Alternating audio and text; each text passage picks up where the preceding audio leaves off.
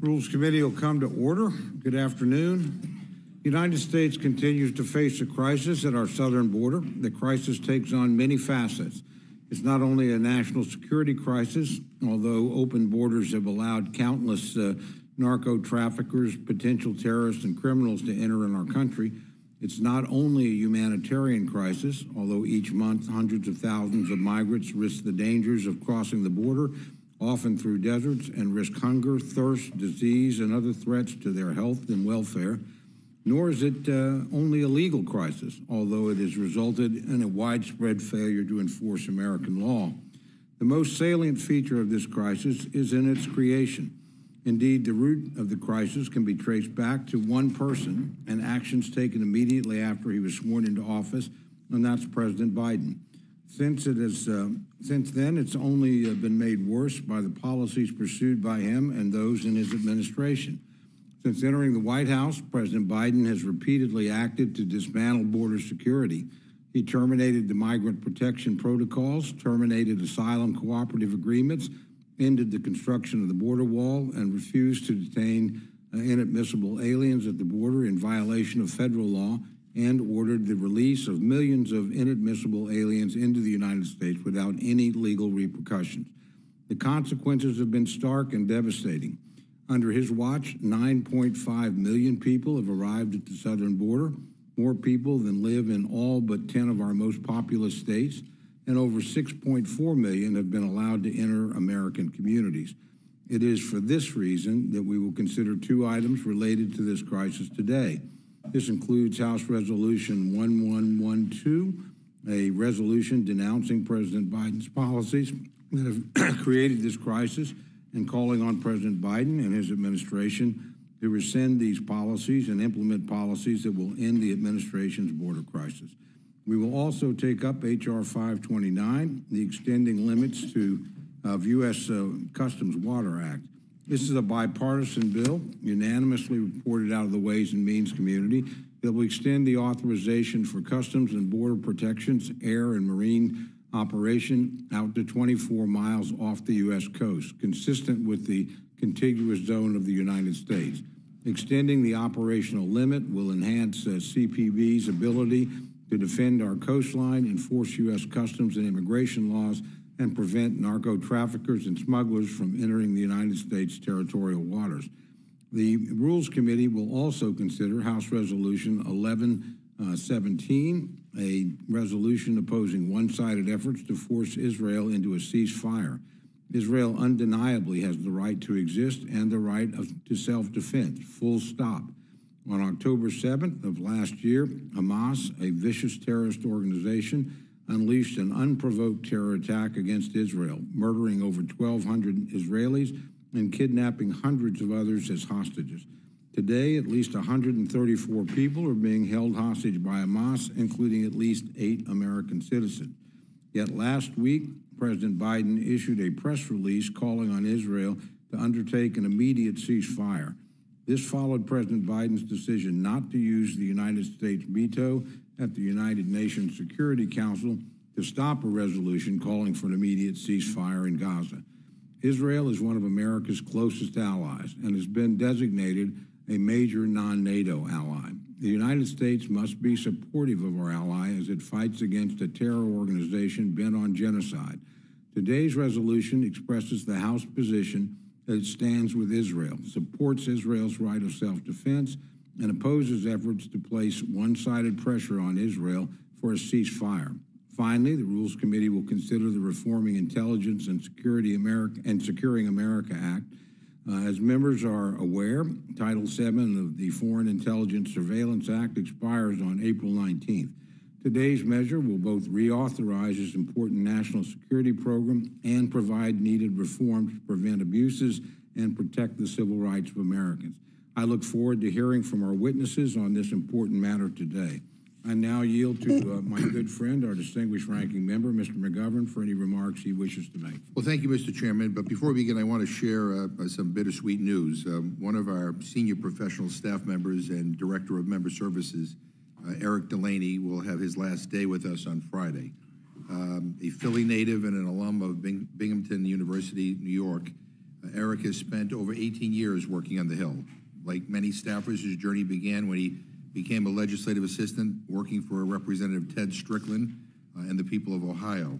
He spent eight years as a senior advisor uh, for member services under caucus vice chair and then chair Xavier Becerra, and then served as legislative director for Representative Anthony Brown before joining the Rules Committee in 2018. Eric uh, is an integral part of our team. His dedication to public service, uh, skill as a coalition builder, fast problem solving, and quiet leadership have left an indelible mark on us. Um, and so we're sad to see Eric go, but excited to see what he accomplishes in his uh, new role at the Department of Energy. So, on behalf of all of us, uh, Eric, I, I want to say thank you for your hard work and unwavering commitment to, to this committee and to this institution and to this country. Um, and now, moving on to the business of the day, we're here to consider four measures. The Reforming Intelligence and Securing America Act uh, is the latest in a string of failed Republican attempts to pass a FISA reauthorization bill. Uh, we have uh, we have two weeks before the April 19th deadline to get this FISA reauthorization to the president's desk. Uh, so let me say the quiet part out loud. Either Republican leaders don't know how to use a calendar, or we don't care about doing the job that we were elected to do. Uh, next, we have the Extending Limits of U.S. Customs Waters Act, a bill that passed out of the Ways and Means Committee with a unanimous 37 to 0 vote. Um, it's more filler that should have been a suspension bill, quite frankly, yet we're wasting floor time on it because Republicans are fighting with Republicans and can't seem to get anything of substance done around here. Next, we have H-Res 1112. It seems the uh, other side is finally ready to tackle immigration and border security with yet another non-binding resolution. It is basically the same non-binding resolution they've been passing over and over for months now. Isn't the definition of isn't that the definition of insanity? Doing the same thing over and over but expecting different results. Let me just remind everyone, Republicans were the ones who tanked an actual comprehensive bipartisan border deal. And they did it because Trump asked them to, so that he could use the border as a campaign slogan in his election. So until they come to the table in a serious manner and work with Democrats to get something done, this is a Republican problem. Republicans and Trump own the border, they own the fentanyl coming in, uh, and they own all of it. Uh, finally, we also have a non binding resolution opposing President Biden's recent comments calling for a ceasefire. This is a truly lousy attempt to divide Americans and score cheap political points. It's honestly kind of sick. Uh, there is a famine in Gaza right now. People are literally starving to death. Millions of people, including children, moms, and babies, are in grave danger, not to mention the 30,000 plus innocent civilians that have been killed. We all condemned Hamas and the October 7th terror attack against Israel. It was unconscionable. Can we at least acknowledge that when any innocent civilian dies, Israeli or Palestinian, it is a tragedy? Earlier this month, we saw seven aid workers from World Central Kitchen, um, uh, aid workers delivering food, get bombed. Uh, they were feeding people, and they got blown up. I think if you ask most Americans, there is a consensus on this. Israel has a right to respond, to defend itself, to go after Hamas. But Netanyahu's response has been over the top. It's been horrific and it's been wrong. What kind of friend are we to Israel if we can't be honest? Because, in my opinion, and in the opinion of a great many of my constituents and a great many people in this country, what Prime Minister Netanyahu is doing in Gaza has crossed the line and is actually hurting Israel, undercutting Israel's security, undercutting Israel's standing in the world. So, I, for one, am proud that President Biden uh, is uh, doing what he can do to try to bring all this violence to an end uh, in a way that not only provides security for Israel, uh, but provides some hope and some future for the Palestinian people. And I'm grateful that he has called for a ceasefire. Uh, again, uh, this this meeting is um, is filler. Uh, no substantive ideas from the Republican Party. It's just an attack uh, against the president to divide the country and complain about Democrats, even though Republicans are the ones in charge here. Here, but hopefully that won't be for long. and so, with that, Mr. Chairman, I will yield back my time. Thank you. Without objection, any prepared statements that our witnesses may have will be included in the record.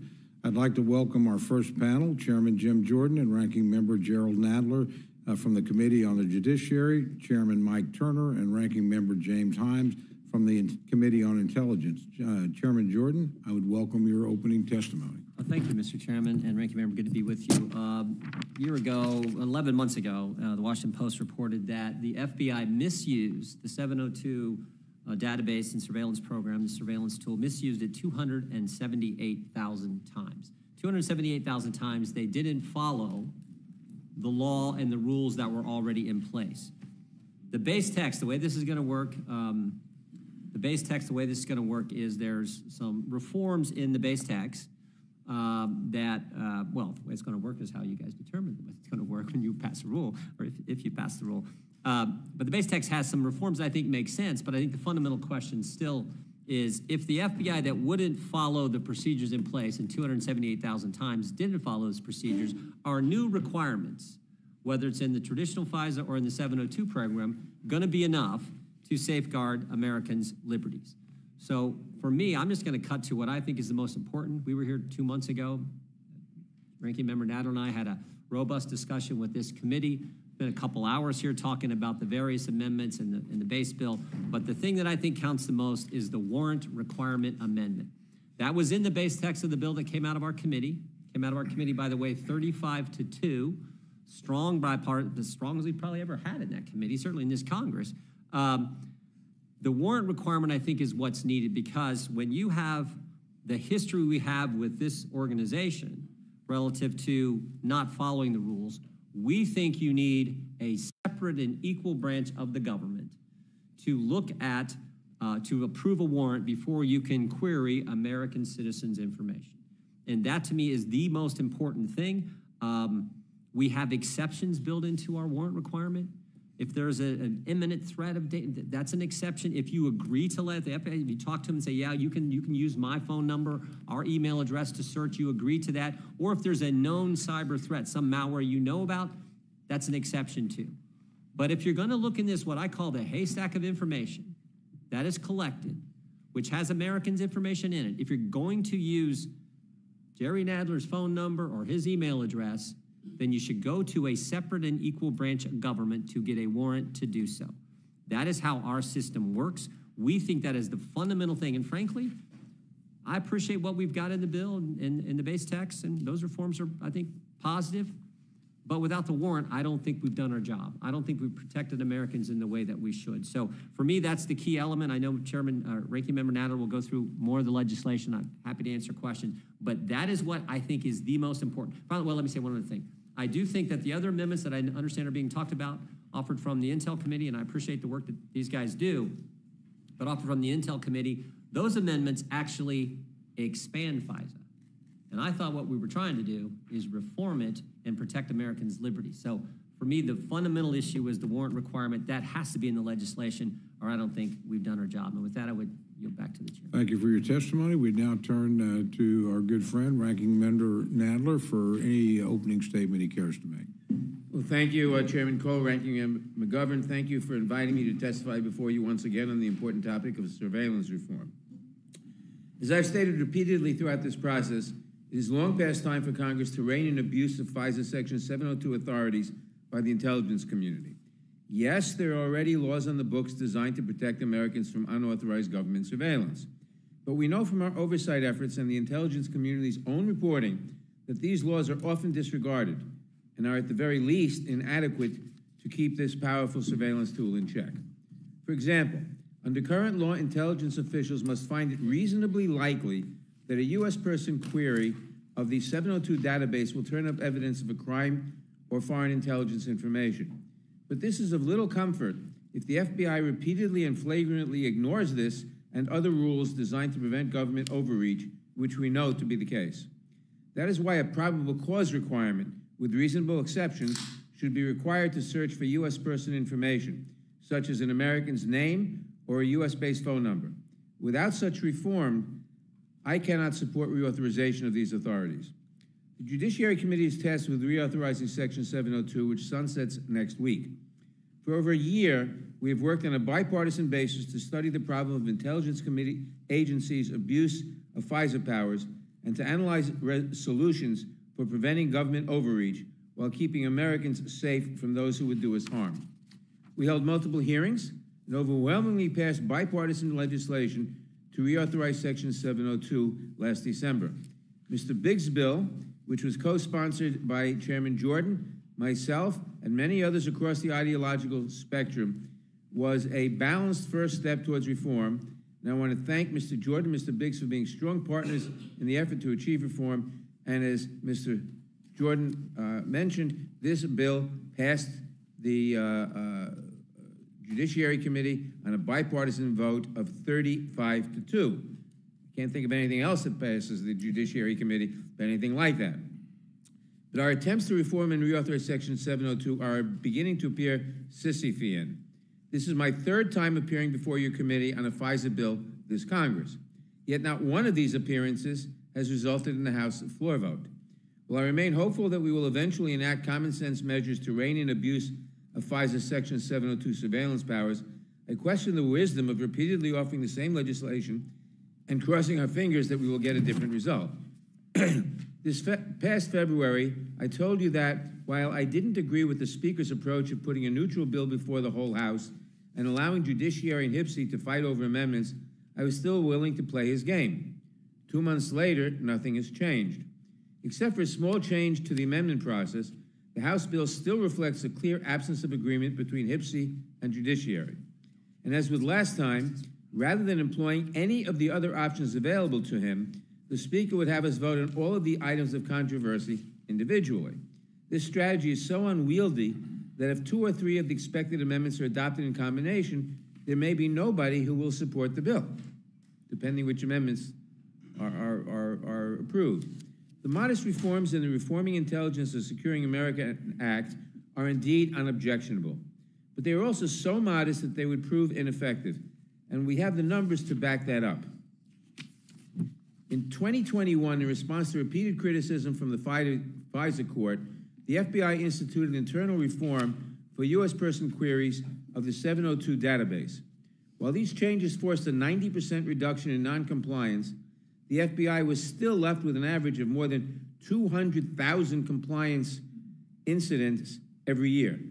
The FBI's self imposed query restrictions did not prevent searches for over 100 Black Lives Matter protesters. They did not prevent a batch query of over 19,000 donors to an unnamed congressional candidate. And they did not stop over 278,000 other non compliant FBI queries of the, 202, of, the, of the 702 database that occurred in 2021. The single most important reform we can enact to combat these abuses is a probable cause requirement, probable cause warrant requirement for U.S. person queries. One of the amendments you will see today would impose such a warrant requirement on searches using U.S. person identifiers, with certain reasonable exceptions, such as cybersecurity cases, situations with victim consent, and in exigent circumstances. This warrant requirement is the reform we need to protect Americans and to allow surveillance laws to continue to keep us safe while also protecting our essential liberties. It is simply unfair to ask the intelligence community to both zealously, zealously protect our security while also protecting the constitutional rights of those surveilled. America's system of checks and balances exists precisely for cases such as this, where two, where two considerations must coexist at odds with one another. For too long, FISA Section 702 has enabled the surveillance of Americans without adequate safeguards to protect our civil liberties.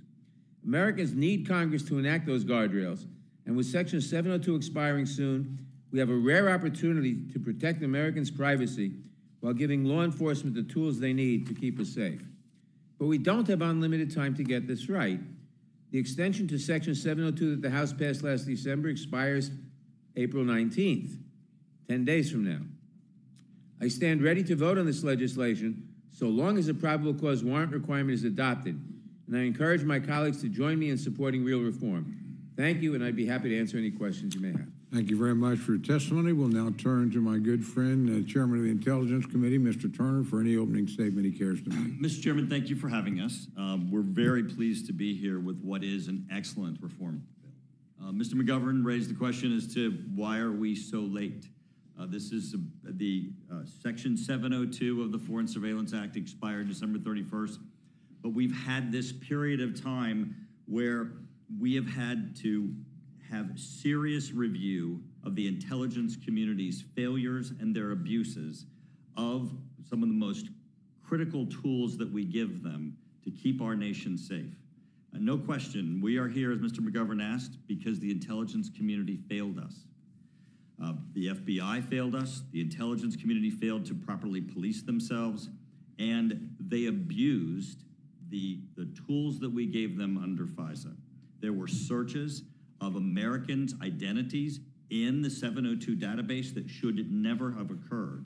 And there was a presidential candidate, ultimately President of the United States, President Trump, who had his own campaign team brought before the FISA court and actual warrants, probable cause warrants, issued in the, in the FISA court in what was the most egregious um, defrauding of a court system that we have had in our political system, where they went to the court and entered in what was basically political opposition research that had been paid for by the Hillary Clinton campaign and the Democratic National Committee to obtain warrants to surveil an individual who was associated with uh, the Donald Trump campaign. We are here only this late because we've had to struggle with these abuses. These are not abuses of Congress. In fact, Congress is the one that ferreted these out. By law and statute, we required that the intelligence community report to us their uses of FISA and their searches of U.S. persons within the 702 database. And those abuses are the ones that we, the Intelligence Committee, pulled together a joint group between the Judiciary Committee and the Intelligence Committee to be able to identify real reforms. This bill, the underlying bill, provides 55 reforms both to the FISA court process, to the FBI's processes, and to the use and the collection of 702 data that go right to the heart of the actual abuses. They're not stabs into the dark, they are actual definitional responses to each of the abuses that we found. Now, the chair and ranking member of the Judiciary Committee unfortunately wanted to debate an amendment that's coming up rather than the solutions that we provided, and I want to first focus on those solutions. Together, the Judiciary Committee and the Intelligence Committee came up with 55 recommendations that reform the FBI querying process, basically taking it out of the hands of the rank and file FBI. We found that their abuses were so egregious that the FBI was broken and we had no ability to continue to trust the system. So we elevated and limited their use of a 702 FISA information. Um, we made certain that the FISA court itself could not ever again be subject to the, the political abuses that occurred in the, in the Trump campaign. And in all of these, we went back and made criminal penalties for anyone who violates these new higher standards. We also gave um, specifically an opportunity for Congress in its oversight to increase its oversight of these so that we can ensure that the criminal prosecutions occur for those who might violate these provisions in the future. Now, um, the chair and ranking of judiciary are, are talking about imposing a warrant on the search of 702 information. And I want to make a few things clear. There is no warrantless searches of American citizens' data. That does not occur under FISA. It's not permissible under FISA. It's illegal. They don't even have the mechanism within which to do it. They, do, they survey foreigners located abroad and a limited subset. It's about 250,000 people. It is subject to court supervision, and that and the court supervision is determining that each of those individuals represents a national security threat, a foreigner abroad, national security threat to the United States. So, what would their warrant requirement be then? If it's foreigners that are abroad, what would their requirement be? It would be to go in to the head of ISIS, to go into the head of Hamas's data, and look in that data that where Americans' names and American citizens who are communicating with Hamas and ISIS may be. It's not going into Americans' data. There is, there is no warrantless spying on Americans under 702 or FISA. There is no ability to go into American data under this law except with a warrant. There already under the law is a requirement that if you're going to go into Americans' data, that you must get a warrant. The requirement that they're asking for is a warrant if you go into Hamas's data and look at, at Americans that are corresponding with Hamas, or if you go into ISIS data and look at ISIS data for Americans that are corresponding with ISIS. Now, first off, there's no, there is no constitutional requirement for that. The courts have already ruled that you have no constitutional right to privacy as an American to, to correspond with an ISIS head who's a foreigner located abroad. That is not protected communication. Now, your communications remain protected. We can't go into your um, into your communication, to your data without a warrant. But if you communicate with ISIS, the head of ISIS, or the head of Hamas, you lose your constitutional protection under those communications. If we're spying on the head of Hamas, which you and Americans would want us to do, your communications are going to be caught up at the head of Hamas. To impose a warrant requirement is dangerous for America. The Wall Street Journal stated Section 702 lets the government monitor non US citizens outside the United States to protect national security. Don't let anybody tell you this is a warrantless program surveying Americans. The House Judiciary, Committee has gone the wrong way. The legislation that could end up that could end Section 702 uh, would make it useless as a national security tool. The bill would require their amendment a warrant for queries of U.S. persons even though the information is already collected. In other words, what the, what, what the Wall Street Journal is, is indicating is if you collect Hamas's data, you shouldn't need a warrant to look at Hamas's data, even if an American is in there. If an American is communicating with Hamas, it's a national security threat. We should not have a warrant. It will shut down our ability to be effective. I yield back. Thank you very much. Now turn to my good friend, the distinguished ranking member of the Intelligence Committee, Mr. Himes. Uh, you're recognized for any opening statement you care to make. Thank you, Chairman Cole and Ranking Member McGovern, for the opportunity to speak about the Reforming Intelligence and Securing America Act of 2024. I'm going to state something that hasn't been stated, but it's critical. Section 702 is our single most important intelligence collection authority, bar none, full stop. Almost 60% of the articles in the President's daily brief have or contain information from the 702 collection program. And the intelligence community uses this program every single day to keep Americans safe. For more than a year, the Intelligence Committee has worked diligently and collaboratively to reauthorize Section 702, starting from the premise that it is essential that we reauthorize it, but that we cannot and will not do so without very strong reforms. All members of the Intelligence Committee have been deeply engaged in that effort. We have hosted briefings, both classified and unclassified, for members and staff to educate the staff on the complexities of Section 702. HPSCI's oversight demonstrated the value of Section 702, but it also found, as my colleagues have said, genuine problems in how Section 702 has been used and room for important reforms.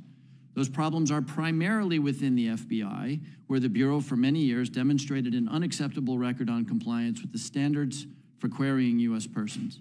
Thankfully, the robust systems of audit and oversight of Section 02, uh, Section 702 that Congress has previously put in place identified those shortcomings, and we are now in a position to take corrective action. I would also point out, as I believe the chairman of the Judiciary Committee said, that uh, internal changes inside the FBI have already dramatically improved, both reduced the number of U.S. person queries by 90%, and we're at a point now where less than 1% of FBI queries are non compliant.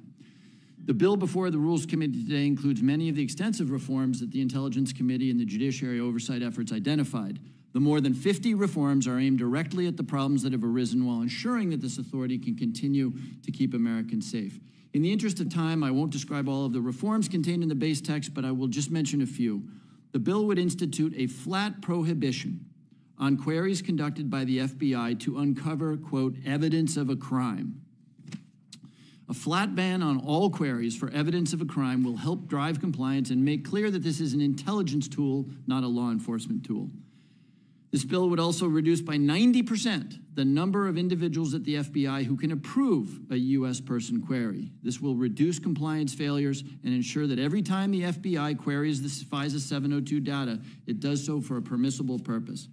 And finally, this bill includes important reforms to the FISC, the Foreign Intelligence Surveillance Court, most notably by requiring that the FISC appoint an amicus to represent the privacy rights of Americans each time the government seeks to renew its annual certification under 702.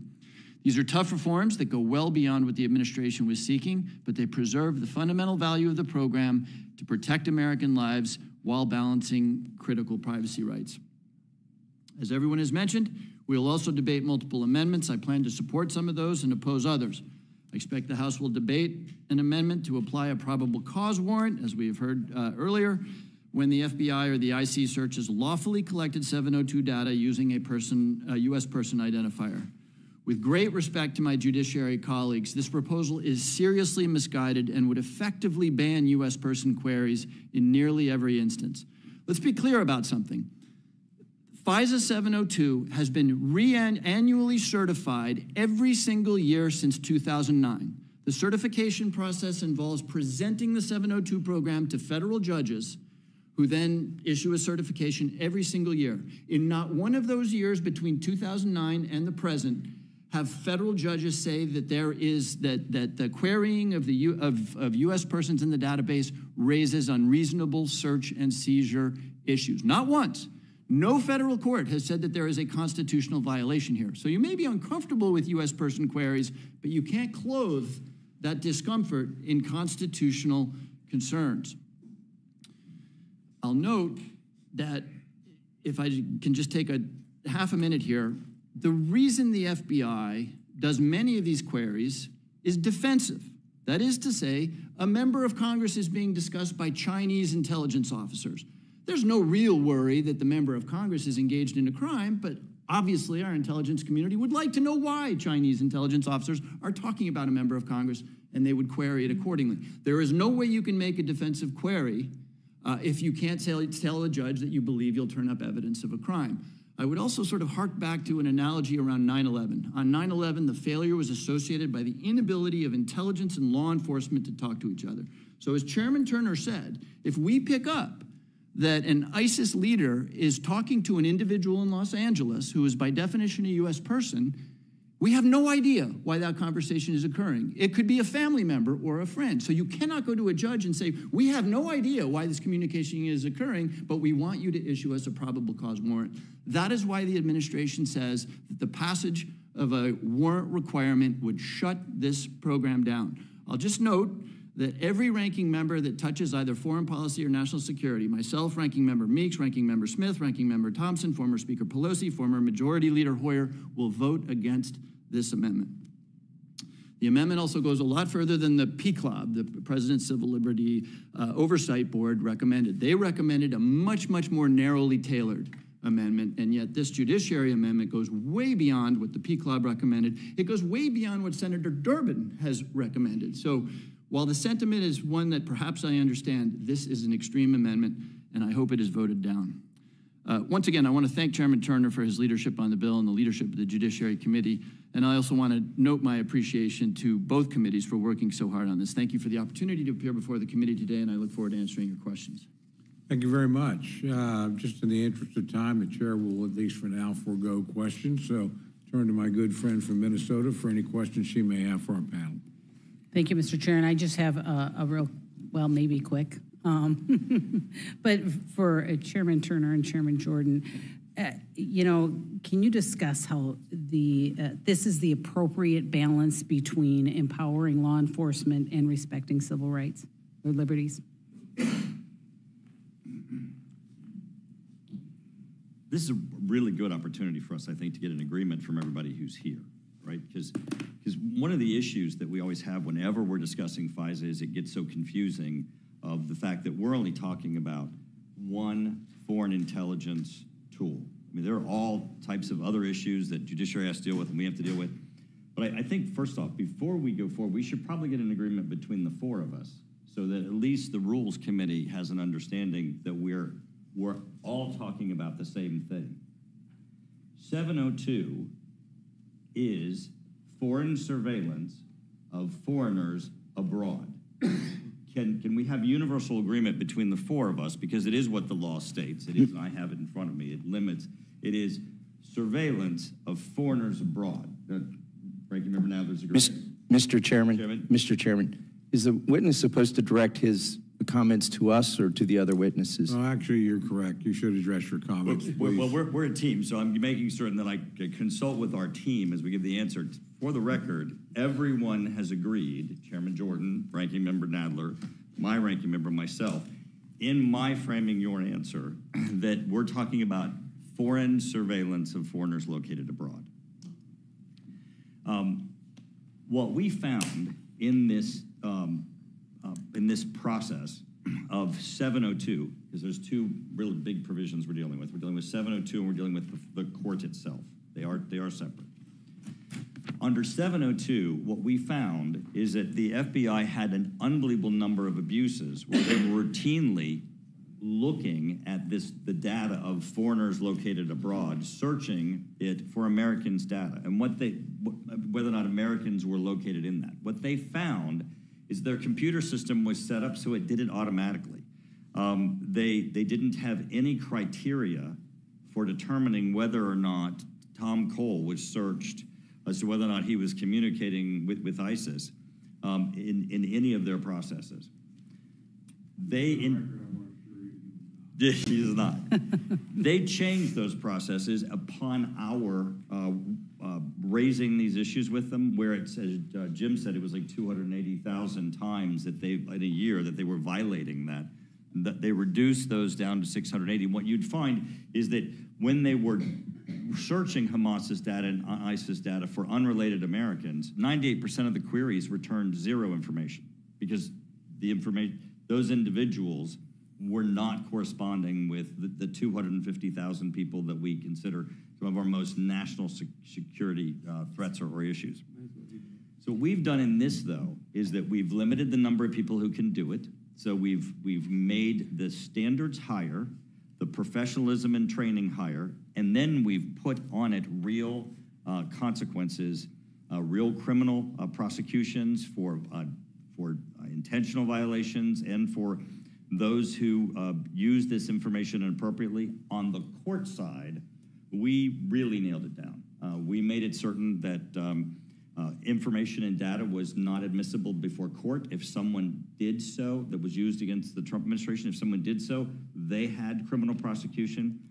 Uh, we um, made certain that if it's a U.S. person, that an in, that an independent attorney is appointed and is part of the process to be a counter to um, ensure that the laws are followed. And we also um, made certain that there is that there is a hearing and a transcript, and that that data is made available if there should be subsequent um, uh, pros- legal proceedings, so that the American citizen would have ac- access to it and be able to challenge it. Uh, I would just respond by saying, we have no problem with surveilling foreigners. It's the Foreign Intelligence Surveillance Act, as, as the ranking, or as the chairman just said. What we have a concern about is a term that Ranking Member Himes, I think, used four times in his presentation, U.S. person queries. And that's a fancy way of saying U.S. person searches. They are searching Americans. So that is our concern. And we know, we know, not according to Jerry Nadler and Jim Jordan, but according to the Washington Post and information we've, we've, uh, we've received from the Inspector General and others, the FBI, this is quoting straight from Mr. Barrett's piece a year ago, the FBI has misused a powerful digital surveillance tool more than 278,000 times, including against crime victims, January 6 riot suspects, people arrested at protest in the wake of the police killing of George Floyd in 2020, and in one case, as the ranking member referenced, 19,000 donors to a congressional candidate, according to a newly unsealed court document. That has nothing to do with Hamas or Hezbollah. That's U.S. person searches, not queries, searches of their information. And the, the, the author goes on to say the failure to use this 702 database correctly when collecting information about U.S. citizens and others make it harder for the agency to marshal support for Congress to renew the law. That's why we're saying information picked up in this, what is becoming a bigger and bigger haystack of information, information about American citizens, U.S. persons in there, if you're going to query that, you're going to use a phone number, an email, or a name, as the ranking member said, you should go get a warrant to do that. That that is the crux of the matter. Of course, we want to bad guys overseas. Of course, you want to surveil them. But we're not talking about. We're talking about the term that Mr. Himes again used several times in his opening statement: U.S. persons. This is why this is so important that we had the, the agreement before I start answering your question. Yes. because what Jim said is absolutely right. I mean, the abuses were horrific. I mean, the whole fact that people who were arrested in, in, during the George, George Floyd riots had their names searched in Hamas's data is an absolute violation. Now, in under 702, the people who were arrested for protesting for George Floyd under 702, they didn't go search their data. They went and searched Hamas's data and ISIS data. The problem is, is that, that Jim and, and Ranking Member Nadler want to have a warrant to search Hamas's data and ISIS's data. There's already a warrant requirement to go and search an American's data, to go and search their data. But if you're going to go look in Hamas or ISIS, and you're an American citizen that's corresponded with ISIS or Hamas, there should not be a warrant to look at that data. With all due respect, I think the uh, chairman misunderstands the bill or, or the situation. Of course, you don't need a warrant to surveil Hamas. No one claims you do. But when it comes to surveilling an American person, a U.S. person, like any other situation, you should need a warrant. That, that is the law. It is not the law. It- it is absolutely well, the law. if it is the law, right now, under the law, if you have to, if you are going to surveil case- an American citizen, you need a warrant. It's only if you're searching Hamas's data or ISIS data that you don't need a warrant, and that's what you want to put a, da- a warrant if- on. if- And, and I think the American citizens believe that if somebody is corresponding with Hamas and ISIS, for example, if they send them an email that says, thanks for the bomb making classes, we ought not get, have to get a warrant to look in Hamas's data that we have to find out that they thanked them for bomb making well, classes. the, again, if you want to search Hamas, that's fine, and no one claims you need a warrant. If you want to search a U.S. person, you should need a warrant. Now, you say we do already. Right, right. But, uh, let me finish. Okay, You say we do. If we do, then the amendment that the Judiciary Committee proposes requiring such a warrant should not be objectionable No, to no, you. that's not what your warrant says. So let's go over it, because I mean, I, we have it, and I think certainly for the Rules Committee, people have to vote. I mean, if, if you're, if there's confusion among the four of us as to what your amendment does, then we need to clear it up. Your amendment says that there would be a warrant required to look in seven oh two data, which is foreigners located abroad's data, the two hundred and fifty thousand that we identify as the most national security threat if there's an American's da- who has communicated with them. No, you- That's what your amendment No, sa- no, you mis- says. you misunderstand the amendment. What the amendment says is that if Hamas, whom we are properly surveilling, or any other people for that matter, the Chinese communists, whoever we're, we're, we're surveilling abroad, we find that they communicate with an American. Now, we have the metadata. But under your amendment, you Uh, can provide that. Um, excuse me. uh, Let, let, let Mr. Sorry. Nadler, uh, I'd like to hear what he's having to say. I'm just going to remind our witnesses, please don't talk to one another, talk to the panel. We And please don't talk over one another, Yeah. it's very We difficult. have the not. metadata. That is to say, the name and phone number, or presumably the phone number, of the American person that Hamas or whoever uh, abroad called. If we want to know, however, what, we want to surveil all the phone records of that American person, like any other search, you ought to need a warrant. That's current law. It is not current law. If it is current law, then the amendment that we have here saying that a probable cause warrant to conduct a U.S. person search of the 702 database with limited exceptions for exigency, cybersecurity, and victim consent should not be objectionable. No, no, no, what you and, just uh, said. Excuse me, uh, Sorry. I, I Again. I asked you not to interrupt one another, not to talk to one another, answer the gentlelady's question. And, and I was going to ask Chairman Jordan, because I, I was curious if, if there was some, uh, another answer in between. Okay, I, I agree with, I agree with uh, Ranking Member Nadler, it's why we put the amendment, and understand, we have exceptions in the amendment. Ms. Fischbach Yep. can say, if it's an emergency situation, and you think the time element, or whatever time element that is, even though it's constitutional, there's an emergency situation, or if there's a permission. The example that I think the ranking member of the Intelligence Committee gave If a member, if, if two people in China are talking about a member of Congress, go talk to that member of Congress and say, hey, do you care, do you care if we query this database? Because we think these guys are trying to target you in some way. Of course, that individual, that member of Congress, go ahead, figure it out. We want to know what the Chinese are trying to do to a member of Congress. And then the third one is if it's a known known cybersecurity threat, some known malware that's been used, that's an exception as well. So we tried to structure this this warrant requirement with some exceptions, which so frankly we're giving on the side of, of the Judiciary Committee in the way we structured this because we get this national security issue, but we also get the Constitution, and we also get this fundamental principle that it's a separate and equal we have separate and equal branches of government to put a check. You don't want the executive branch being able to just not follow the rules or the rules that are in place, they get to do their own thing. That's why we have a separate and equal branch that has to okay it when you're going to go get information about an American citizen. I, I will just say thank you very much, and I'll yield back, Mr. Chair. Thank, thank you. Thank the gentlelady. I now turn to my good friend, the distinguished ranking member, for any questions he has. Yeah, for the ju- panel. Just, just briefly, I mean, this is all a fascinating discussion. It's clear that you don't agree with each other, so. um, No, you guys agree, you know, but the, the, see, the, I guess my, my, here, here, let me just cut, kind of cut to the chase. Um, you know, uh, this is the third time we're, we're up here.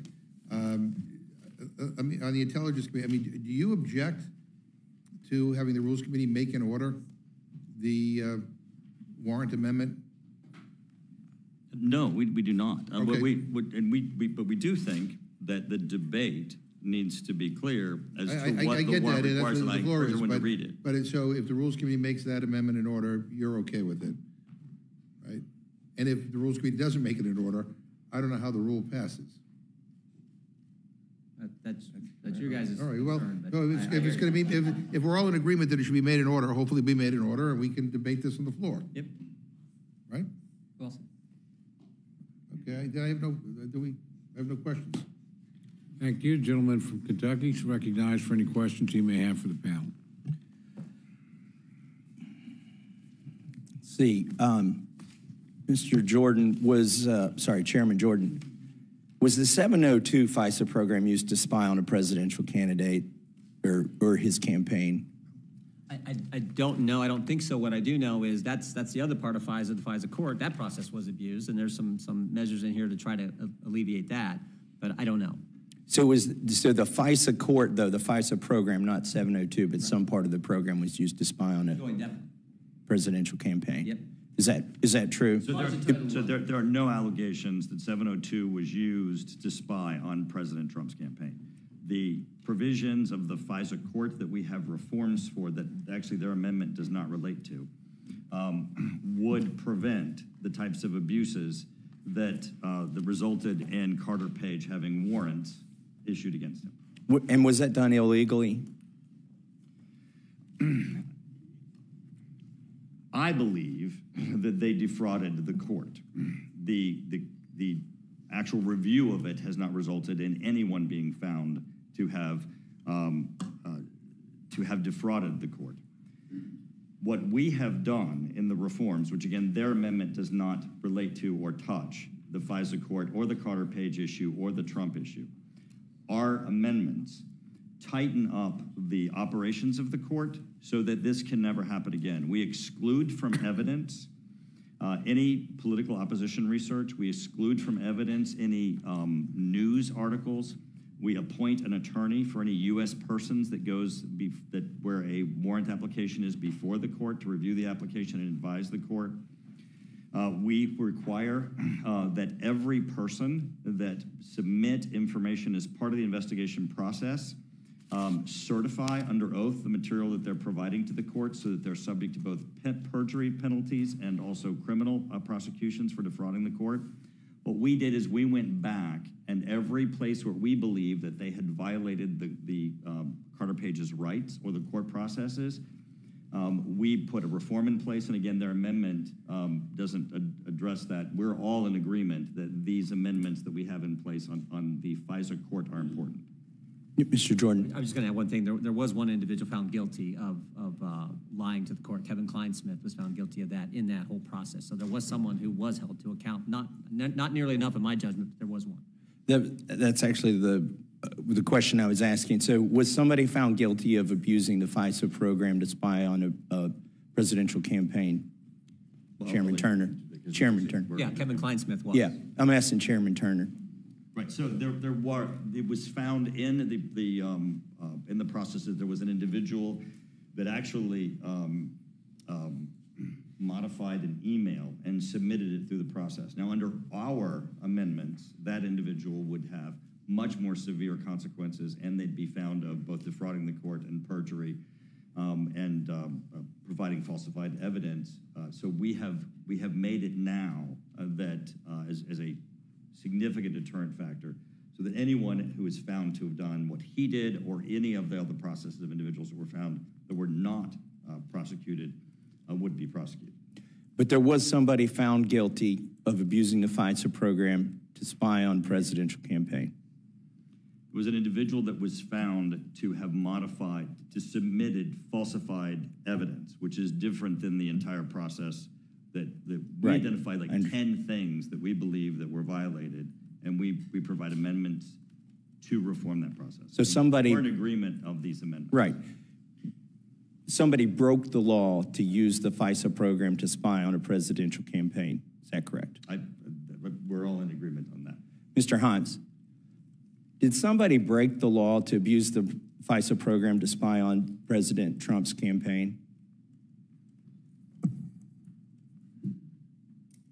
My understanding is the same as Chairman Turner's and Chairman Jordan's, which is that there was an individual who was uh, prosecuted for some process failure in applying for an affidavit, under Title I of FISA, which is distinct from 702. Distinct from 702, but this is, this is not some right-wing conspiracy. I just want to get this out there. There was somebody in the government who abused the FISA program to spy on Donald Trump's campaign, and they've been uh, found guilty of falsifying information. Is that correct, Mr. Himes? That's my understanding, yes. Okay. Um, let's see. So, uh, Mr. Turner, Chairman Turner, you said there are 250,000 targets overseas, and you characterized them. About. Okay, roughly.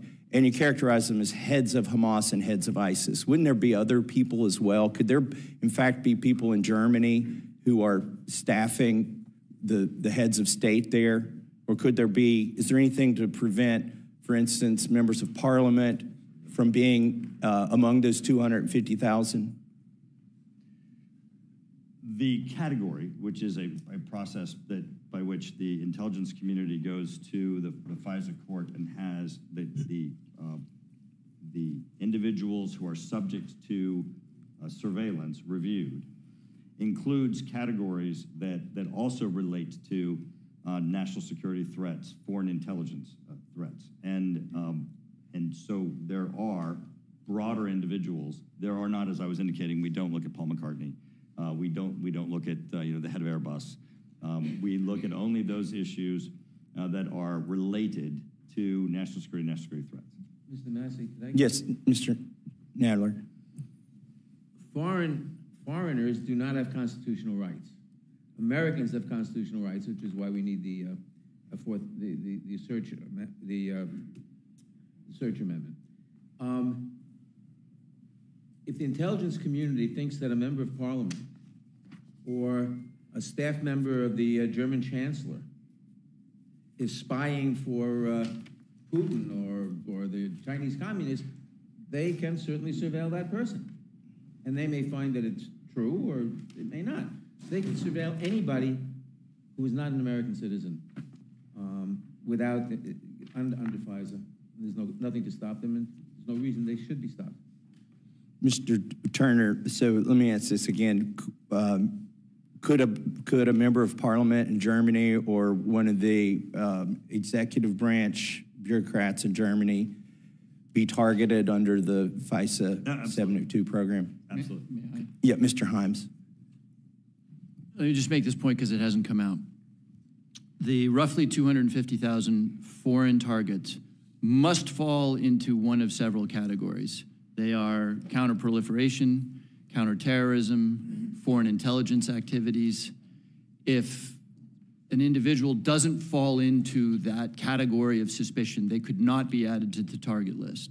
So it's important that we understand that, that there is a, a uh, filter that targets must pass through that indicates that they may be involved, they might be a foreign intelligence officer involved in, in proliferation or terrorism in order to get on that target list. So, no, the government can't simply pick uh, uh, a minister of parliament in the UK or in Germany and put them on the list without a justification in one of those categories. Well, seem, they've got 250,000 people. I just find it hard to believe there's that many heads of Hamas and heads of ISIS. Could a business person end up on this list for traveling to, let's say, Russia uh, to work on some business deals in, in Moscow? Well, to be clear, Mr. Massey, between Russia, China, Iran, North Korea, you probably have hundreds of thousands of intelligence officers who would be legitimate targets under the Foreign Officer of an Intelligence Service. Uh, a business person, just to ask to answer your question, could only be put under the target list if they were suspected of being involved in terrorism, proliferation, or a foreign intelligence officer. Can I, can I Go ahead, Chairman so, Turner. Um, one of the things that's difficult in, in all of these discussions is that, you know, obviously there are a number of different intelligence programs and intelligence, intelligence gathering arms of, of, of the United States government. We're dealing with 702. Um, 702 is foreigners located abroad, of which there's national security interest. What you just described, uh, for example, right now Russia is subject to um, uh, sanctions. And uh, if there is an individual who is a, an American who is currently violating those sanctions, um, they could be subject to uh, being caught up in surveillance of that Russian that they're doing business with because they're violating the law. That's not that's not 702. Seven, we, are, we don't do sanction um, uh, enforcement um, under, under 702. Um, so let's say, I'll just pick a name. Mary Catherine sends 10,000 emails. She's an American, never been abroad, always lived in the United States. She sends 10,000 emails in a year, 2, makes 2,000 phone calls, 5,000 texts, 500 direct messages uh, on her social media uh, platform. And let's see, let's say 0.1% of those are caught up in the FISA 702 program. Why wouldn't you need a warrant to go after those emails that are in the FISA program that, that were ostensibly collected in pursuit of a foreign agent? Why does Mary Catherine only have protection over some of her communications? Well, it's the same as if you and I communicate. I mean, if, if I send an email to you um, and it's then in your data, it's not, it's not my data. But, but what's the principle that requires you to get a warrant to search you know, all of that stuff, but not some of that stuff. Well, again, it's not that stuff. It's because we're not searching Mary Catherine. If to search Mary's material, to search Mary's material, you would need a warrant, and you would need a warrant based upon probable cause, and that is, as I was saying to the ranking member, current law.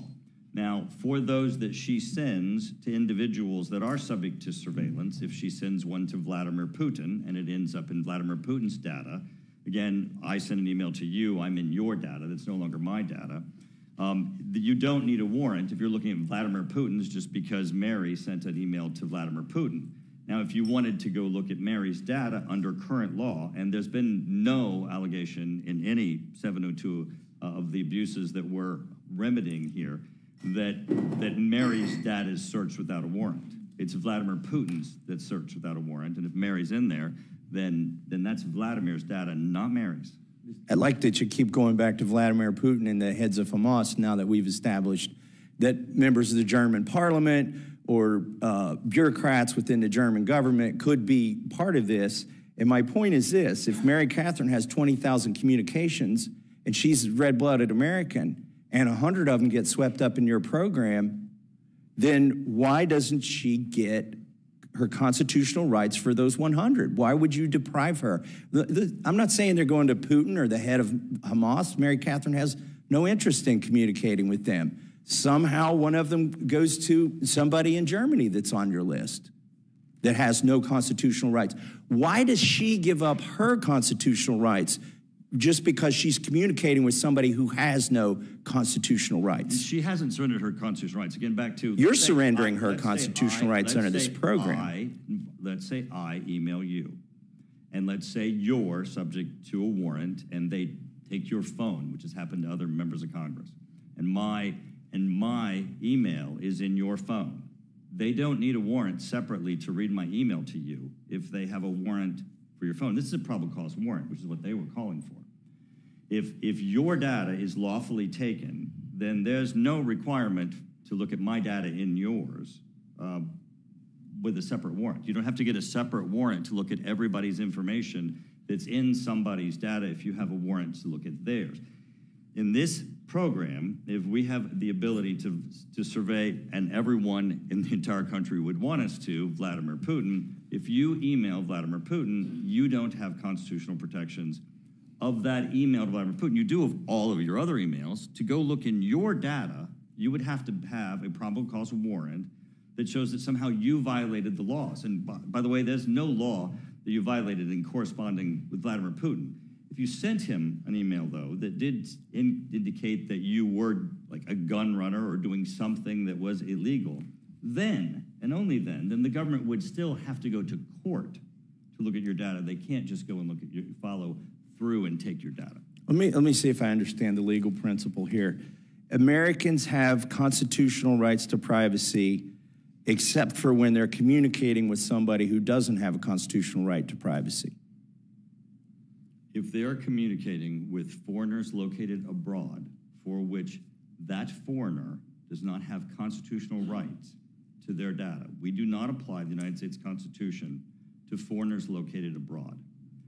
A small subset of foreigners located abroad, those which rise to the level of being a national security threat, we do spy on. The, the American public would want us to spy on individuals that, that are a threat to our country. If you communicate with one of those individuals, yes, your emails, your data that are in that individual, the head of ISIS, the head of Hamas, Vladimir Putin, um, are subject to, to intercept. And they and courts have ruled, regardless of what this law says, uh, courts have ruled are not subject to any additional protection. Your data remains protected, but not those that you've communicated to a foreigner abroad. Mr. I think, yes, Mr. Ch- Ranking Member Nadler. Thank you. Um,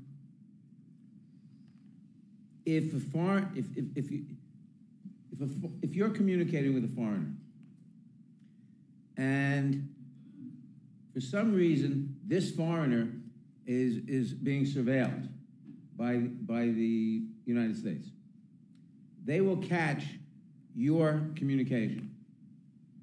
They know what you said, presumably they're wiretapping it, they know what you said to the foreigner, they know what the foreigner said to you. Fine. But if they now want to look at, because you're communicating with Vladimir Putin, they suspect, even though all you said to him was uh, happy birthday, but since you communicated with him, they suspect that maybe you're up to no good, and they want to search all your communications They need a warrant. you should need a warrant, and that's what our What's amendment says. Under current FISA law, you would not need a warrant. Under the bill in, in chief, you would not need a warrant, and that's why we are putting in a probable cause uh, amendment, a, a probable cause warrant amendment, which we hope will be made in order.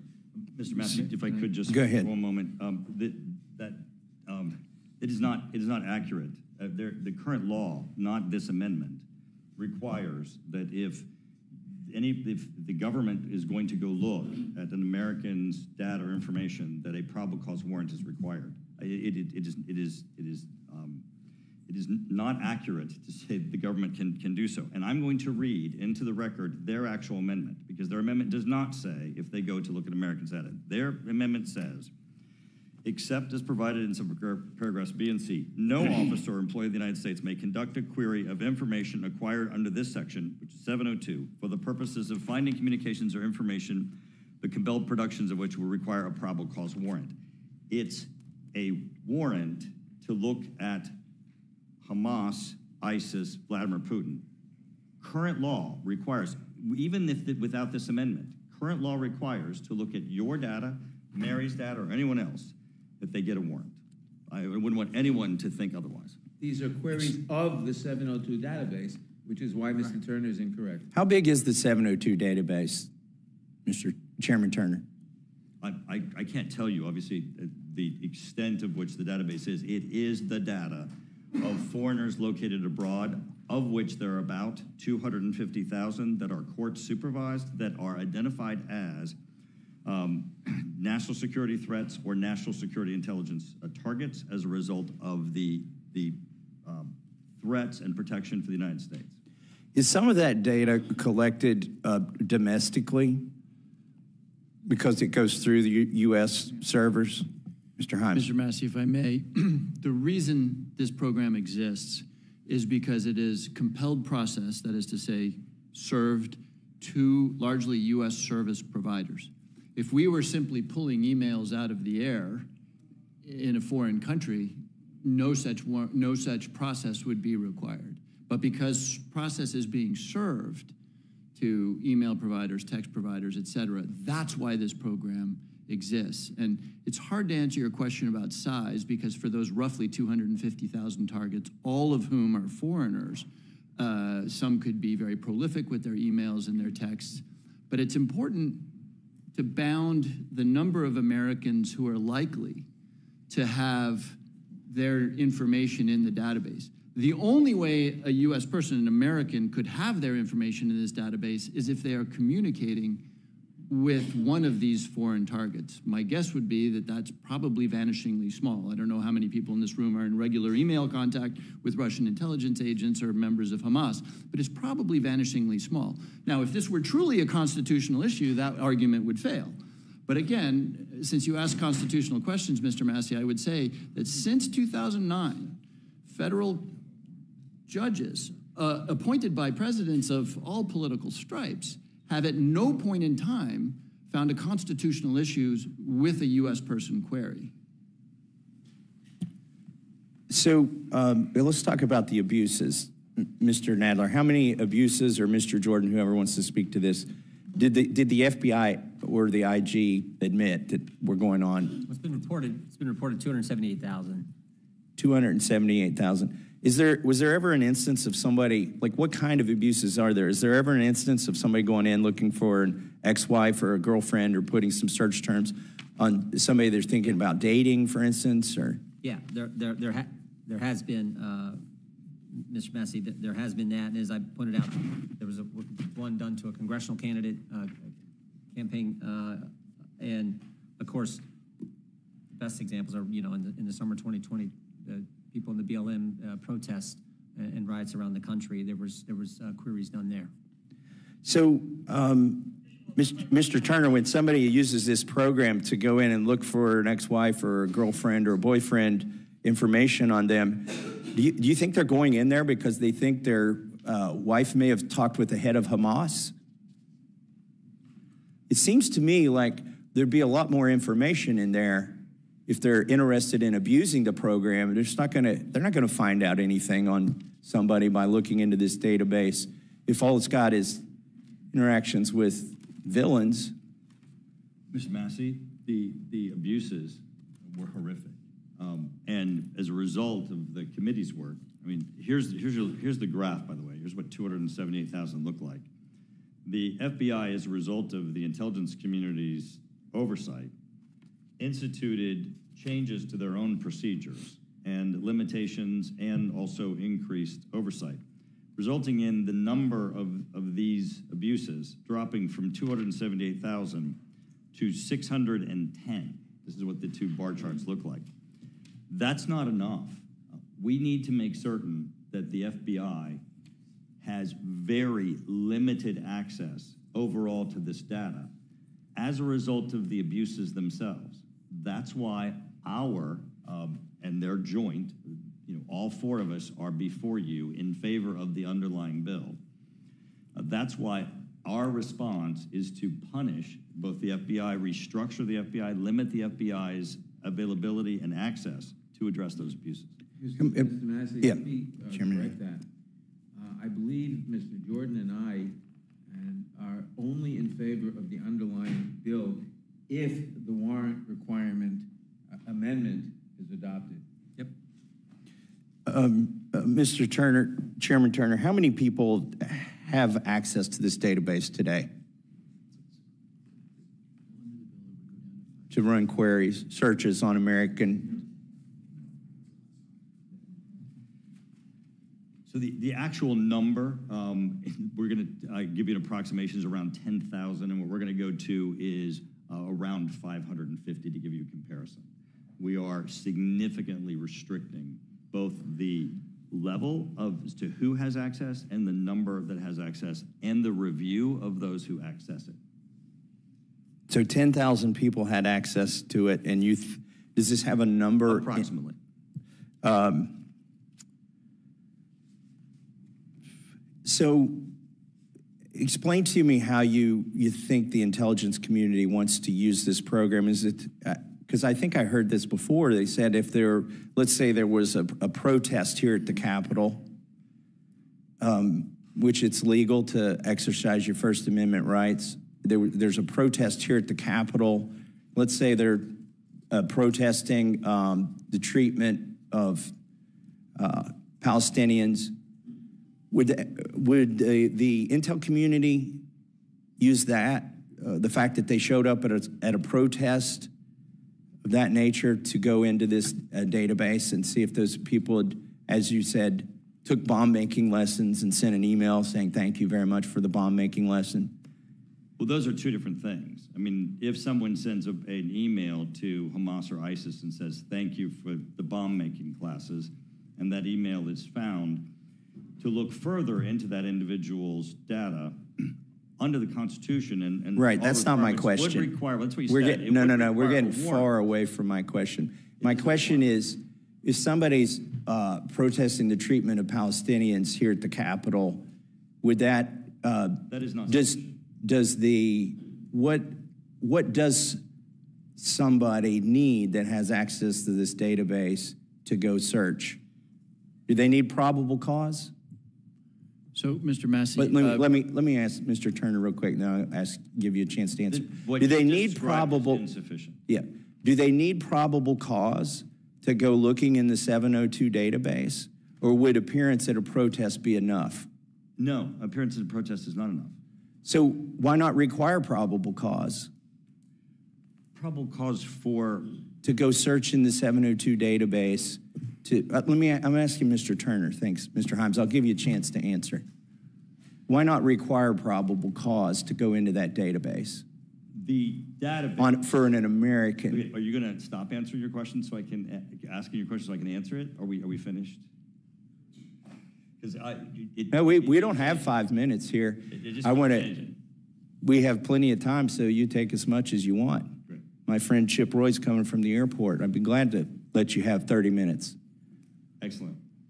Your question, which I think is an important one, is if an American protests, specifically the issue of treatment of Palestinians, is that sufficient?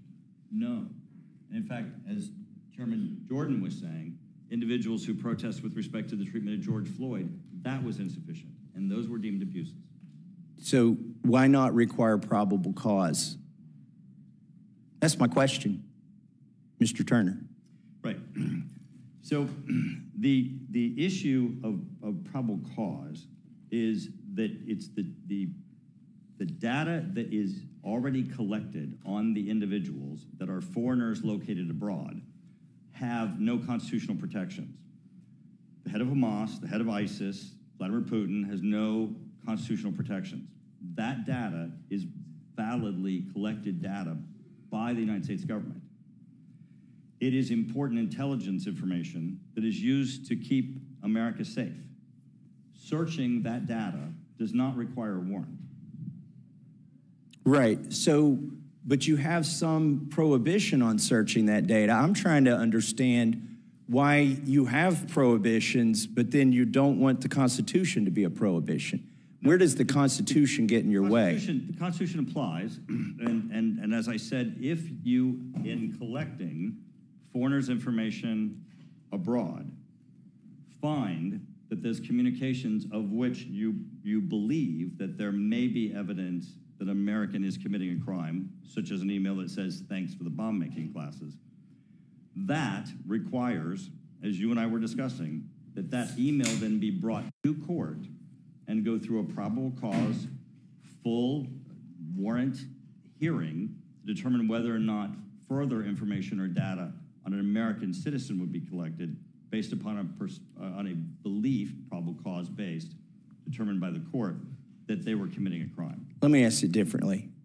Under the framework you've established, somebody who shows up at a protest has an American who shows up at a protest in America. Uh, you, you aren't constitutionally prohibited from going into the 702 database and searching for information on them. Is that correct?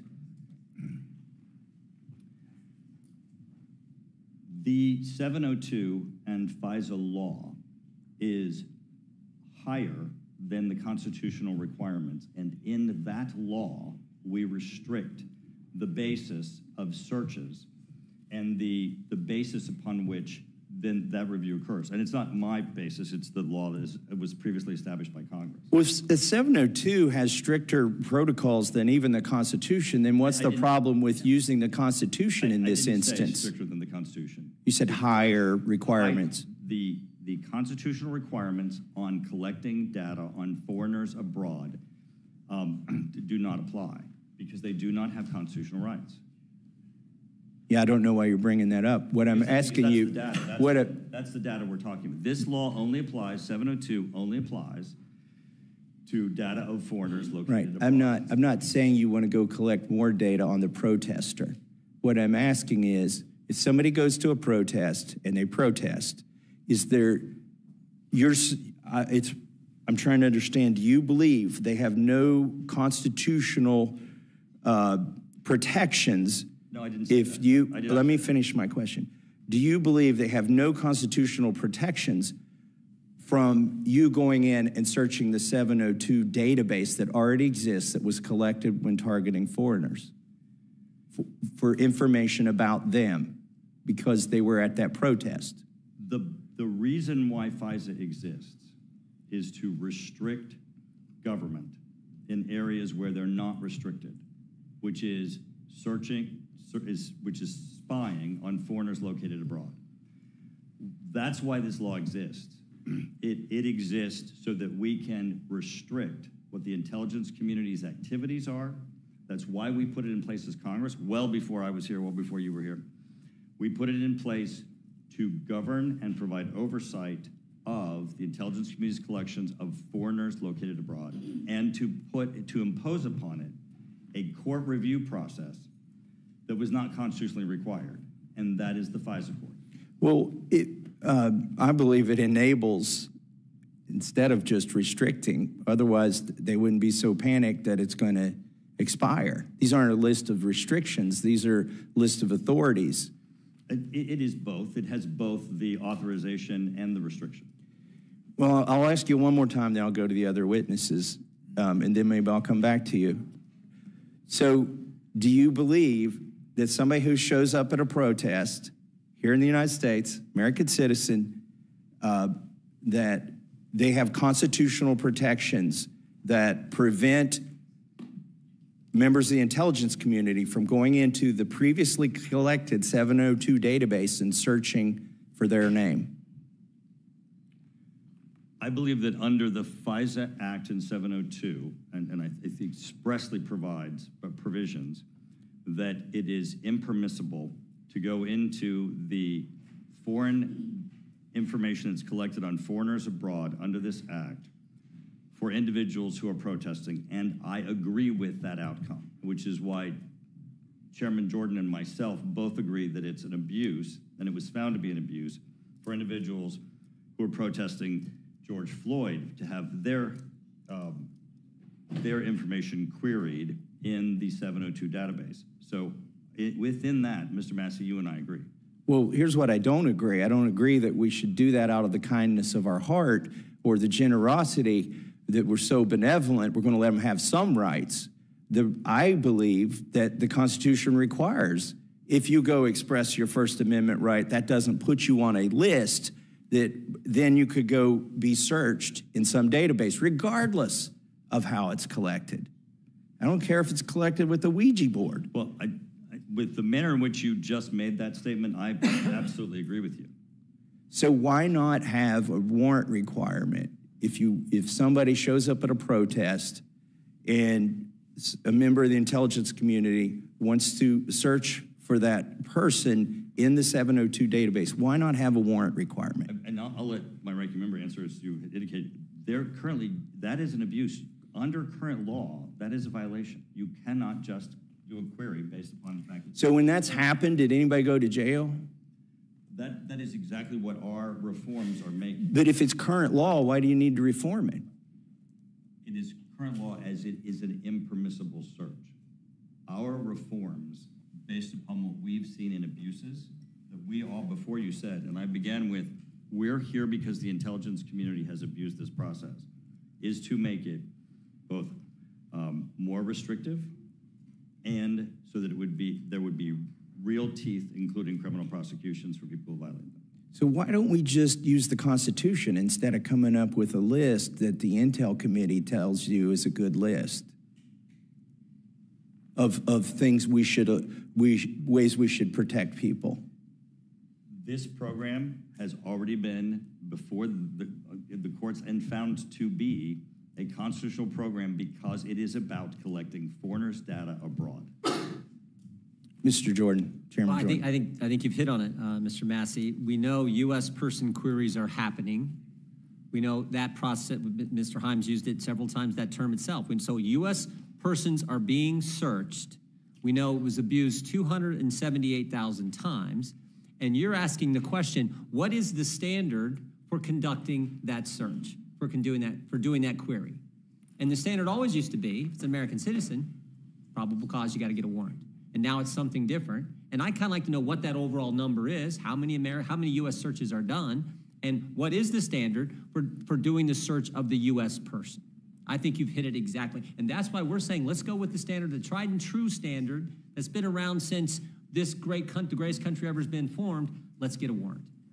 So one of, one of the reasons that I've heard why we can't have a warrant requirement is it's clumsy, that uh, and that facilities don't exist for the FISA judges to rev- review warrants. So the FISA judges, as I understand it, we met one in a SCIF. They are federal judges who come uh, to the FISA court, not all the time. They still hear cases back in their districts or circuits. They're federal judges who come and serve as FISA judges. And that uh, one of the arguments that I heard was that they don't have secure facilities in the locations where they're where they're normally. Is that true, Chairman Turner? Um, I'm having my staff hand me the, the, the paper you, that you've reviewed, um, that includes the information. The, um, assessment, and you are right, and, uh, we had a, uh, we had for four hours, uh, the opportunity to have, including a former FISA judge, um, in, in classified setting, to describe how this process works and the im- importance of being able to surveil foreigners located abroad, which again, this program is limited to foreigners located abroad. The information and data is that if there is a, um, if there was a judicial review required to search for Americans that have communicated with foreign targets abroad, for example, the chairman of the, the head of ISIS, the, uh, the head of, um, of Hamas, that it would take um, about 2,000 additional judges. You would you would hire. I mean, in the Not case would. of It would require the, the process to search the data that the United States collects on foreigners located abroad, head of Hamas, head of ISIS, Vladimir Putin. Um, it would take to search that, to, to every time you search that data that was collected lawfully, that it would take an additional 2,000 judges, which is what the question that you had asked. Here's here's uh, explain this math to me. So you're going to limit it to 500 people to access the database, but you're going to need 2,000 judges to review what 500 people are doing when they're poking in that database for Americans. That is the assessment. And you, you heard from the, um, the FISA court judge as I did. Um, you and I were in the same briefing. But the numbers don't add up. Why would you need 2,000 new judges to review what 500 people are doing when they're accessing this database? Again, you and I received. If you- it- I, I don't have a, I don't have an additional answer to you beyond the Well, Mike- that, that you. The question I was going to ask is, um, which I did ask, was does it require, do these judges need SCIFs? Do they need secure areas to review these warrants? Uh, Not how many judges there would be. I'm, I'm sorry, I was. conf- Let me, let me, let me just start where I think we're going to end up. The, uh, I've heard as an excuse, other uh, members of our leadership have told me, oh, well, we can't do this. You can't require a warrant to go look in this database on Americans because these judges don't have SCIFs where they live. They don't have the secure area to review the warrants. And I find that argument really hard to believe. We just spent $200 million on a new FBI building here. And you're telling me we can't build a, a little closet where the phone conversation can be secure when you call a judge to do a warrant?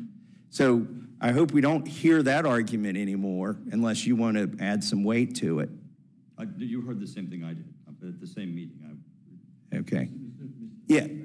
Ch- Ranking Member Nadler. Um, The fact is, obviously, you can have a SCIF in every federal courthouse in the country, and it wouldn't cost very much money. Um, So that is hardly an objection.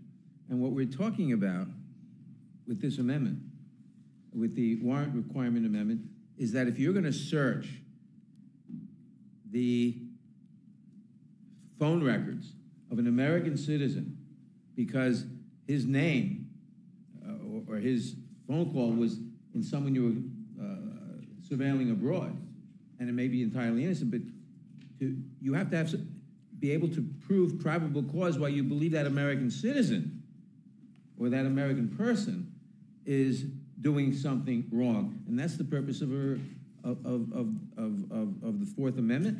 And that's why we need this warrant requirement that's in this bill, because under the FISA court now, they're surveilling everybody, they're surveilling Americans without probable cause, and that's why we have this amendment.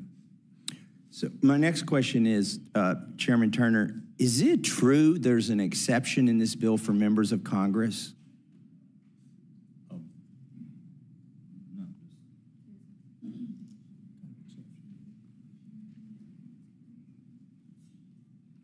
Right.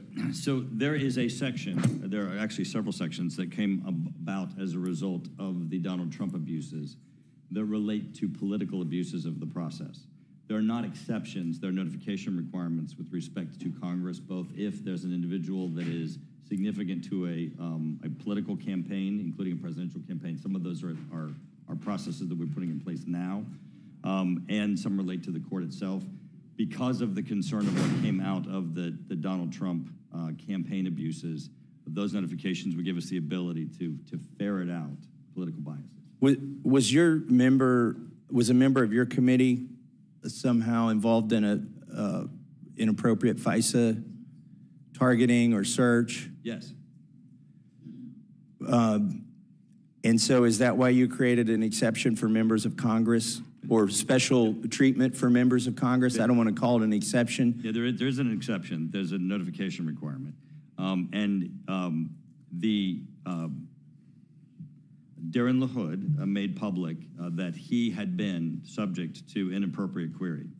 Uh, he was part of the process for drafting uh, these reforms, and um, and absolutely, even though he was subject to an inappropriate query, is is adamantly opposed to the application of a warrant to search um, foreigners' data, such as we've been describing. Well, of course, he wouldn't have any objection to it now that he's got an exception. No, there's no exception. Well, now that he's gets special notification, That th- There's there's no exception.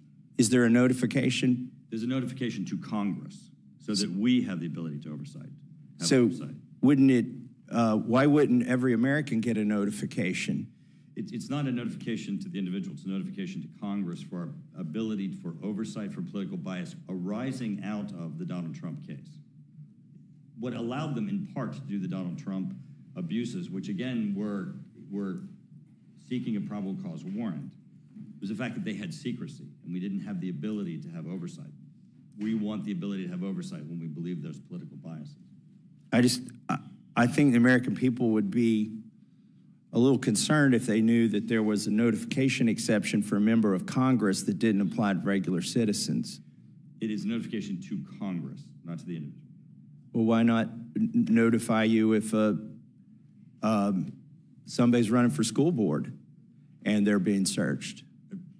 There, actually, um, Elise Stefanik has been a leader in this. There are, there are provisions that are currently going into effect this year that relate to political candidates, also all coming out of the ability to try to prevent the type of abuses that we saw in the Donald Trump campaign, because absolutely we saw the, the worst of the intelligence community, and I think the worst of the FBI. And it is absolutely imperative in these reforms that we make certain that, that we reform them so that can never happen again. And that's what we're doing in the FISA court reform. Well, I'm glad it's, it's happening for presidential candidates. Does the campaign get notified? Uh, we do not have a requirement for the, for the campaign to be notified. We have a requirement for Congress to be able to have the oversight as to what they're doing. So as long as the campaign stays on the good side of Congress, they might be okay. It is bipartisan notification. Um, And to by- every member of by- Congress, and- well, and will I be notified? Um, It depends on what your role is. I, I, you know, in judiciary, you, you very well could be in a, in a role where you are notified. Will I be? I, I, I don't know. I don't know uh, how uh, judiciary committee is going to be handling those notifications. Will every member of Congress be notified? No, every member of Congress will not be notified. So it'll be like a few chairmen that get to know if a presidential campaign's being spied on? Well, and that's not in this law. That's under current law. Under current law, there are increased notification requirements and limitations as to what they're able to do. Under this law, which absolutely needs to be passed, we have massive reforms that would prevent them to be able to do the, the abuses of Donald Trump in the FISA court. Okay, I started asking about the member of Congress and you went to Donald Trump. I want to go back to the member of Congress. Who gets notified? First of all, I take, a, I, I take objection with the fact that members of Congress get treated specially in this law over regular citizens. I think we all deserve protection under the Constitution. Um, so I think it, I find it really interesting. We've carved out an exemption for members of Congress, but I'm supposed to be comforted by the fact that just a few chairmen will find out. Is that true? Like, who gets, if a member of Congress is uh, targeted under FISA, who gets notified?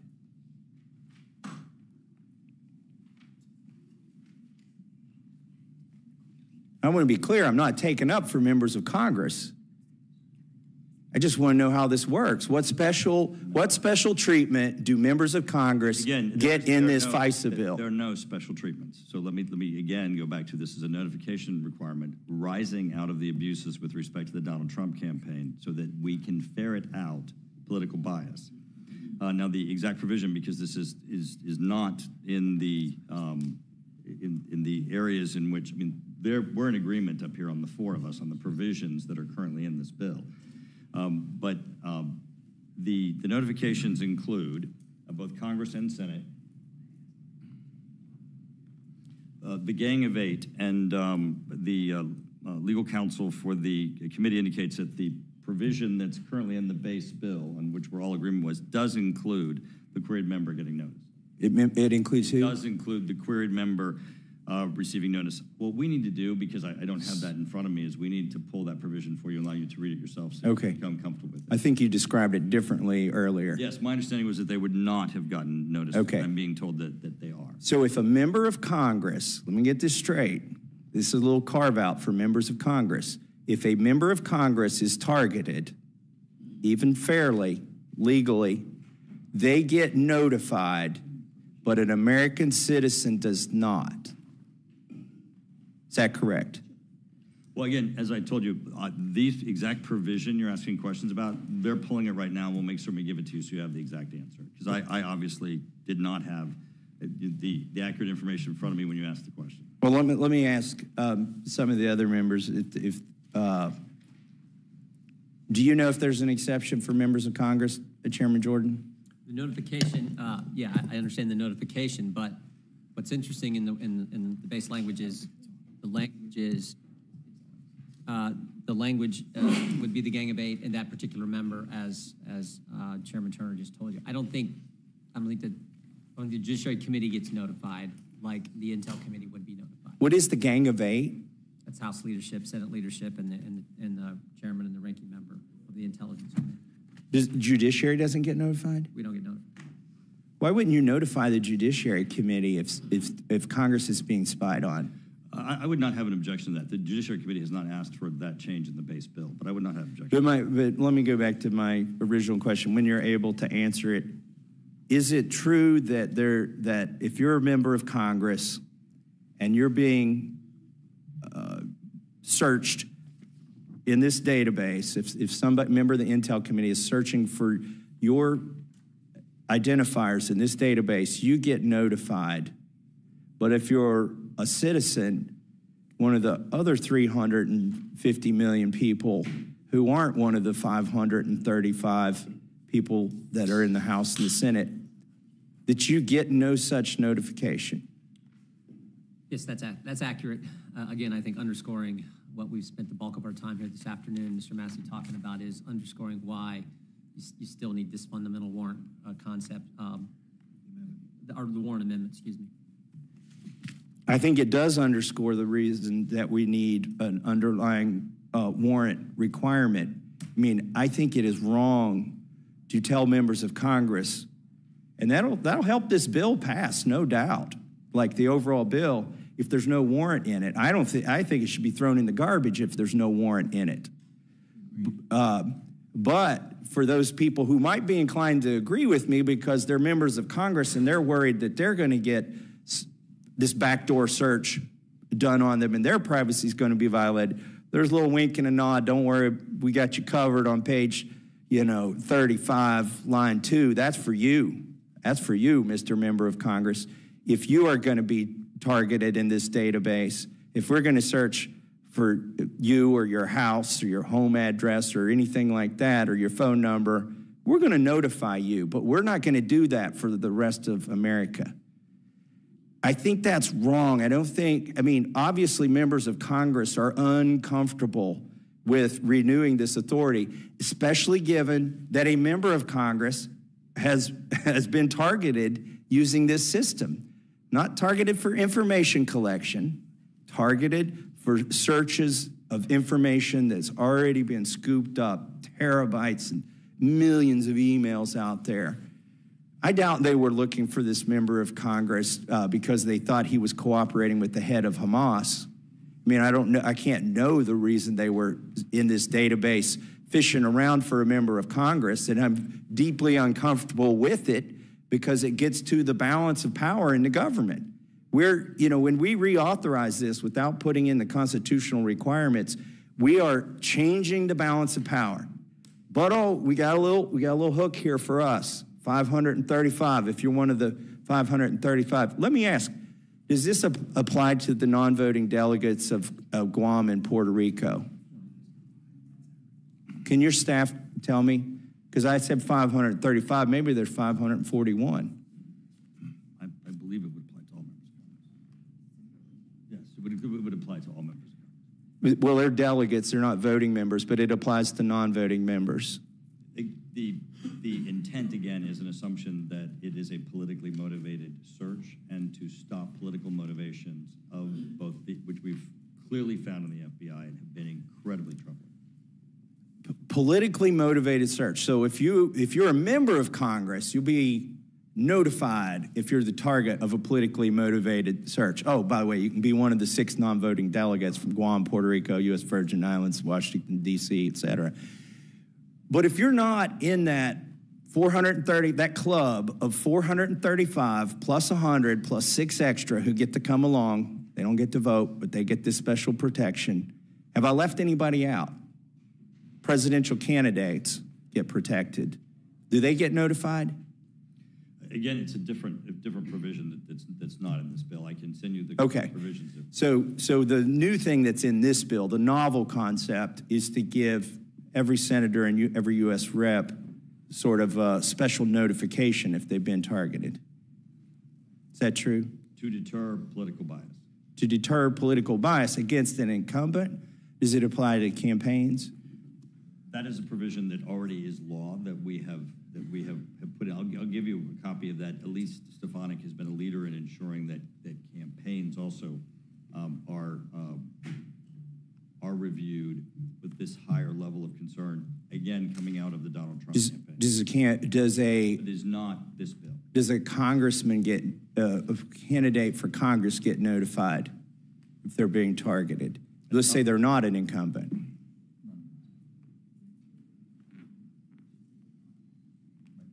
Again, the, the, you're using the term targeted, and people aren't targeted. Uh, Use whatever term you want, and then I'll ask the question again. Unless, unless they're a foreigner located abroad, those are the ones that are, are targeted. Um, But yes, this provision does relate to the issue of the political bias and attempting to eliminate what we saw with the Donald Trump campaign um, of political bias, and what we saw, of course, in the, in the searches that have related to other members of Congress that appeared to have been politically biased. So a member of Congress gets notified if they're being queried in this database. Does, does somebody who's running for Congress get notified? Not under this provision. Well, isn't that special? Now, if you're an incumbent, you get protection. You get to know when the executive branch has decided to uh, politically target you, because as you said, we're assuming these are politically motivated targetings if you're a member of Congress. But if you're running for Congress, correct me if I'm wrong, you don't get the same treatment in this bill that members of Congress get. Because I thought I found a loophole there for a second. Everybody should just go register to run for Congress. And it's only 500 bucks in Kentucky, and I got a lot of primary opponents that dis- discovered that.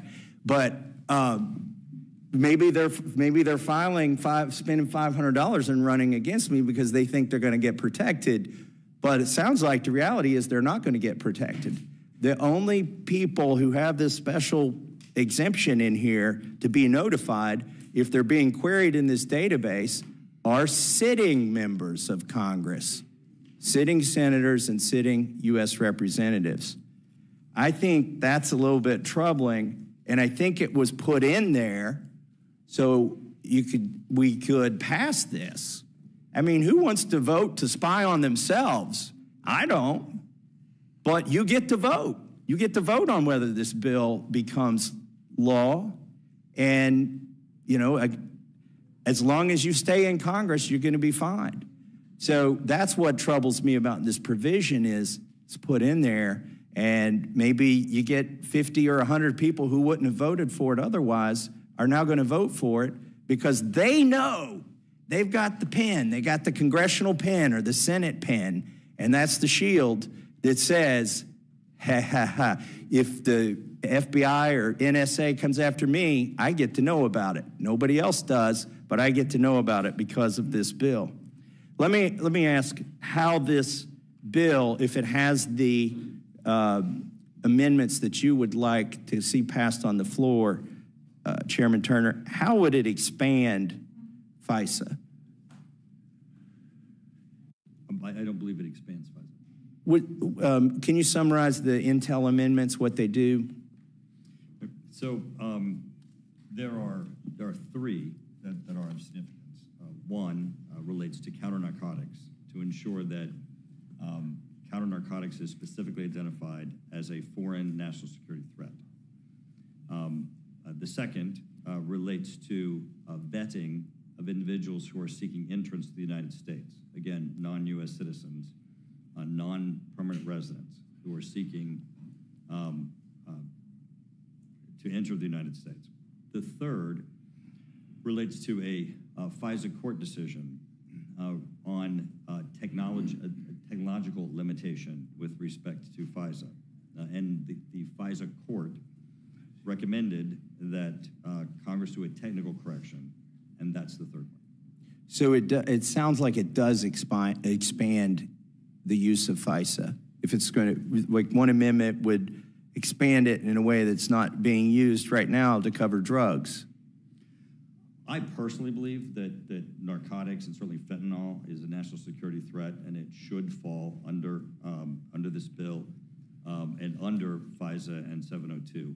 Uh, This clarifies it and makes certain, especially since we are, have such an unbelievable scourge that's coming across the border, uh, that, that there's no question that it's included.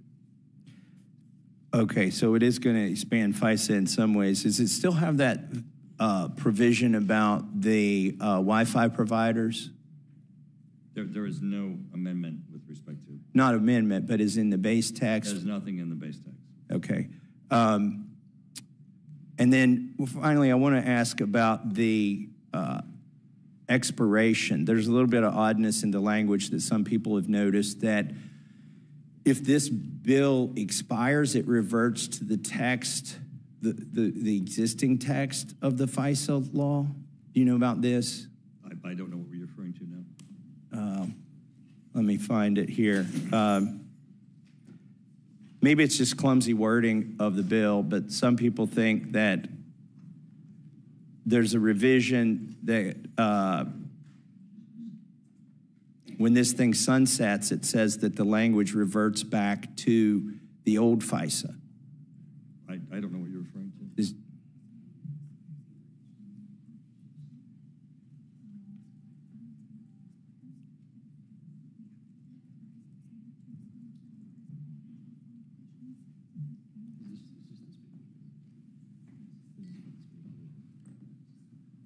Uh, My understanding from uh, legal counsel is that, and I don't know the particular provision, so you'll have to, to, to point it out, but my understanding is that the provisions of this underlying bill, which again are reforms, uh, is a requirement that the reforms apply immediately, that they're not, that it they not be necessary, that it, that, um, that there be any delay in the reforms going fully into effect.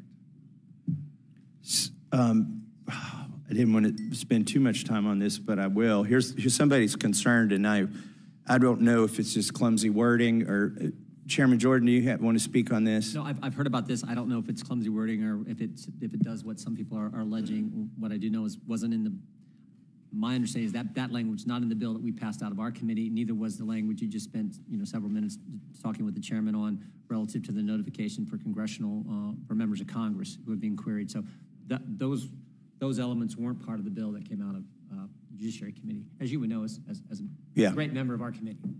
Mr. Mass. Yes, Mr. Himes.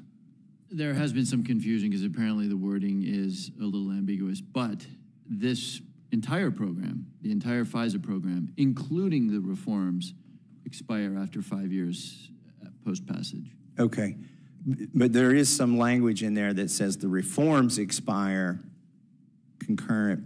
I mean, I don't know why it's in there. I think I know why it's in there, and I'll ask you all, but I'm hoping somebody will volunteer why this odd wording is in there that um, on the sunset date, Section 702 will revert back to the way it looked before this bill passes, if it should pass.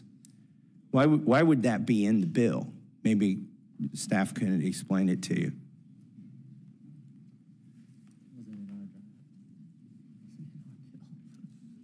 With our bill.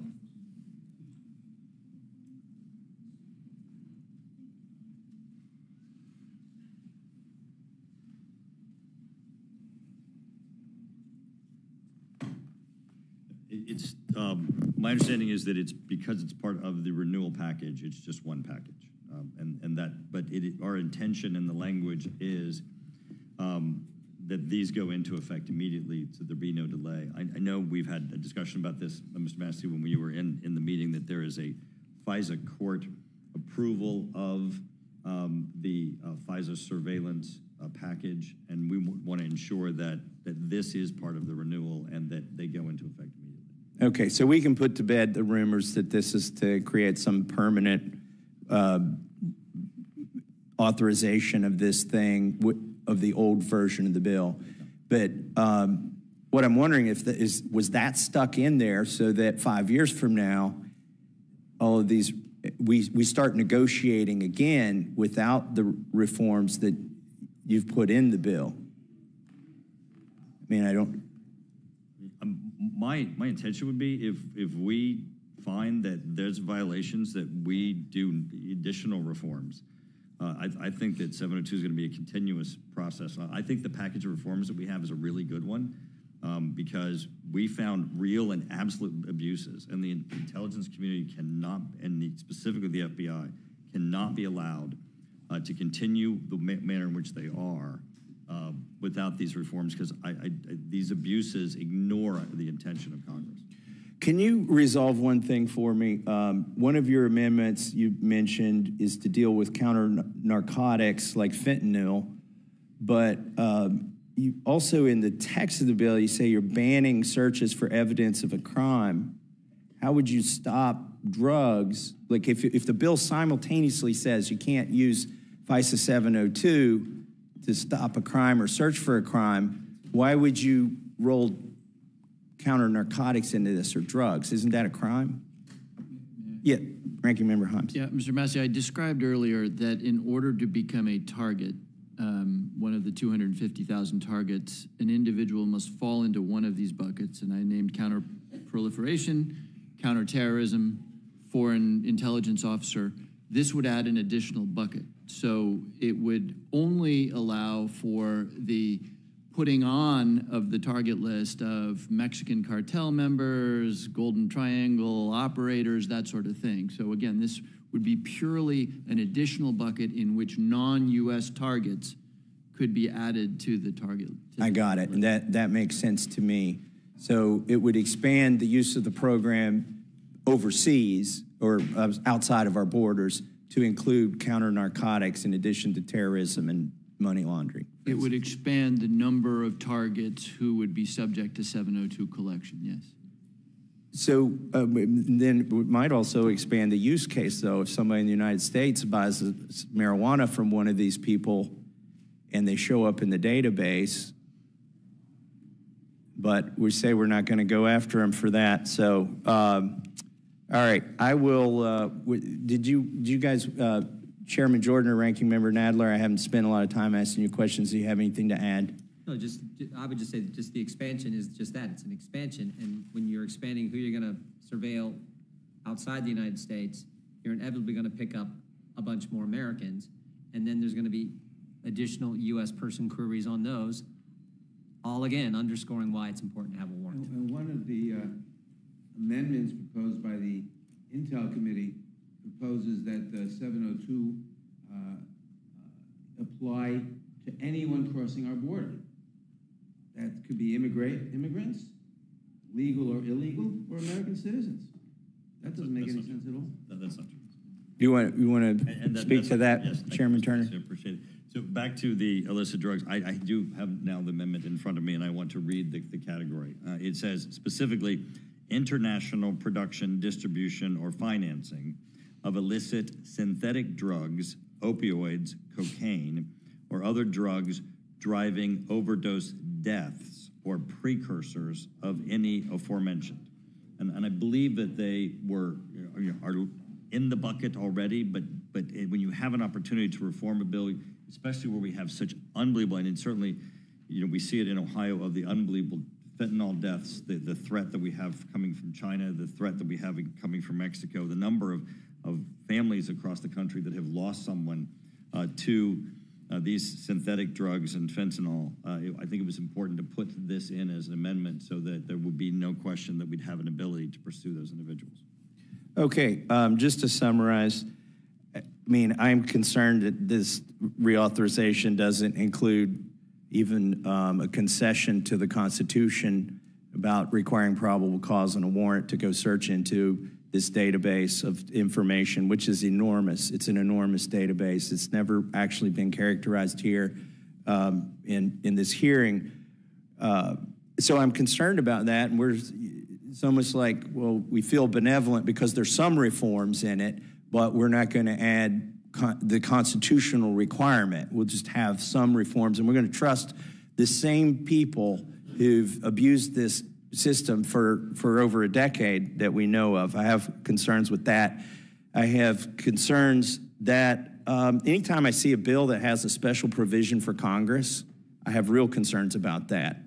Now, uh, I think it should apply to all Americans. If you're going to be the target of one of these, this is a, just just as it just as it was intended to protect political uh, speech or political viewpoints for congressmen, incumbent congressmen, by the way, not challenging congressional candidates, but incumbent congressmen have this protection. I think every American should have this kind of a protection. In fact, every American should be afforded a warrant. And these, these warrants, by the way, that we're asking for in this amendment, they're, I mean, they're still done by a secret judge.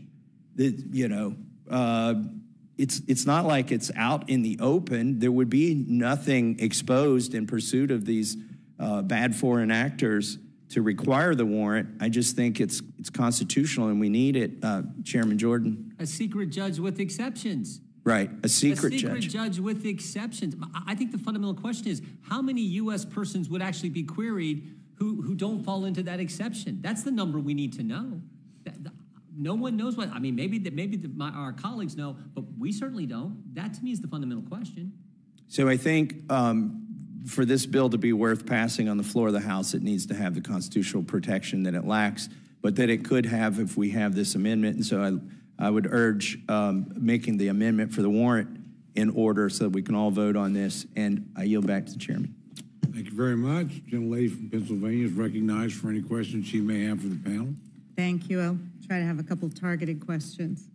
Um, Chairman Turner, you've mentioned several times that there are amendments that are supposed to address some of the FISA um, violations and abuses that were pointed out by the Inspector General. You've mentioned them. Is that correct that these reforms to address the abuses are in the form of amendments? They're not part of the base text? No, that, that's what the base text is. There are Okay, 55 um, uh, amendments to the underlying FISA Okay. uh, bill, uh, the, the statute, the underlying FISA statute.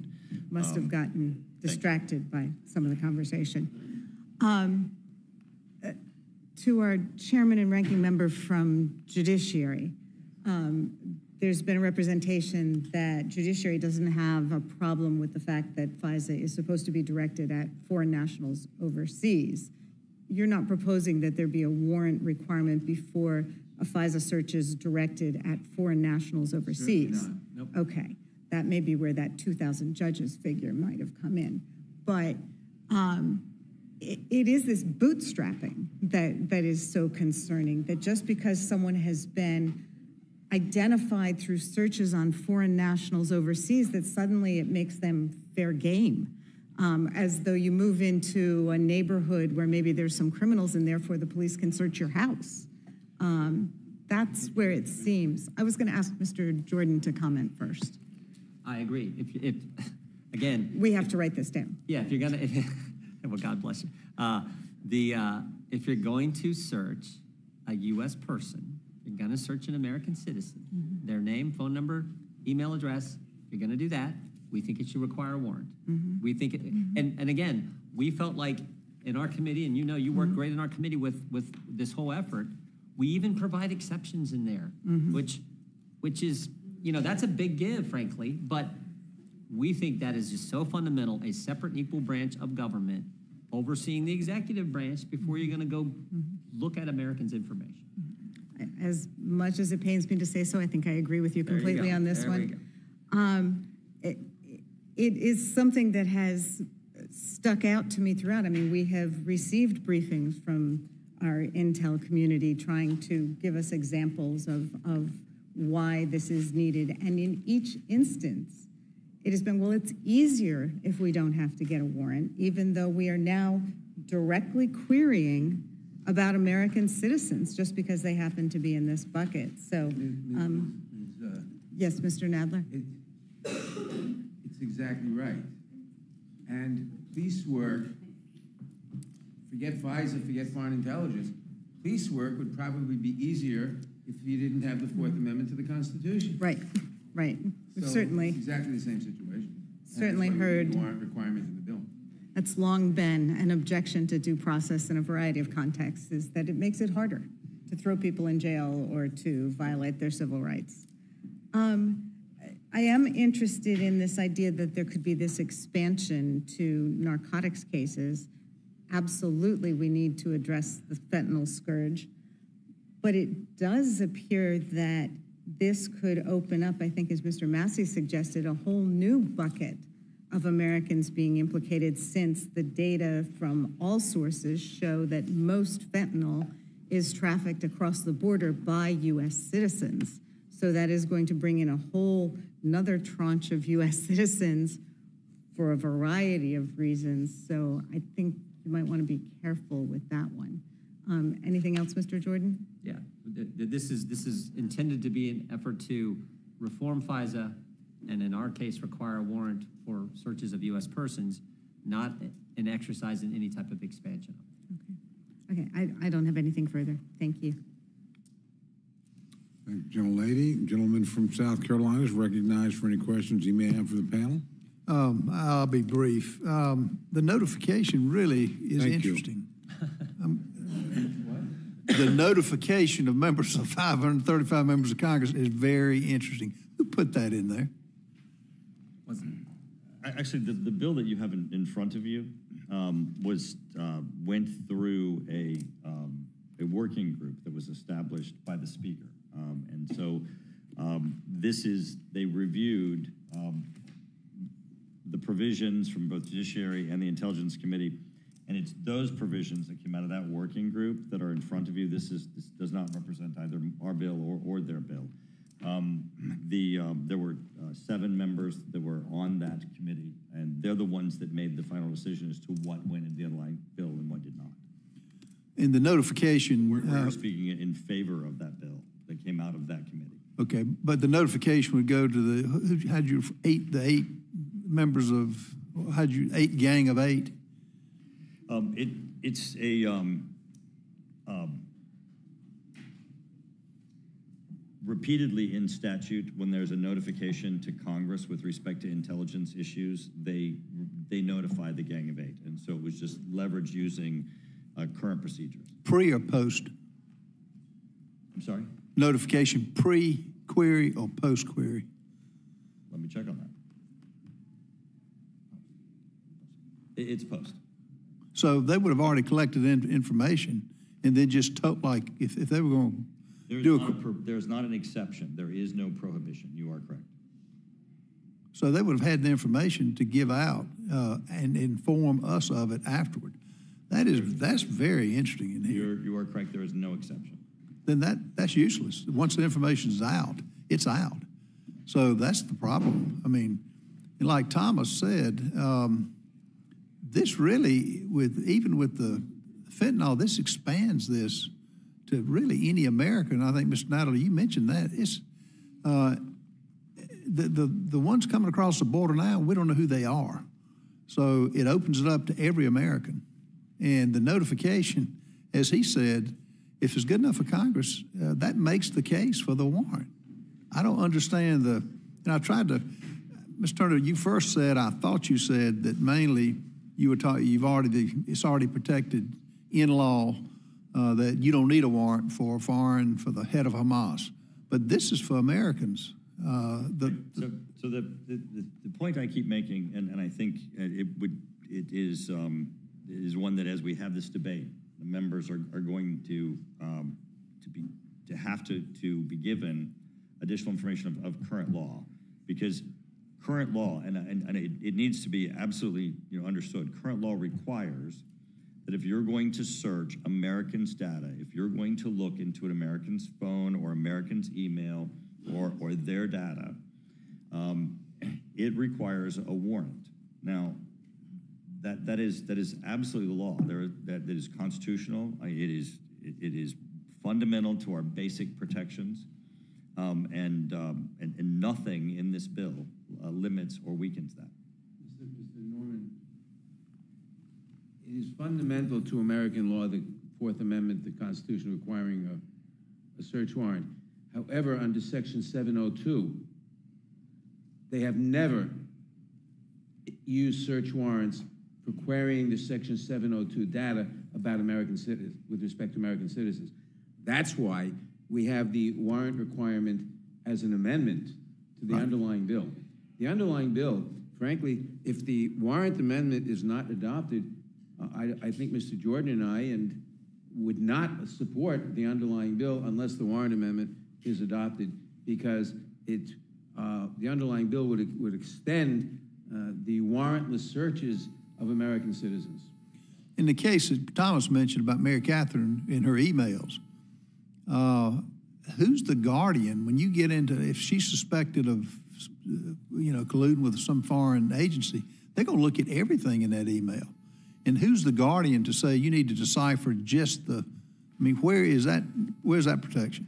Mr. Norman, under current law, to look at Mary's information or data beyond emails that are, that she has sent to someone that's in the 250,000, it's a foreigner located abroad, um, they would have to go to court and have a full probable cause hearing. There is no ability to look at her information, regardless of what she even said um, to Putin or the head of Hamas or head of ISIS. Uh, there is a requirement under current law for full uh, warrant uh, probable cause hearings. Yeah, but That this is only true for new data, but for data that's already in the Section Correct. 702 That's what I was- database, yeah. they can query that without a warrant. Correct. And that's why we need this warrant amendment. Exactly that, that's it's, uh, who's going to be the guardian? The, that's, that's this is 2024. What happened to the, the Trump in I guess in 19 and 20, or even before? How did that come to light? A warrant is really the notification that's needed before anything is done, particularly with Americans. Right. Okay. So that actually was a warrant process. What happened to Donald Trump was a court judicial warrant process, and Devin Nunes, who led our committee at the time, uh, was uh, incredible at ferreting out the abuses that had occurred in the spying on the Donald Trump campaign. And that is why this bill includes reforms and provisions that would stop that from happening in the future. There, there is not an amendment between us that, that uh, amends the provisions of this law that protect, um, the, that change the system to make certain that, that what happened to Donald Trump never happens again. If there was no Dev, Devin Nunes, how would this information get out?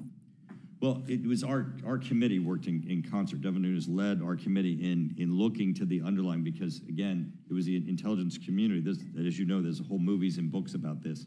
Um, and the, um, uh, the intelligence community and the FBI abused the FISA court process uh, and obtained a warrant to search, uh, to surveil an American, Carter Page, Carter Page. We are making that under this underlying bill uh, so that that does not happen again. And that does not in, relate to the, um, the amendment upon which we disagree. The underlying bill has provisions of which there's no amendment to strengthen um, that uh, changes that system uh, so that protections are, will be in place.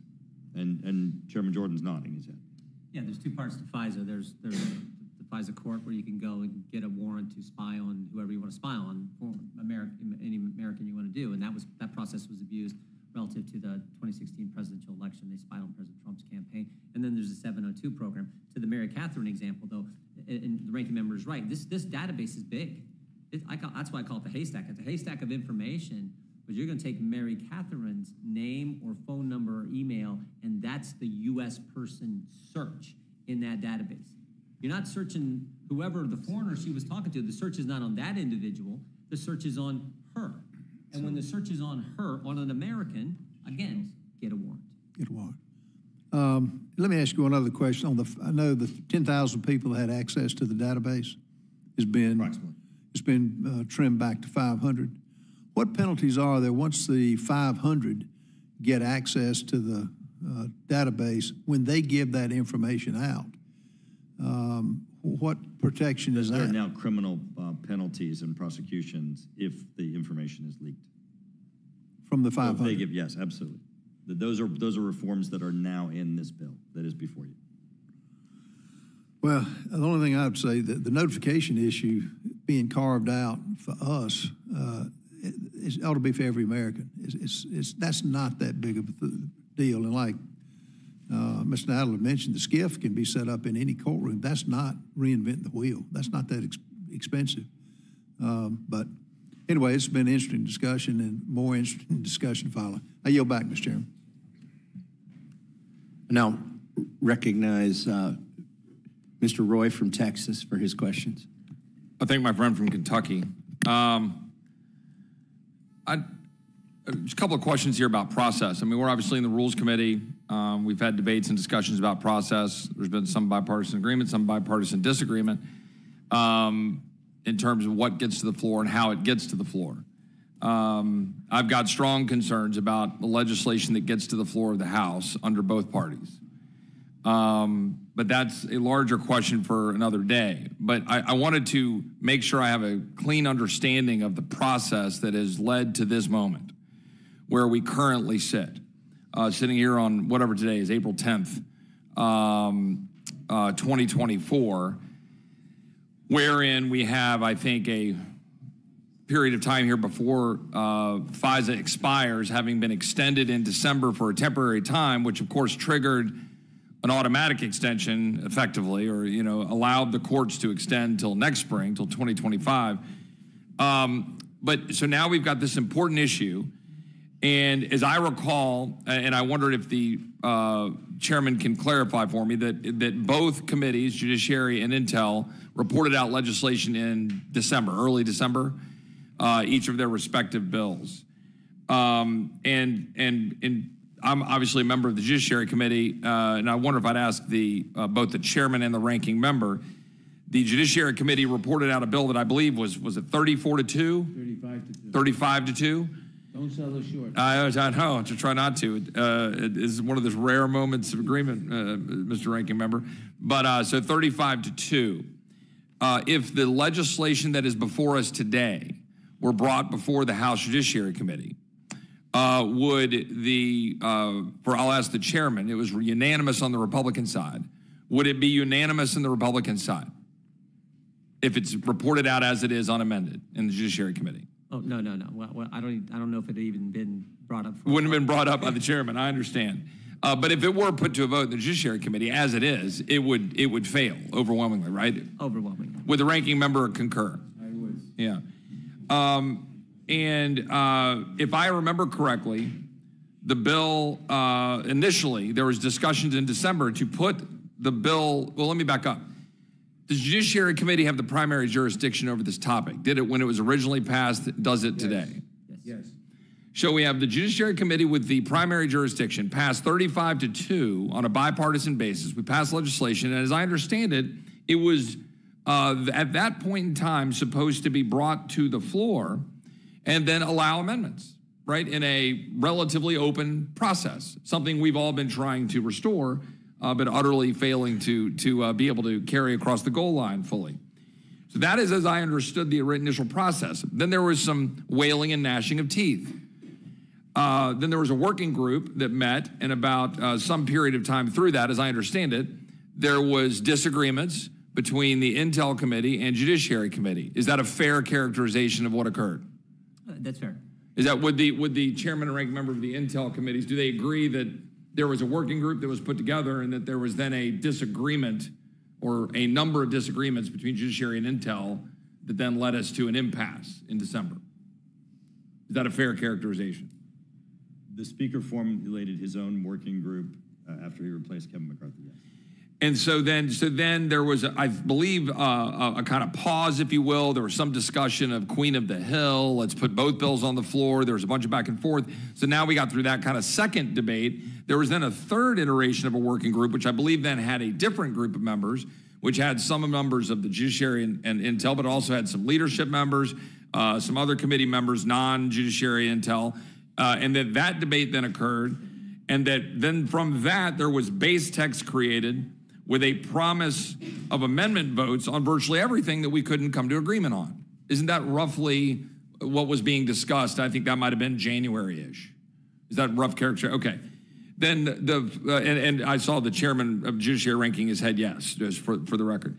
So then, then I believe that kind of got side railed, uh, and then we're we're told each. Uh, then we had a version that said, well, each side will get three amendments, and there will be a standalone vote on a fourth vote on amendment uh, on the uh, Fourth Amendment not for sale, Mr. Warren Davidson's amendment. I believe that was then a discussion point. And I believe that was what then came to this committee about a month and change ago, right? That we came to this committee with the base text that came out of that process. And They'd have three amendments on each side, but then there was going to be potential vote on this Fourth Amendment not for sale. Is that also a fair characterization? Yes. I believe the, the judiciary chairman is, is ranking his head yes. So now, then, then we're told another iteration that the Fourth Amendment not for sale is off the table. And now what we're being told is, is that there might be a separate vote on the Fourth Amendment not for sale, but it'll be a uh, vote on you know, under suspension of the rules, which almost certainly guarantees its failure. So I say that as the backdrop because this is the Rules Committee. We're supposed to be the safeguards of the process. We're supposed to be the safeguards of how law is, you know, made and brought forward. And a whole big debate about whether legislation gets sort of created behind closed doors and then dropped down with a sort of take it or leave it approach. And rather than putting this bill on the floor and just offering a bunch of amendments and letting the cards fall where, they may, where they may, for example, Mr. Davidson's amendment, which has now been ruled uh, unable to be considered, um, and other amendments that I think others would occur. For example, I'd love to have an amendment that would say, why don't we just have a one year reauthorization, two year reauthorization, three year reauthorization? Now, why might I want to do that? Well, because we've got a lot of divisions here, there's been a lot of debate. Uh, everybody here recognizes that there's important uh, issues at play with 702. We want to maintain some of those powers, be able to go after bad actors directed towards foreign actors. And, uh, but we also want to protect American citizens. So why can't we just have an amendment that says let's do a two-year reauthorization so that maybe we can, you know, see how these reforms work, and if they're not working so well, not have to wait for five years to see if there's another 230,000 Americans or whatever the number is that get uh, get spied upon. That's the backdrop.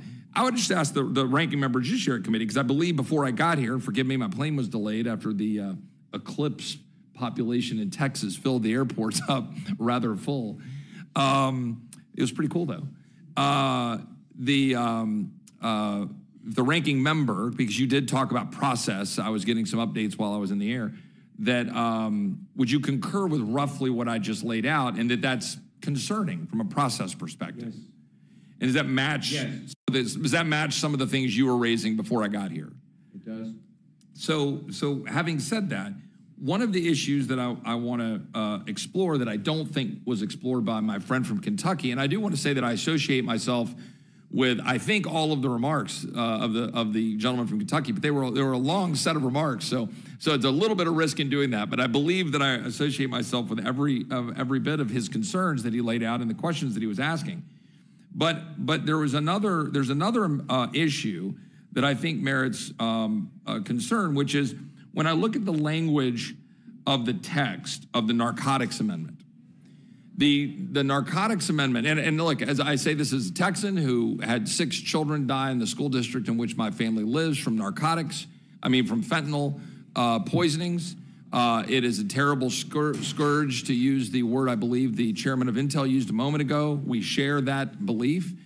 Uh, I certainly want to use the, the full force of the government uh, as possible to go after the foreign actors and the cartels in Mexico, whatever we can do to stop their assault on this country. That being said, um, the way this is drafted raises concerns. Um, and I say that as a federal prosecutor who would associate himself with remarks, I believe it was the ranking member, but I think uh, others, about, of course, we want every bit of information we can get if you want to go prosecute bad guys. Of course. Right? I mean, if you're if you're in the U.S. Attorney's office, you want to get every bit of information you can possibly get, so that you can go after people with whatever that might be. I remember I had a, a I think I mentioned this in committee before, but merits mentioning again. In one case, I had a phone uh, from a bad guy that uh, that I was able to uh, uh put behind bars uh, for being a felon in possession. But he had a phone filled with all sorts of incriminating stuff that we wanted to go pursue. And the cop grabbed the phone when they uh, I was a Terry stop or whatever when they searched the guy and grabbed the phone and unfortunately downloaded the stuff off the phone before he got a warrant for the phone. And that was a problem. And I was unfortunately unable to use said information off of the phone to go after said bad guy. And there was a lot of good stuff on there. Um, and uh, but that's a good thing.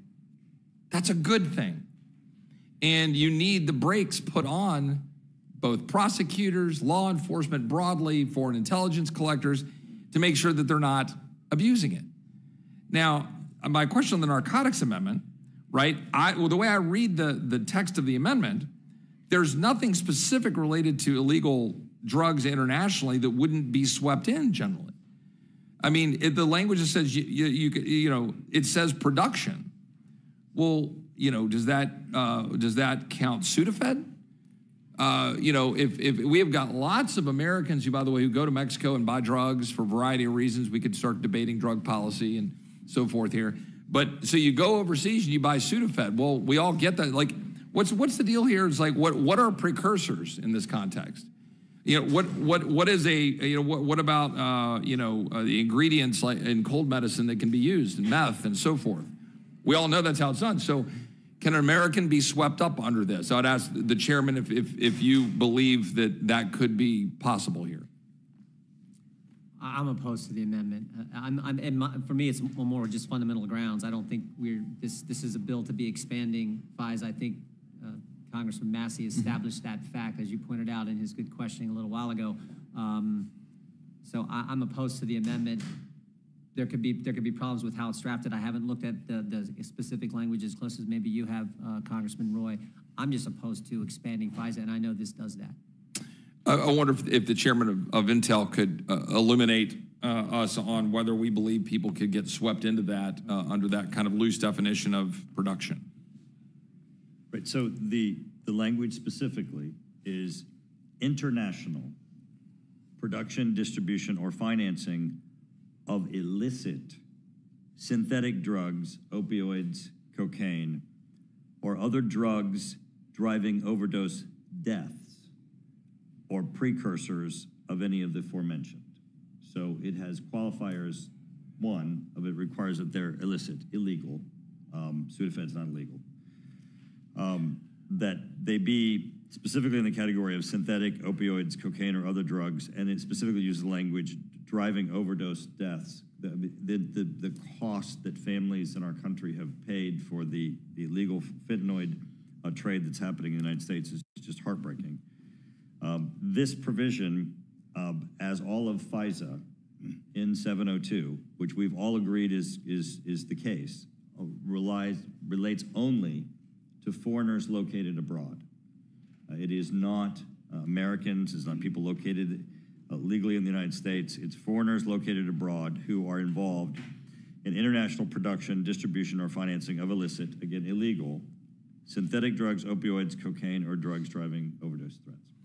Well, what it, it still leaves me wondering when we talk about precursors, and it still leaves me uh, wondering. We're talking about the production of illicit drugs. Well, I mean, meth kills lots of people, and I mean, I, I can't even go in America and go buy certain drugs without showing ID and, and going through certain hurdles because of uh, the concern how those products are being used to create and develop illicit drugs. So my concern here, right, is because we're talking about the expansion of the power of, of government with respect to surveillance and for law enforcement, that this seems like this is a very loose tool. And again, as someone who very much wants to stop the, the drug trade and very much wants to, uh, uh, you know, eliminate the the uh, death and devastation from fentanyl and all of these um, synthetic drugs, um, nevertheless, my primary concern here is the expansion, which I believe it's most certainly clearly is an expansion of the use of 702. Um, and and I'm and I'm uh, I, I, it also begs the question of um, because I, it came up a minute ago about uh, Mr. Massie asked about the Wi-Fi issue, and I do believe right. I mean, there is an amendment right that, that addresses that issue and and that it raises certain concerns in terms of its breadth and in terms of what it might sweep in. Um, and in fact, if I remember right, in the amendment, the um, the definition has specific exclusions for senior centers, hotels, um, coffee shops, those kinds of things, right? But it would beg the question that those specific exclusions sort of raises the concern about then, well, who are you including? So if you need the exclusions, uh, doesn't that raise the specter of a fairly broad piece of language uh, for which it needed to have specific exclusions identified? And I, just wondered if the if the Intel chairman might be able to respond uh, to that question.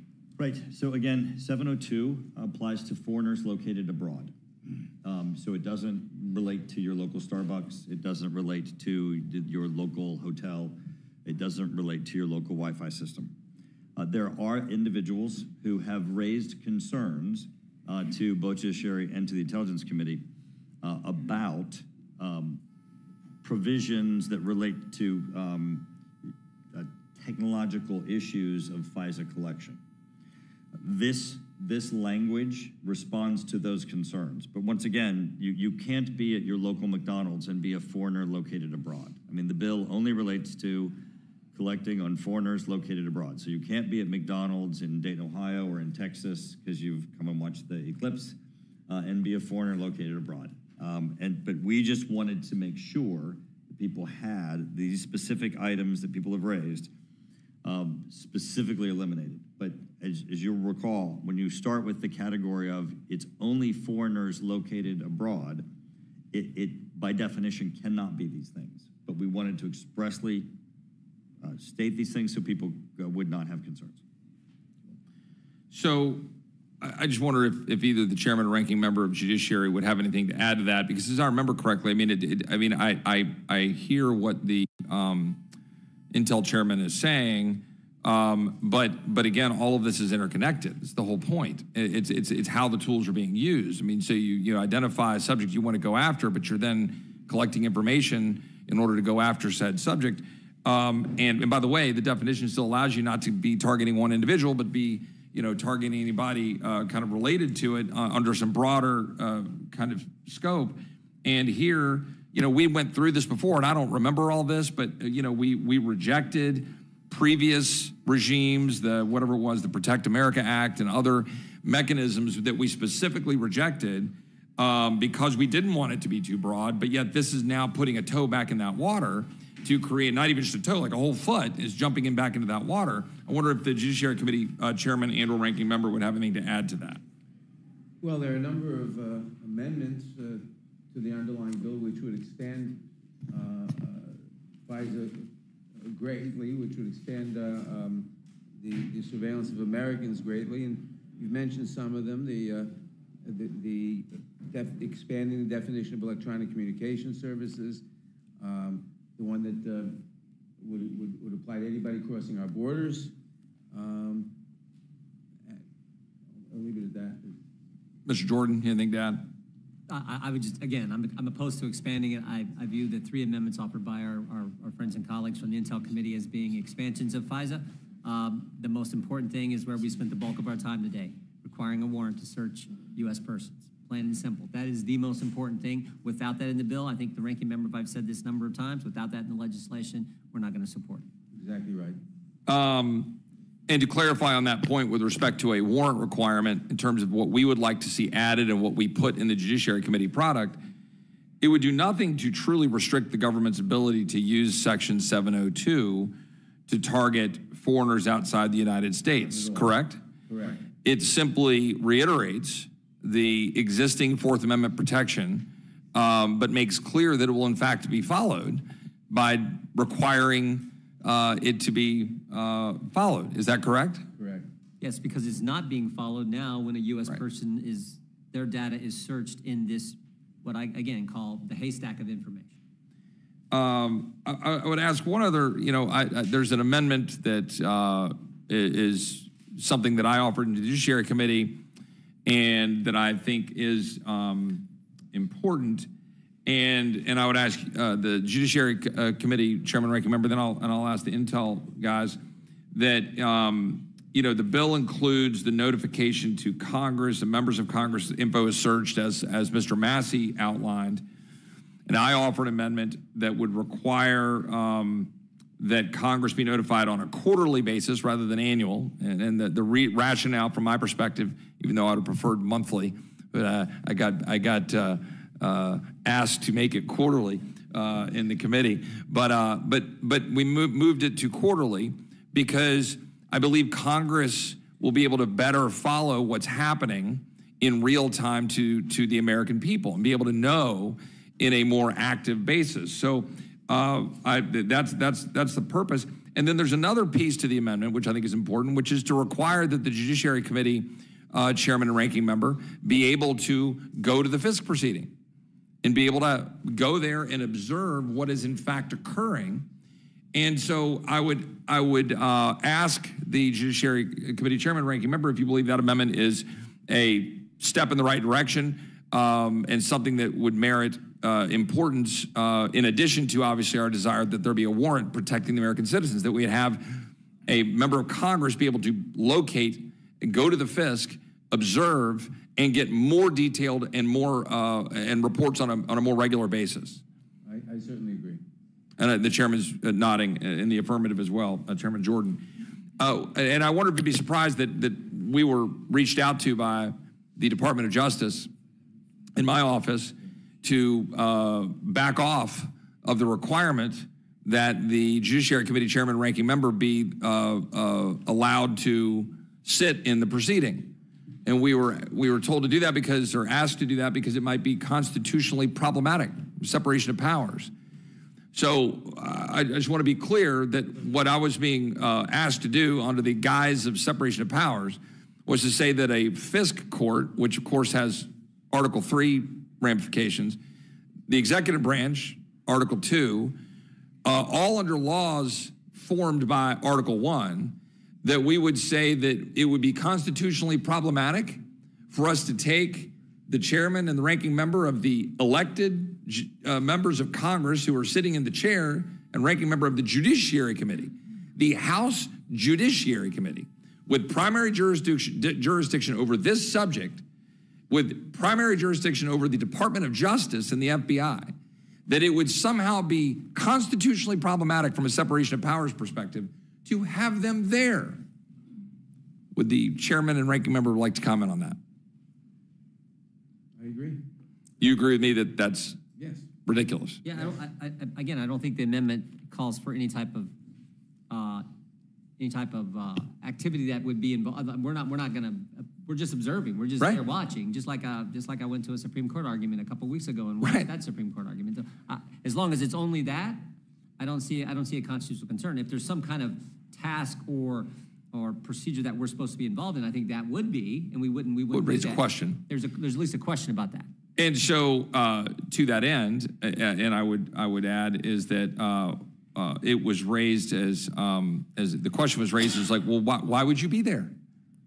That was the question, and the, the answer was because someone needs to protect the American citizen, because someone needs to be sitting there looking and saying, hey, American citizen, one of the two hundred and something thousand odd who had their privacy violated, or the as Mr. Massie noted, three hundred and 30 million Americans who don't have an election certificate sitting in Congress who are getting the protections that this bill would offer, that maybe one of those or two of those members of those 535 be able to sit in there.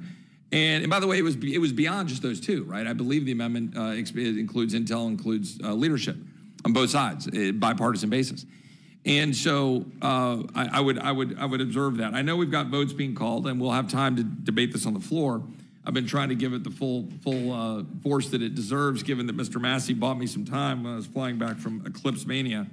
But I, look, I, I would just uh, want to end with, this point, which is I don't believe this is the right way to, to, to do this. I don't believe this is the right way to conduct business. I don't believe that this legislation is going to uh, represent, um, I think, the best bipartisan protection of the American people uh, that we could produce. And I believe we can and should do better. Uh, and I believe that we should have the ability to offer amendments that are not being offered right now.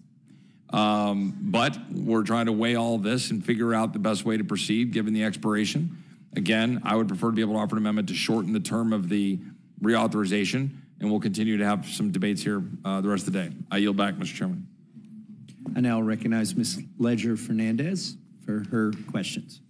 Uh, Thank you very much, and uh, my apologies for having missed uh, the opening. I was uh, handling the uh, House Natural Resources, uh, and it was all bipartisan down there. There were a lot of good bills that we were all supportive of, and it made me remember that Valentine's Day, when we had the chair and the ranking member in, and it was like a love fest here. So I am sorry that I missed the Intelligence Committee, because it sounds like you too would have also been in agreement on many of the elements in uh, this version of the bill, uh, which brings the issue that I think bipartisan is very important that we get there, but that we also need to come to an agreement uh, that uh, meets the, the, the many areas and that we know we'll be able to get something passed since this is uh, ticking and that there appear to be issues that aren't resolved. And whether or not we're going to be actually having a rule or having a vote and what we're doing here. So I will wait to see what happens. And given the shortness of time, I, uh, once again, uh, my apologies for not being here for uh, your uh, presentations, which I, I'm sure was equally as uh, bipartisan as the judiciary was. I call it the alternate universe uh, in the Rules Committee. So I'm sorry I missed that. And with that, I yield back. Thank you. Generally yields back. I now recognize Mr. Burgess for his questions. Yeah, I won't, uh, I won't go into questions, but I do feel obligated to point out that it was 22 years ago tonight that I actually won a runoff election for the Republican nomination for the 26th district of the state of Texas that I was not supposed to win.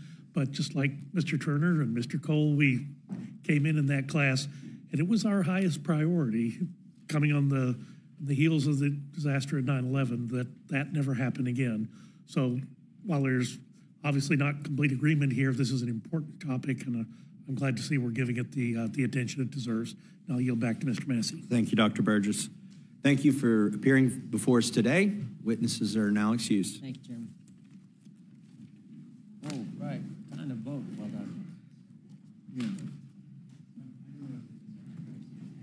Hey, I might have to, uh,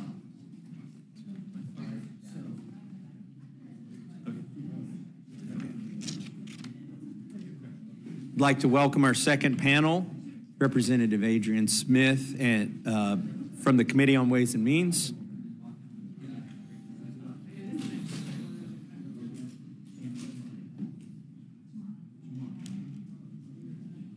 There's another panel.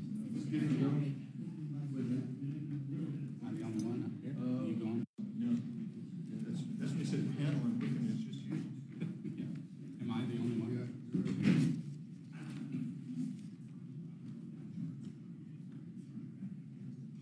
Representative Smith, I welcome your testimony. Thank you, Mr. Massie, and the entire committee, the Rules Committee. Thank you for the opportunity to testify on the Extending Limits of U.S. Customs Water Act introduced by Representative Mike Waltz. This bill protects and strengthens America's national security and economic interests. This bill helps the brave men and women of the U.S. Customs and Border Protection enforce U.S. trade laws by doubling the distance that CBP can operate off the U.S. coast from 12 to 24 nautical miles. This is something that has been done via presidential proclamation under both Presidents Reagan and Clinton, but has never been codified in law. The result is seizures by CBP occurring beyond the 12 mile limit are often challenged in court. We need to remove this legal ambiguity by enacting the 24 mile range into law, consistent with the authority that the U.S. Coast Guard currently has. Americans need and want stronger enforcement of our trade laws. In, in, the Ways and Means Committee hearings in New York and Minnesota last year, working Americans asked Congress to do more to enforce trade rules. American workers and job creators need those rules to be enforced so they have a fair and level playing field to compete against their foreign competitors. When malicious foreign actors break the law, it is Main Street and all consumers who pay the price.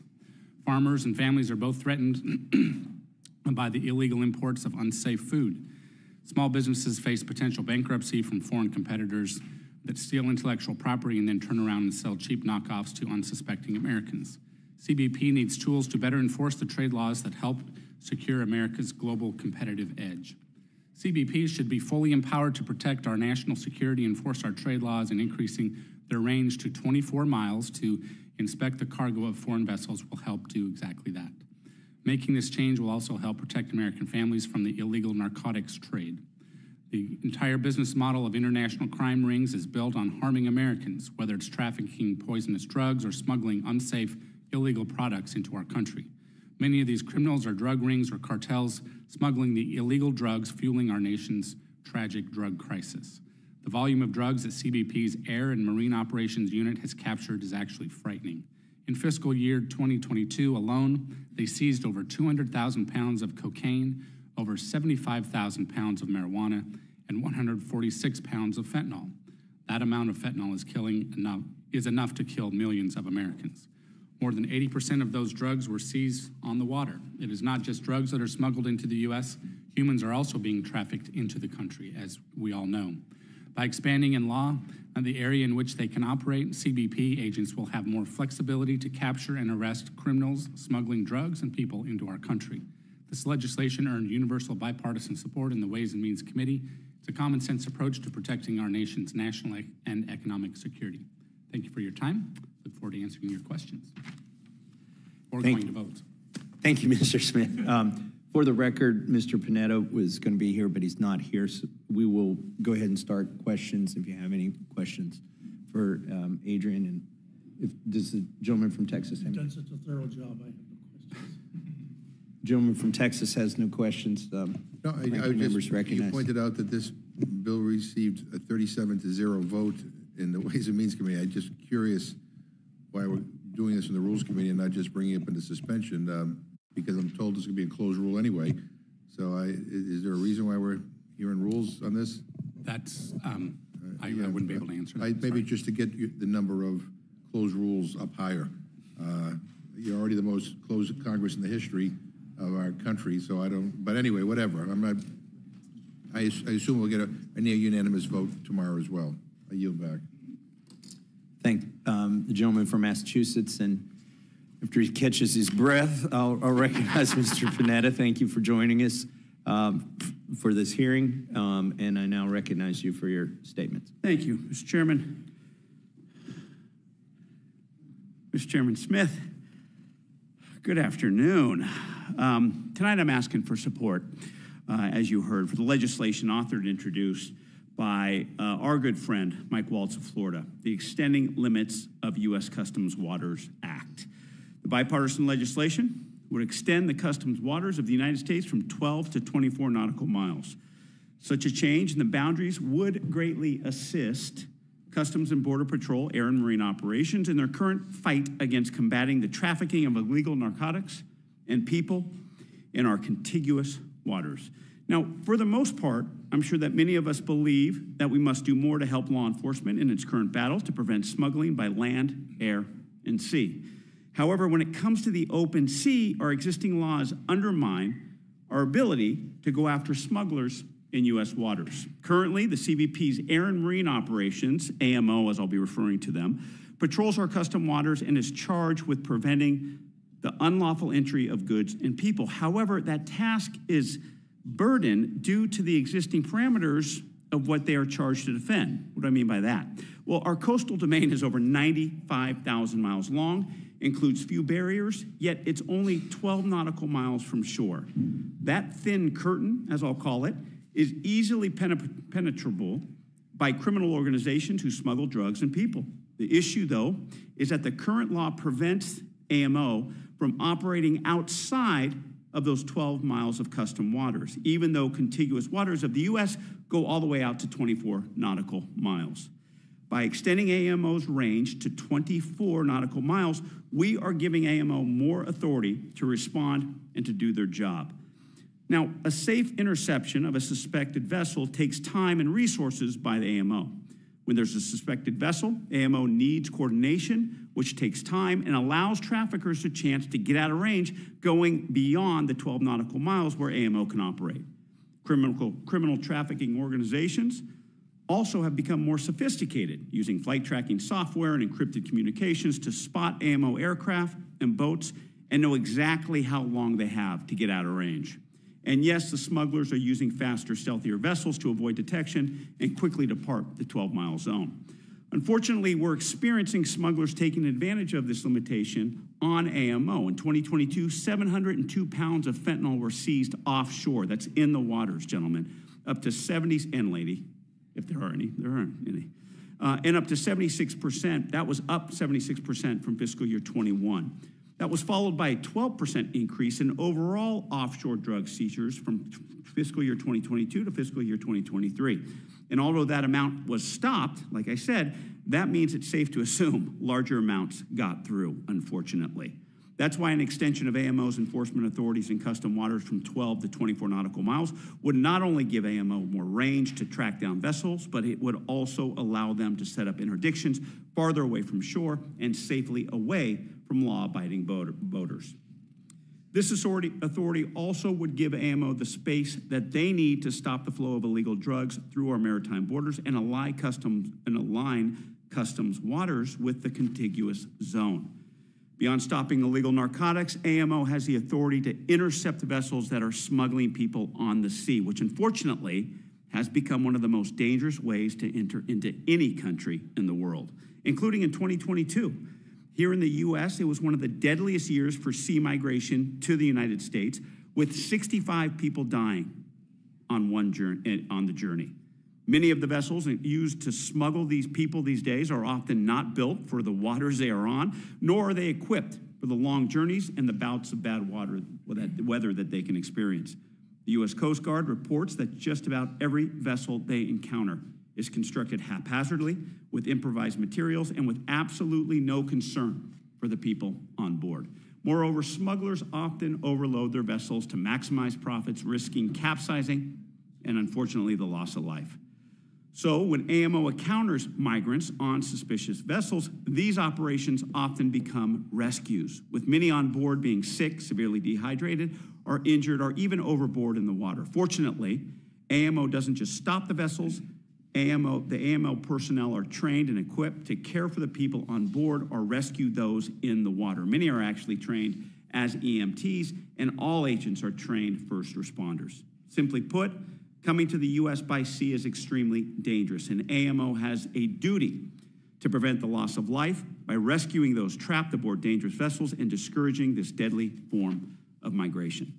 I believe it's clear that AMO's job is to stop vessels that are trafficking drugs and humans, to protect the people that are on board those vessels, and to prevent illegal drugs from hitting our streets. The Customs Waters Act would increase AMO's authority to 24 nautical miles and greatly assist them in this critical mission.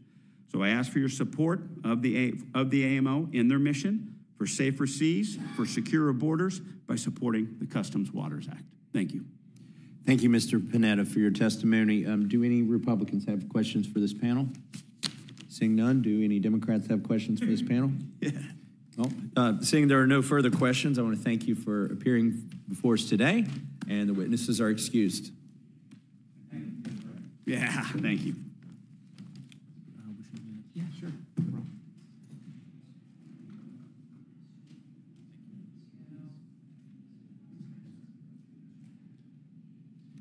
Okay, we're going to recess for votes and reconvene after the last vote in the series. Without objection, the committee stands in recess subject to the call of the chair.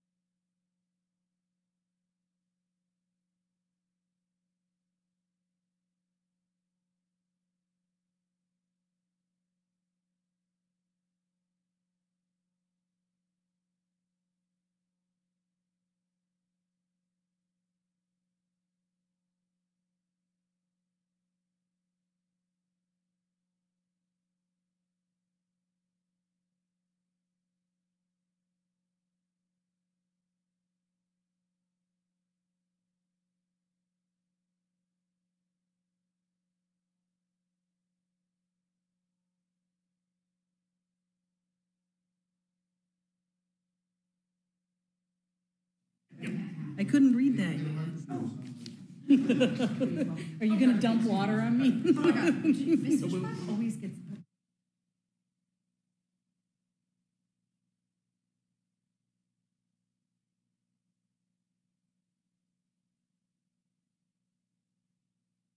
All right.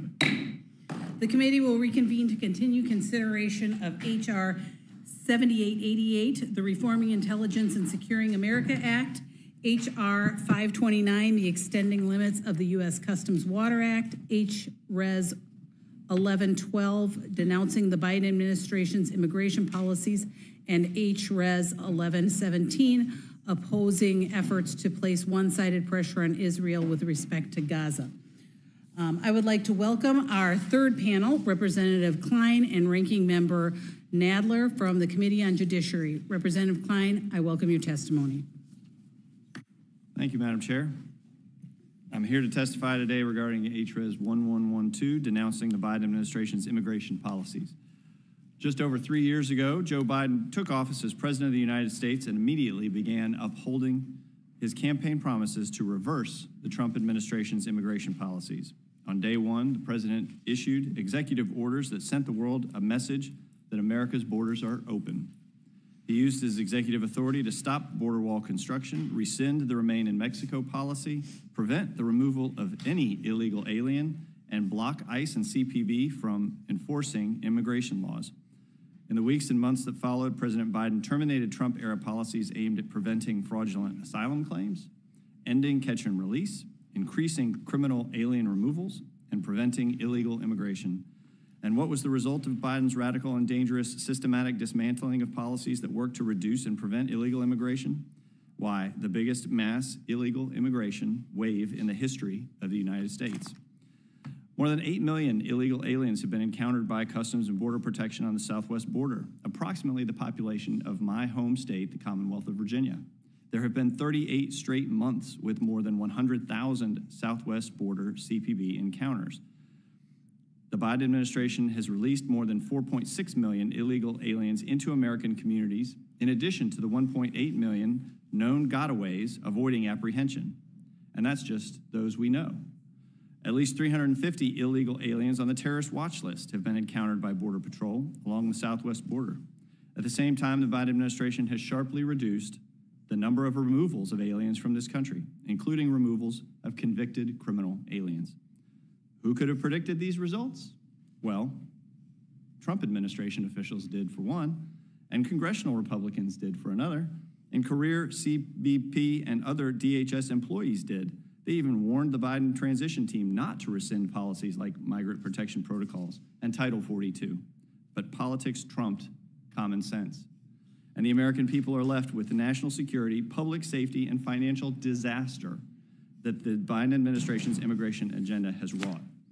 After three years of chaos, the Biden administration seems to have finally gotten the message that Americans get uneasy when they see mobs of illegal aliens beating up New York City police officers, watch endless numbers of illegal aliens stream across the southwest border, and hear the heart wrenching details of murders like that of 22 year old nursing student Laken Riley by illegal aliens who should not have been here in the first place.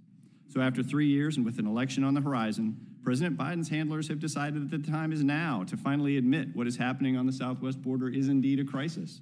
And it's time to blame Congress. But the American people know better. They know that if President Trump was able to establish the most secure border in American history, despite open border groups rushing to get his immigration policies enjoined by activist courts at every turn, then Joe Biden could also use executive authority to help secure the border.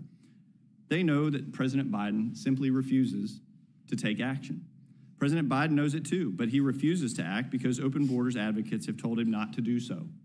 Months ago, the president announced he would take executive action to quell the border crisis created by his policies. But instead, President Biden continues to sell out the American people by cowering to the far left fringes of his party, the radicals who insist that even the meekest and most minor of reforms are, quote, extreme, inhumane, and cruel. Indeed, President Biden refuses to re implement the migrant protection protocols, to stop abusing discretionary case by case and other parole authority, and to re implement President Trump's asylum cooperative agreements so we can remove illegal aliens seeking asylum to third countries. President Biden refuses to expand the use of expedited removal, refuses to use 212F authority to suspend the entry of aliens to secure the border, and refuses to end catch and release. President Biden refuses to comply with the mandatory detention statutes of the Immigration and Nationality Act for inadmissible aliens, and he refuses to rein in the use of taxpayer funded benefits for illegal aliens. The American people can see that President Biden's approach stands in stark contrast to that of President Trump, who only refused to give up on refu- who only refused to give up on securing our border. Instead of using his authority to fix his border disaster, President Biden touts the failed Senate border deal, the same failed Senate border deal that was denounced by rank and file Border Patrol agents, who rightly said the bill would only continue and indeed codify the president's catch and release policies. The same failed Senate border deal that would not have secured the border. You don't have to take my word for it. Senator Murphy, one of the architects of the deal, said it himself. According to him, under the Senate deal, quote, the border never closes. Or you can simply read the bill yourself, which states that the illegal aliens subject to its provisions, quote, shall be released. To the everyday American, the answer to the border crisis is simple secure the border and enforce the law. That's what the Trump administration did. That's what America needs. And that is what President Biden refuses to do. HRES 1112 affirms that President Biden has the executive authority to help control the border, affirms that the Biden administration is refusing to use that authority, and urges President Biden to immediately begin using that executive authority. H.R. 2, the Secure the Border Act, is passed by the House, would enhance current law to help ensure the border is controlled. Senate Democrats have been refusing to bring that bill to the Senate floor for almost a year now. In the meantime, President Biden should use his executive authority to ensure the national security and public safety of Americans is paramount. He should use it to help secure the border. Thank you, and I look forward to answering your questions. Thank you. Um, and I won't say welcome to the committee because you've been here almost as long as I have so uh, today. so, um, but I welcome your testimony, Mr. Nadler. Thank you. Madam Chair, Ranking Member McGovern, thank you for the opportunity to testify today on this resolution. Madam Chair, this country is facing real problems. There is an erosion of trust in our government and institutions. The right to bodily autonomy is under attack across the nation. Our ally Ukraine is in desperate need of additional aid so it can defeat Putin's unlawful invasion. The state of Maryland needs assistance in rebuilding the Francis Scott Key Bridge so that the Port of Baltimore, whose economic impact touches communities across the country, can reopen. And our immigration system cannot function because Congress has failed to reform it for over 30 years. But instead of responding to these problems, House Republicans are wasting our time yet again on another meaningless immigration resolution. At Donald Trump's direction, they refuse to work toward solutions for our broken immigration system. So instead, all they have to offer is a bunch of empty rhetoric. This resolution, like the others we have considered in recent months, will do nothing to solve the situation at the border. Not a single dollar will go to help our law enforcement agents at the border as a result of this resolution. Not a single person will be denied unlawful entry to this country as a result of this resolution. Not a single community will be made safer as a result of this resolution. This resolution is nothing more than a highlight reel of the dubious talking points in immigration that we have heard over and over from Republicans since President Biden was sworn into office.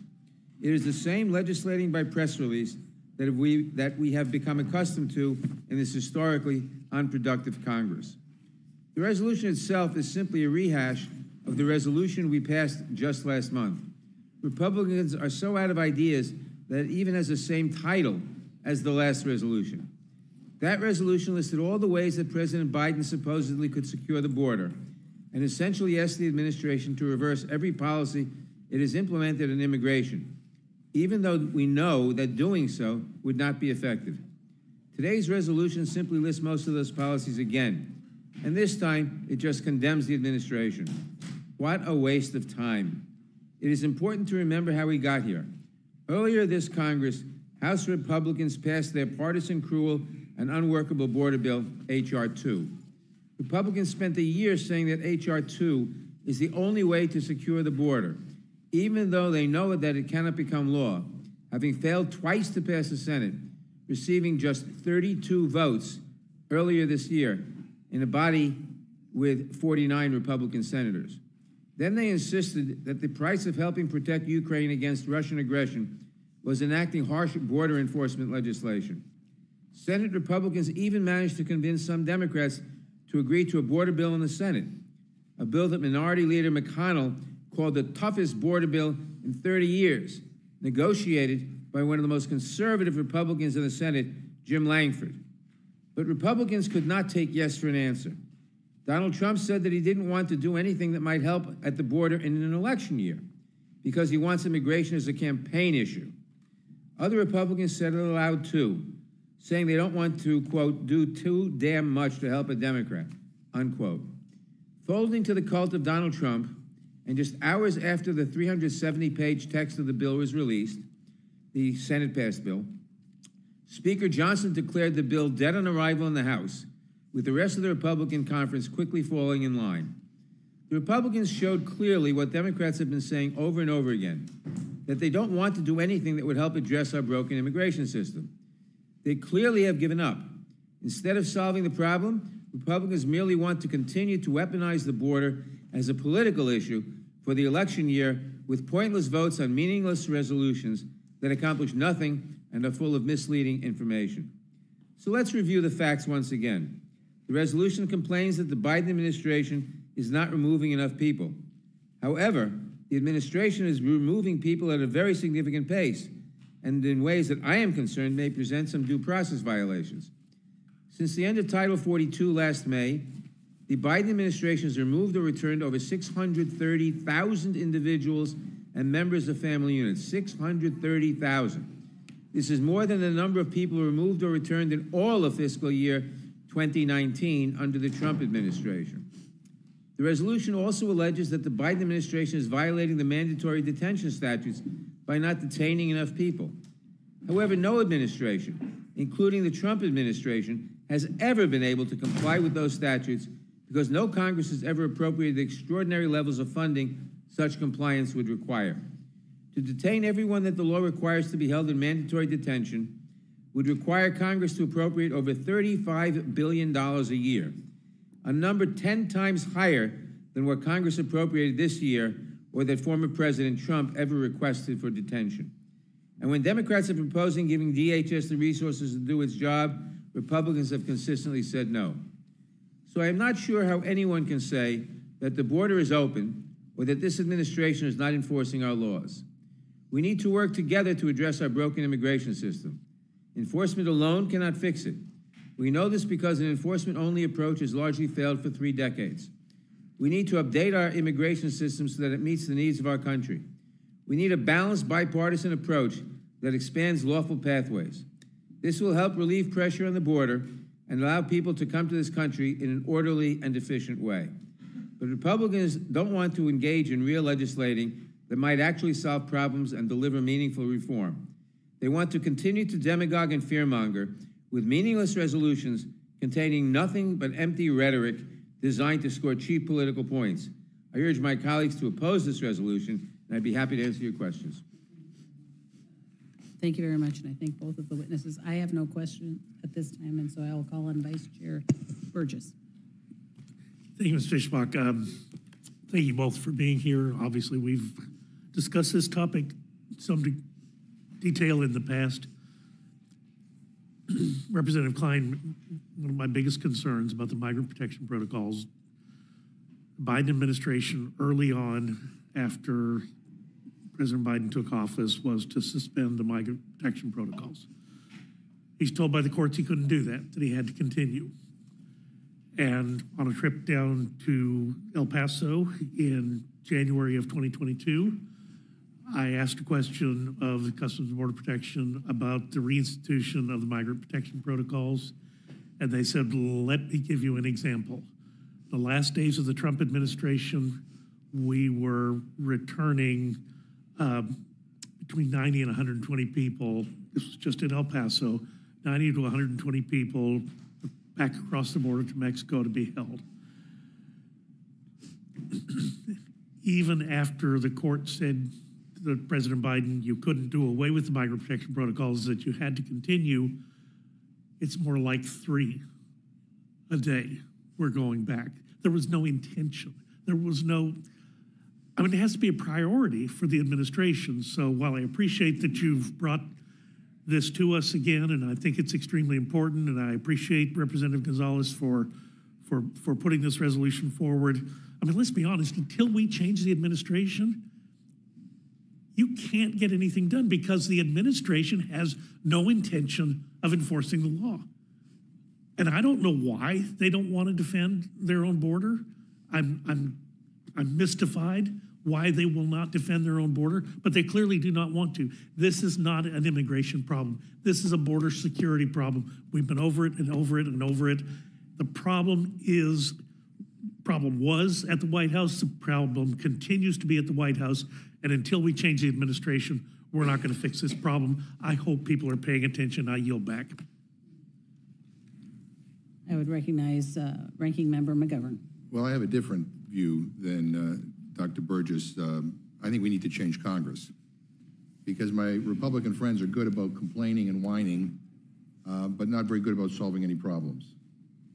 The gentleman mentions that uh, he didn't like the uh, Senate compromise bill that was negotiated by the second most conservative Republican in the United States Senate. Um, the fact of the matter is, the only reason why we didn't debate and vote on it is because, as Mr. Nadler pointed out, the man that you all fear, Donald Trump, called and said, please don't bring it up. Um, I, wa I, want the issue. I don't want you to solve the problem. Uh, and by the way, um, it, it, it, HR 2, which you all seem to be so enamored with, uh, when there was a move in the Senate to actually bring it up, it got 32 votes. 32 votes. So not just Democrats, but Republicans. I think maybe you know my Republican friends need to understand that we have divided government, uh, and that while you control the House ever so slightly, Democrats control the Senate ever so slightly, and we have a Democrat in the White House. And the idea that it's my way the highway all the time, um, and therefore it's it's just fine for Republicans to, to do nothing about the border means, as I said earlier, you own this issue now. This is your issue. Um, and um, and I regret that, Mr. Uh, Mr. Nadler. Um, I'm, I'm, looking at this resolution because I, you know, I'm, I'm and I um, and I feel like I'm having deja vu, uh, or maybe more accurately, a recurring nightmare. Um, you know, didn't we just do a partisan Republican resolution, quote, denouncing the Biden administration's immigration policies, end quote? Because I remember Republicans wasting our time with a resolution with the same exact title less than a month ago. Yes, uh, yes, Mr. McGovern. Uh, we had the exact same resolution. In fact, it was a cut and paste job.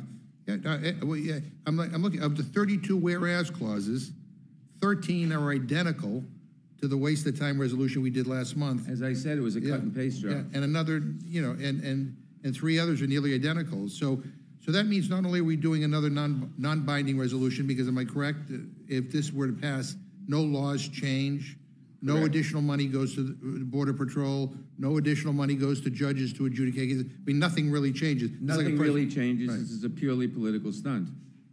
So, so we're, I mean, you could do a one-minute speech and have the same impact as doing this on the floor. I mean, there's, yes. because it, it's, it's a press release. So this is just one more of the same from this Republican majority. No new ideas, uh, no idea on how to govern, no idea on any solutions. I mean, Ranking Member Nadler, other than uh, con continuing to do this absurd nonsense that accomplishes nothing, is there anything else that your committee could be working on uh, and bringing up, bring to the floor that will actually help uh, the American people on this matter? Well, there is one thing, and that is FISA, and uh, I hope that that, and we, we, we, were at this committee uh, earlier today with FISA, and I don't know if that's going to, if, if, if uh, the renewal is going to pass or not. Yeah. I mean, I, I, I, think of all the issues that, you know, that are before us that we could actually do something about, including on border security. I mean, I mean, Democrats and Republicans in the Senate came together. The second most conservative Republican in the United States Senate came forward with an idea. Maybe it's not perfect, but the idea is that my Republican friends in the House would rather do nothing other than bring non-binding resolutions to the floor time and time and time again. This place is becoming a joke. Um, and quite frankly, these are matters that deserve serious and thoughtful attention and serious, thoughtful legislation. And this is not it. Yes, and in fact, uh, uh, Mr. McGovern, uh, it was not too long ago that uh, Chip Roy said that this Congress had accomplished nothing at all, and he was right. And I, you know, and, and I- I, can't believe, I'm saying, I, I actually agree with Chip Roy on that. I don't agree with him on anything, but I will agree with him on that, that that, uh, you know, that, uh, I mean, this has been a, a total waste of time. And again, yeah, I always tell people, you don't have to agree on everything to agree on something. Um, and there are some things that we can come together and agree on, uh, on border security that we can get done immediately. Um, and my uh, Republican friends choose instead to basically do a press release. Um, I, I don't, I mean, this is the same thing we've done before, so I will yield back my time. Thank you. Um, I would recognize Mr. Massie. I have no questions. Mrs. Scanlon? Um, yeah, as was just noted, this isn't just the second time we've had this resolution, it's the third time. So in January, there was a resolution denouncing the Biden administration's border policy. And then in March, we had another resolution denouncing the Biden administration's border policy. And now we have this one. We get it. You don't like President Biden and you don't like the border policy, and you have no intention of actually passing a border security bill. So. And we have to pass the same resolution every other month. Right. Well, that's because nothing else is happening. Um, But I, I do appreciate your coming to testify yet again, and I don't appreciate the fact that we're wasting so much valuable time and taxpayer dollars on this nonsense. I yield back. Thank you. And I don't believe there is anyone else who wishes to ask questions, so thank you for appearing before us today, and uh, the witnesses are excused.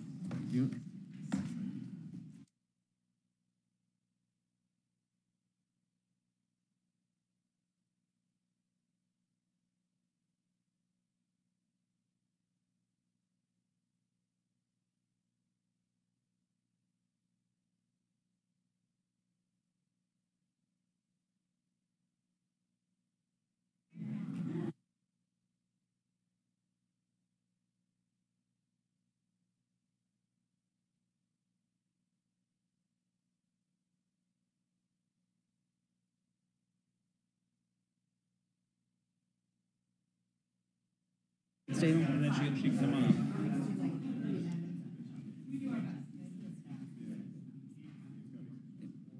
I would like to welcome our fourth panel, Representative Salazar and Ranking Member Meeks from the Committee on Foreign Affairs. Representative Salazar?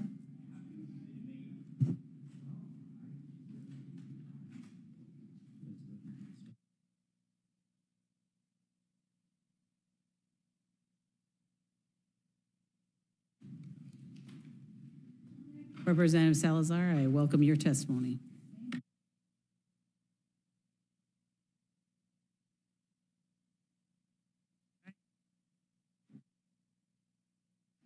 There, all right, thank you.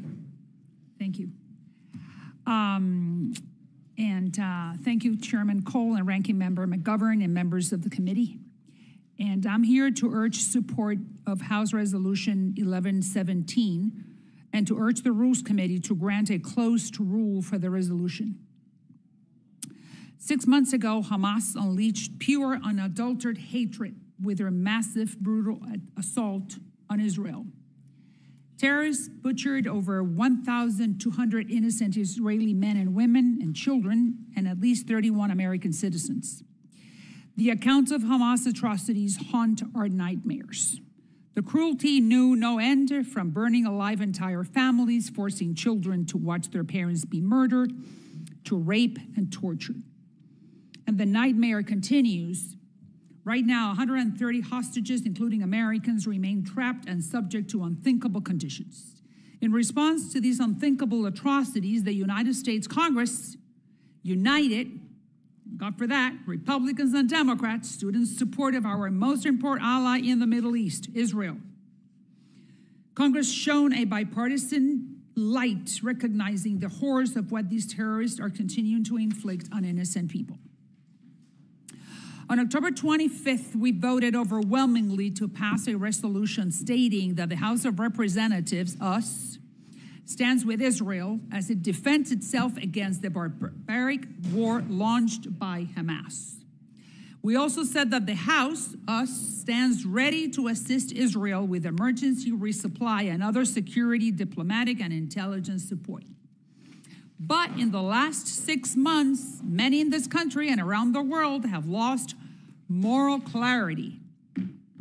For the last 16 years, Hamas has embedded itself and its terrorist infrastructure amongst civilians in Gaza. We know that they have built tunnels under schools, hide weapons in hospitals, and turned water pipes into missiles. For that reason, the humanitarian toll from this war is immense. But one thing is clear Hamas started this war and has no intention of ending it, and the White House just said it right now. There was a ceasefire on October 6th. Hamas broke it. Efforts to release hostages, Hamas is obstructing negotiations. For these reasons, I'm deeply concerned by the Biden administration's decision to publicly pressure Israel to stop its military operations in Gaza without demanding the release of hostages or other concessions by Hamas. On March 25th, for the first time during the conflict, the United States allowed a United Nations Security Council resolution calling for an immediate ceasefire to pass. On April 4th, a summary of President Biden's call with Prime Minister Netanyahu stated that our president underscored that an immediate ceasefire is essential to stabilize and improve the humanitarian situation and protect innocent civilians. Neither the United Nations resolution nor President Biden's phone call demanded a release of hostages, at least in exchange for a ceasefire. Nothing. Nothing was asked in exchange. That is why I authored this resolution stating that we stand with Israel as it defends itself against Hamas' barbaric war and reaffirming Israel's right to self defense. My resolution opposes effort to place one sided pressure on the state of Israel regarding this conflict. Israel did not start the war. This war was not chosen by Israel. We need to support our ally Israel as it fights to restore its security, not empower the terrorists. Again, thank you, and I urge support of House Resolution 1117, and I welcome any questions you may have. Thank you for your testimony. Mr. Meeks, I welcome your testimony. Thank you. I'm here to speak in opposition to this uh, partisan resolution, which really has nothing to do to help release the hostages, help the state of Israel, or the Palestinian people. It's a cynical and misleading and in my estimation, is really just a stunt meant to gaslight every American. The resolution states that, and I quote, opposes efforts to place one sided pressure on Israel with respect to Gaza, including calls for an immediate ceasefire, such as the recent statement by President Biden and the United National Security Council, Resolution 2728, which was adopted due to the Biden administration's decision not to exercise the United States veto. Let me tell you something. This is why this is disingenuous and misleading. Firstly, the administration's position on a ceasefire has not changed. President Biden is seeking a temporary ceasefire combined with a release of the hostages. Now, do you know who else supports this policy? Who I've heard say the same thing? Actually, Prime Minister Netanyahu and his government, who, as we speak, are actively engaged in negotiations to achieve this goal. Secondly, there was good reason for the administration to abstain instead of vetoing the UN Security Council resolution mentioned in, the res in this resolution.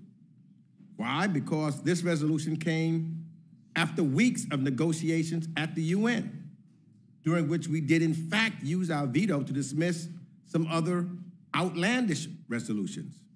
This resolution demonstrated a remarkable progress in getting the parties to move closer to our position. The resolution, the resolution that we abstained from reaffirmed the United States position that a ceasefire of any duration come as part of an agreement to release hostages in Gaza. This is a good thing which the United States and the Israeli government support. This was not a part of any previous resolutions. Secondly, the resolution thanked the governments, including Israel, who are part of the negotiations to free the hostages. Wasn't part of others. And third, and the reason why the resolution fell short was because it did not contain language condemning Hamas, something that the United States representative specifically called out because it wasn't included therein, further reinforcing why the United States ultimately abstained despite making significant progress on the overall resolution. You know, there is a careful dance of diplomacy being conducted at the UN, one that requires understanding of the context and the process. This resolution that's before us provides no context at all. And when it comes to the process, there is there wasn't one. There was no regular order for this resolution. The Foreign Affairs Committee never marked up this resolution. No one knew this was coming to the floor until the last possible moment on Friday afternoon. And indeed, this is the first time ever in my role as the ranking member or the chairman of the House Foreign Affairs Committee that we are moving legislation that needs to pass through the Rules Committee without any markup in the Foreign Affairs Committee. Not one, nothing. This is another sad precedent set by this majority and may well be one you come to rue. It is rich that my friends on the other side of the aisle are playing this game of charades while they continue to reject emergency supplemental funding for Israel. My friends on the House Republican side have had the opportunity to pass the bipartisan Senate bill for weeks while they sit on their hands and seem to be appeasing their dear leader, Donald Trump, and it's to Israel's detriment and to the detriment of our own national security. This resolution is wrong, misleading, and a distraction from the real work that needs to be done to free the hostages, help our ally Israel, and meet the humanitarian needs of the Palestinian people. What Israel needs is bipartisan support in the United States to meet its many challenges. Republican leadership is actively damaging the U.S. Israel relationship with this partisan game. We should not be playing games while so many lives are on the line. This resolution should not come to the floor, and instead we should move ahead with the productive initiatives that actually help the people of this country and our friends around the world. And I should say this also, without hoping no one gets after him. Chairman Michael McCaul and I worked very hard and closely together. And we had this scenario where we try to do things in a bipartisan way because it affects us all. Our country's natural defense. It affects us all. This is not should be a partisan political issue. We try to work together, unlike some other committees. That's why it was very important where we worked collectively after the attacks on October the 7th to come up with a resolution that was bipartisan and that virtually every member could sign on to. We worked. It didn't just happen. We sat down, we worked, we talked, and we tried to make sure because we wanted one message to come out of Congress the message that we were united. This resolution, the intent is to try to come out that we're divided. And in my 26 years, being a member of the United States House of Representatives, these are the issues where we come united. There's no way that we've ever had a resolution like this that did not go through the committee. and allow the chair and the ranking member to work it out to see if we could come up with something that we could all agree upon. Not play politics. It's too serious and too important an issue to play politics on this. So I'd say we should not be moving forward with this. We should allow the committee to work its will. Give the chairman and myself an opportunity to talk together.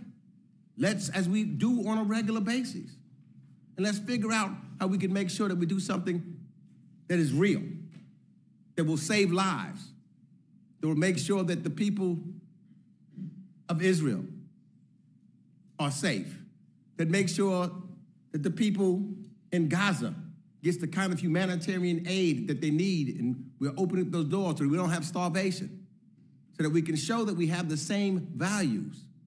And yes, to make sure that we go after in a way that is not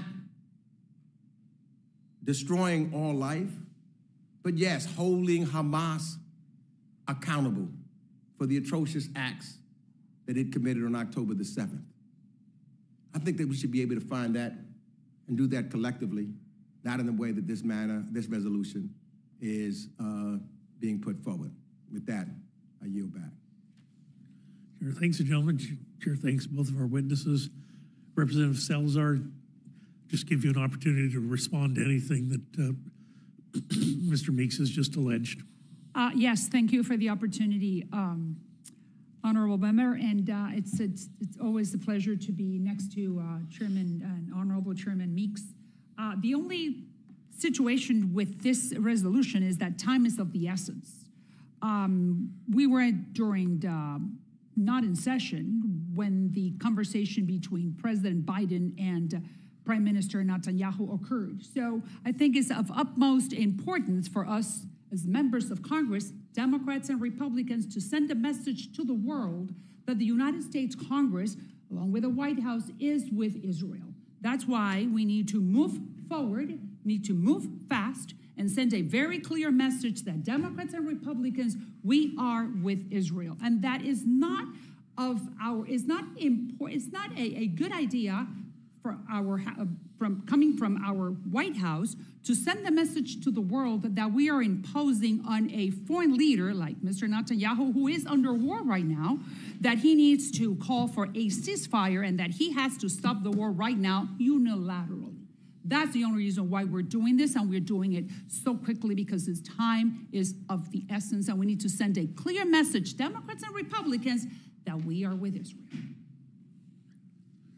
So certainly uh, underscore that time is of the essence. And I mean, I, you all sit on the com- committee of jurisdiction. I don't, so I'm not um, given the same depth of briefings that you all are. But it, I mean, this morning there was a report that yet another hostage had possibly perished, and while waiting for some resolution of this, I mean, this this needs to happen.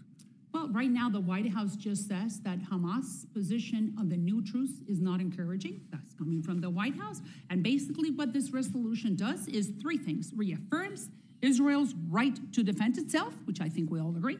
Number two, reaffirms the United States' commitment to Israel, which we all agree, and opposes President Biden placing one sided pressure on Israel to call for a ceasefire. Hey, the war could stop tomorrow if both sides come, and if Hamas comes to the table in a uh, legal fashion with the true intention of stopping what's happening. Uh, it's not it's not Israel's timetable; it's Hamas's. Well, thank you both for being here, um, Mr. McGovern.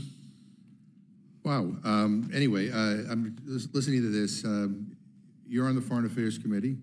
You introduced this resolution, and you just said that the reason why regular order wasn't followed was because time is of the essence uh, and was so vitally important to get this bill to the floor, a non-binding resolution, a, basically another press release.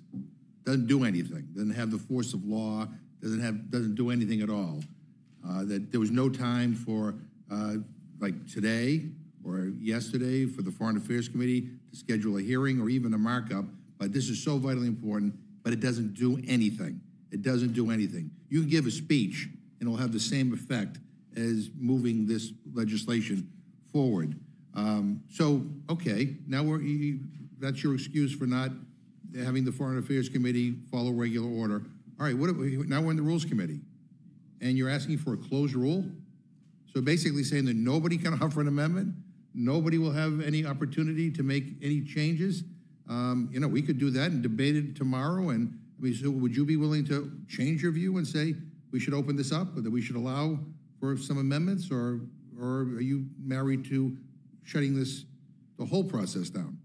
I think that the message is very clear and that we all agree on these three So- points. so the answer to that is Reaffirms no? that Israel defends that The answer we. is, no. I guess I'm just trying, that's not my question. My question is Don't whether you or not. think that these whether- three whether or not- points are I'm- I'm- very clear? No, well, my, you're not And I'm answering. sure that you agree with No, that. you're not answering my question. My- Yeah, yeah. You know, my question is, since you shut the process down totally, I mean, again, this is the most closed Congress in history. It's like Russia here, when, the way we're bringing legislation to the floor. Oh, I wish the Yeah, Russians yeah, would yeah. look like So I'm just simply saying that you, that you were saying that, that you're saying that you are against anybody offering an amendment to this, which could be debated and voted on tomorrow, and this could move forward quickly. Ranking member, honorable congressman, you know that uh, in the House, things move slowly. No, but, And- but- but we could have, a- and we could have a couple of amendments. And we could be voting on this We could have, we tomorrow. could have a few amendments. I mean, uh. I think that mean- the resolution stands for itself and that it, what we, the three key points are exactly what the House of Representatives And- needs to be sending out to the Right. world, specifically helping Israel, and there's and another- sending a message to our allies that we are still, as a country, backing the state of Well, Israel. I I think everybody, I think virtually unanimously condemned this horrific attack on Israel on October 7th. Um, I mean, it was immoral, it was terrible. We, we have all called for the hostages to be released. And you talk about moral clarity in your statement, but I didn't hear you say one word about the famine in Gaza, about the suffering Palestinians, uh, about the fact that we can't get food or humanitarian aid to them at scale, that World Central Kitchen workers were bombed and killed delivering food aid, notwithstanding the fact that they coordinated with the Israeli Defense Forces. I mean, not, not, not even a, a hint of, of concern about the 33,000 people that are dead um, in Gaza. I mean, I, I'm, are you okay with all that? And I, I um, just want to state that Democrats do not have a monopoly on compassion. We're compassionate too. There are 33,000 Palestinians that have died, 70,000 injured because of the war. Half of Gazans are experiencing extreme hunger.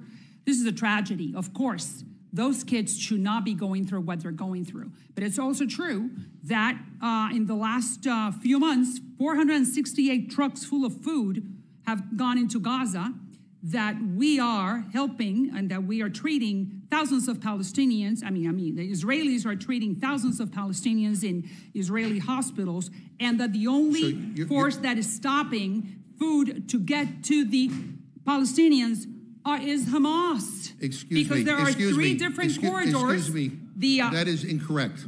That is incorrect. Tell that to the, the workers at World Central Kitchen who were bombed and killed. And that was a tragedy. Right, right. But Tell you know, that to the- Israel did what Hamas never does. Yeah, wow. It assumed responsibility. It fired the responsibles. It, uh, it there is transparency, and they assume okay. I mean, responsibility. is- so, right, so it's of course that it no. was terrible what happened. Of course, seven people dead. Well, no, I- but I don't right believe- now, I don't three believe- I new believe- I corridors are open: the North Yeah. Gaza, the port, Well, and Jordan. yeah. So, I- Israelis want the Palestinians to eat. Hamas is the one who's using them for There the is a war of the famine. images. There is a famine going on, Ms. Salazar. There is a famine right now. experiencing extreme- Yeah, uh, right. we- we know There is a famine going on. People are starving to death. Hamas Uh, could stop. Medical aid is not getting to uh, to the to the Palestinians in Gaza.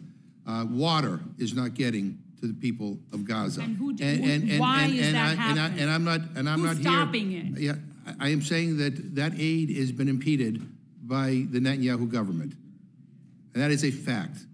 Um, and you could talk to My and- facts are that well, Hamas is the one stopping Yeah. it because you know it's remember that Hamas is in the business of power and not in the business of feeding the Palestinians. All right, well, this, this is this is uh, anyway. We're in a whole different realm here of, of, of, of, of reality. I mean, the, the, bot, the bottom line is there anything in your non-binding resolution that talks about uh, getting aid to starving Palestinians.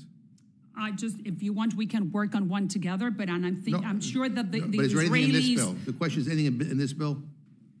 basically, what, the only message that we're sending here, Honorable Congressman, is that we would want the rest of the international community to understand So is that that the a no? House of Representatives is not uh, agreeing with, uh, with ordering or forcing Netanyahu to do a uh, ceasefire without bringing the other So I- I- to the So I guess that's a no, right? There's no- nothing in here that talks about delivering humanitarian aid at scale to uh, people who are starving to death. We in, do uh, not want the Palestinians to But starve. there's nothing in this bill. You know, the correct? Palestinians are as much as a hostage to Hamas as the Israelis are. Right, but there's nothing in this bill that talks about their suffering. Uh, Mr. uh, Mr. Meeks, uh, you know, we're here considering a simple resolution that does nothing, as, except as you s- pointed out, that tries to score cheap points using the war in Gaza and the humanitarian crisis as a cudgel against President Biden. Um, uh, Instead of doing this resolution, uh, can you tell us what the House could consider uh, to actually help the people of Gaza and help try to uh, ensure the security of Israel and help get the hostages released? Well, the first thing that I think that, Mr. Ranking Member, that is important is we could do this together. And we can make sure that all of those things that you talked about with reference to getting aid into Gaza to stop starvation from happening, we could sit down and figure this out. Not play politics with it, which we know will be a one sided bill, because that's what it is designed to do. If it was, we wanted to really work collectively together so that the world can see that we're working on one piece. We care about Israel, its right to defend itself. Everyone has said that. We're against the horrific acts of Hamas.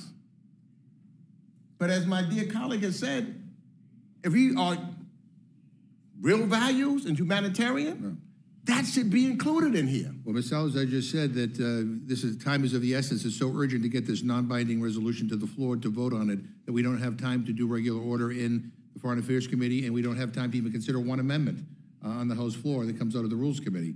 I don't, I don't know what your response to that My is. response to that is what you said. Yeah. That's like a totalitarian Right, yeah, government. right, yeah.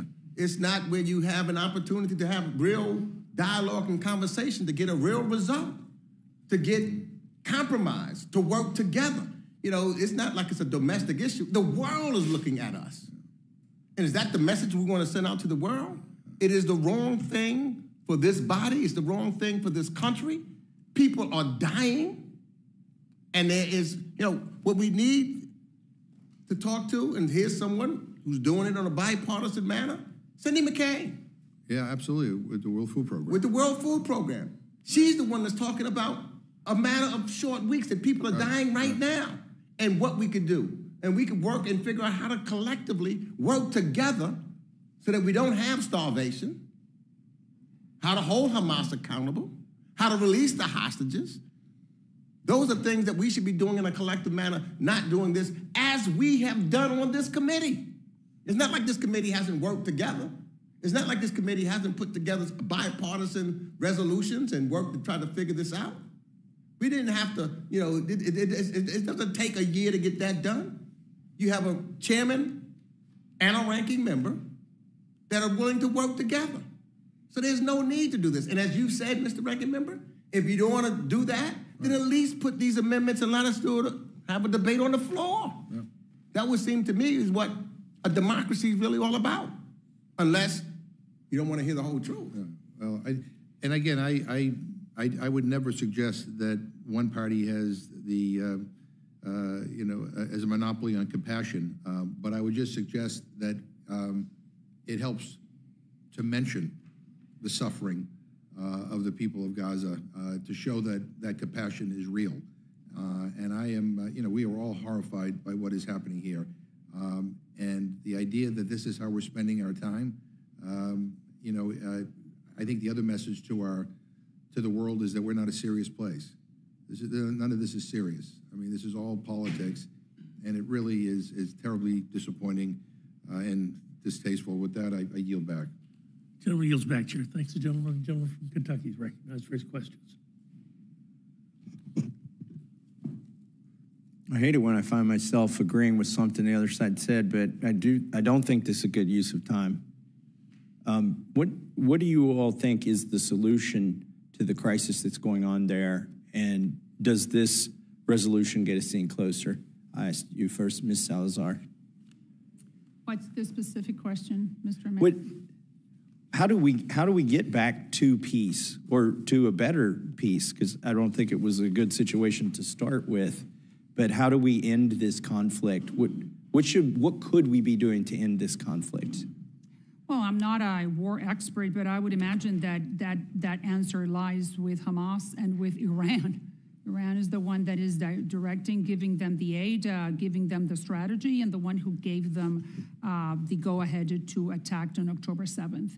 So um, I would I, I, I am sure that it's in Israel's best interest to do everything possible for them not to escalate the war, but uh, the Israeli government has said it that they need to finish Hamas if there is going to be peace for them and for the Palestinians. How many? Uh, well, let me ask you, Mr. Meeks. How do we get to a solution to peace, long-term peace, or even just short-term? Well, let's talk about both.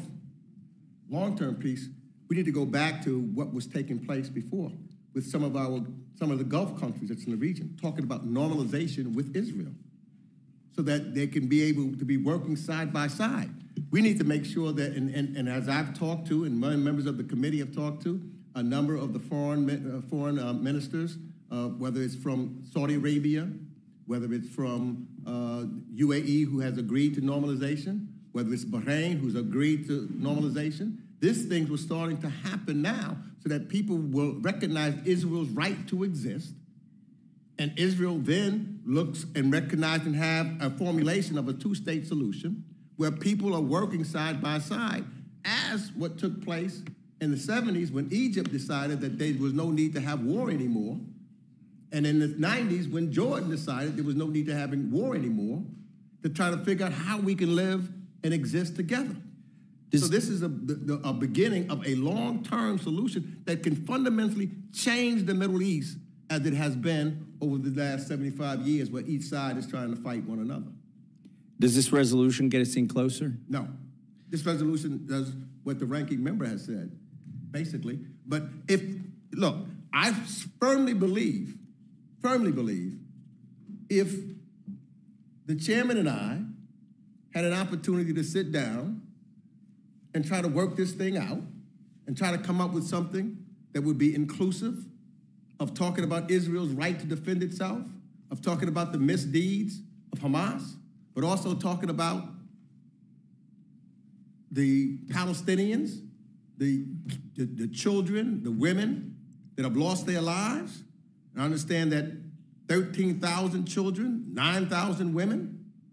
And we were also talking about and showing how considerate we were about the children that are now dying of malnutrition.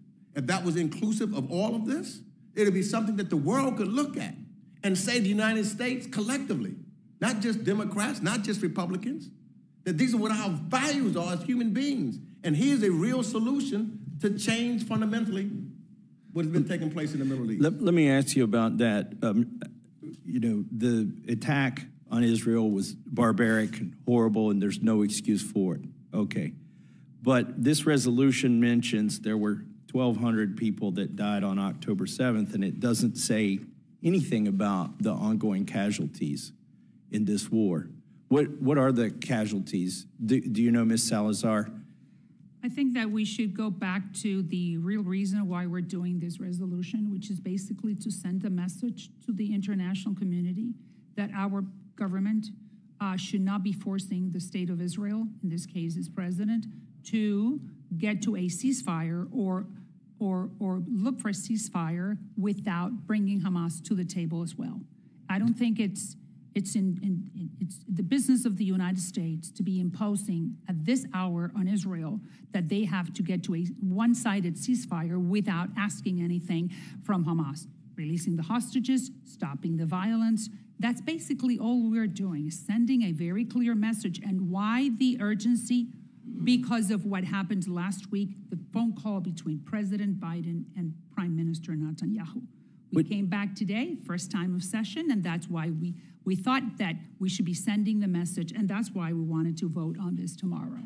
I don't want to belabor the point, but the fact that it mentions casualties on one side begs what the the question of what the casualties are on the other side. Do you know how many casualties there? Well, I just said it, we have 33,000 Palestinians who have died and 70,000 injured. I mean, the, the casualties are going up every day, which is something Okay. that is despicable on both ends. Uh, we understand that the Palestinians do not deserve what they are going through, but Hamas is their responsible. And and I, I was I was I've- been uh, trying to to and this happens in Cuba as well, which is what did you have this population that is hostage to people that are only offering one political view, and the Palestinians do know cannot open their eyes and see that that they, they- their political elite is is corrupt and barbarian. So Um, everyone is the victim here of Hamas and Iran. I just have one question before I yield back. Mr. Meeks, um, do you, if this comes to the floor, do you plan to vote for or against it? Against it. Okay, thank you, and I yield back. Gentleman yields back. Chair thanks the gentleman. Gentlelady from Pennsylvania is recognized for questions. Thank you. Uh, This is the second non-binding resolution which tries to condemn President Biden using a twisted, disingenuous recitation of so-called facts. The second such resolution to come before this committee today. Okay? Uh, House leadership refuses to pass assistance to Israel or humanitarian aid to Gaza, but they will waste our time, Congress's time, taxpayer dollars trying to score sick political points and foster division and chaos here in Congress and across the country. So, as we embark on the fifth hour of our hearing here today, you can understand why patience might be wearing a little bit thin, apparently on both sides of the aisle, uh, for this type of political nonsense. I, I think we've seen more than enough of it for one day, and we should move on. I yield back. Chair thanks the gentlelady. Gentlelady yields back. The gentleman from New York is recognized. Thank you very much, Mr. Chairman. And um, I just returned from Israel, actually. And um, Representative Salazar, I, I want to thank you for your leadership in bringing this resolution forward today. And uh, can you remind us once more today which terrorist group is still holding American and Israeli hostages in Gaza? It's Hamas. Hamas. Hamas. I, I had the um, the honor of meeting with uh, Rachel and Jon Polin. Their their son Hersh has uh, been in captivity since October seventh, and you know their heartbreak and their courage uh, that they have put on full display for the world. Um, you know, is is he's an American citizen, and we still have six American citizens in captivity in Gaza right now, and uh, the fact that you know we have an administration that that appears to be slowly but surely walking back their support uh, of, of our greatest ally um, in the Middle East, our, our only democratic partner in the Middle East in Israel, um, certainly undermines that position. And, and we need to be talking in this building every single day about the fact that we have six American citizens being held still in Gaza, and we have no ability to find out from any international organization what the health and welfare of those six American citizens are. And there was a time in this country where, you know, the, it was basically the critical issue in a presidential election as the, the, the care and welfare and when the release would come of hostages being held by a foreign actor. And right now, we, you know, there, there are many um, other hostages there, uh, Israeli hostages, and, and my heart breaks, you know, for all those families and what they have been through and the horror uh, and the tragedies that unfolded on October 7th. Uh, but uh, to, to, to hear the optimism um, in, in, in the struggles that this family has put forward and how they won't give up uh, one iota, but they, th- their hopes lie with the American people and that the administration is going to continue to keep this relationship um, sacrosanct. And, and, and we need to continue to stand with Israel every single step of the way. I think this resolution is, is an important step in that direction. Uh, and I, I really do truly appreciate uh, Representative Salazar bringing uh, this back uh, in front of us today, and hopefully we get a positive action here. So thank you very much, and I yield back. Chair thanks the gentleman. Yields back. Is there any seeking time to question the witnesses? If not, the chair wants to thank the witnesses for being here today, and this panel is excused. Thank you.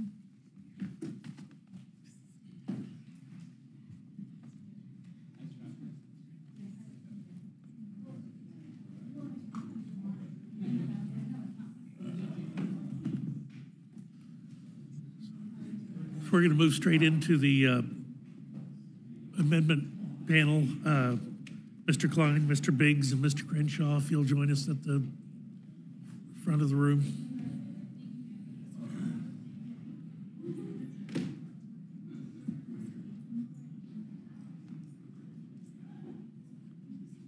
Hey, Dan. What up?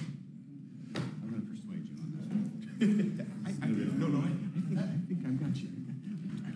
It's, it's close. I'm persuading you. At least in my amendment. Come on. Cartels, man.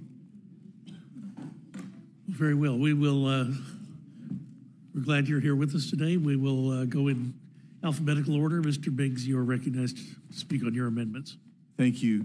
Thank you, Mr. Chairman, and I thank uh, the ranking member and uh, the members who've endured a rather lengthy hearing, and there must be some special place either in heaven for you or you did something really bad somewhere.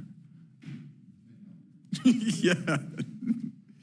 Yeah, well, it's good to be with you. Um, and I, I'm here to talk in support of, of, of my two amendments, um, which would stop warrantless searches of U.S. person communications in the, in the FISA 702 database and also strengthen the roles of the FISC amicus curiae, consistent with reforms proposed by Senators Lee and Leahy, which passed the Senate in 2020 by a vote of 77 to 19.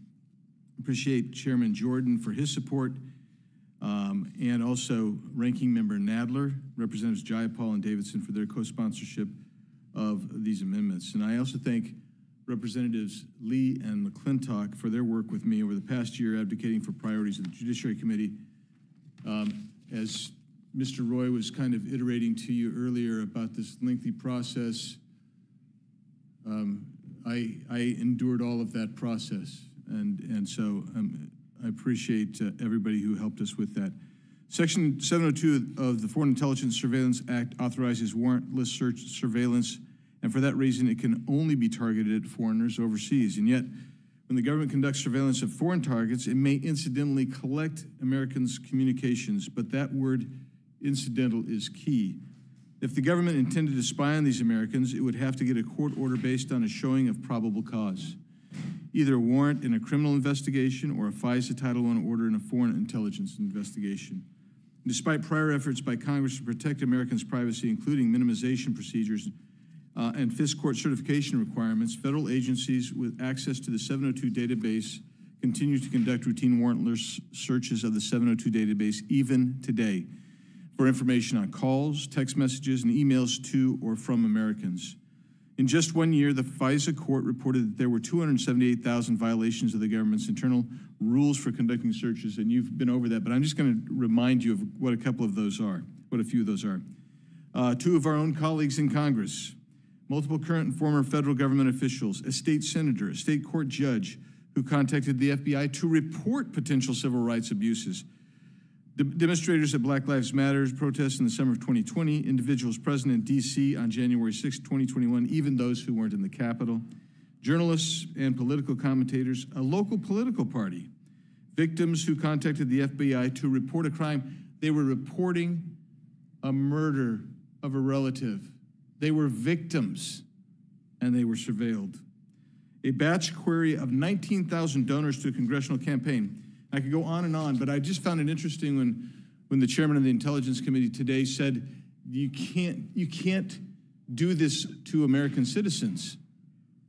They would have to have been communicating with Hamas, is what he said.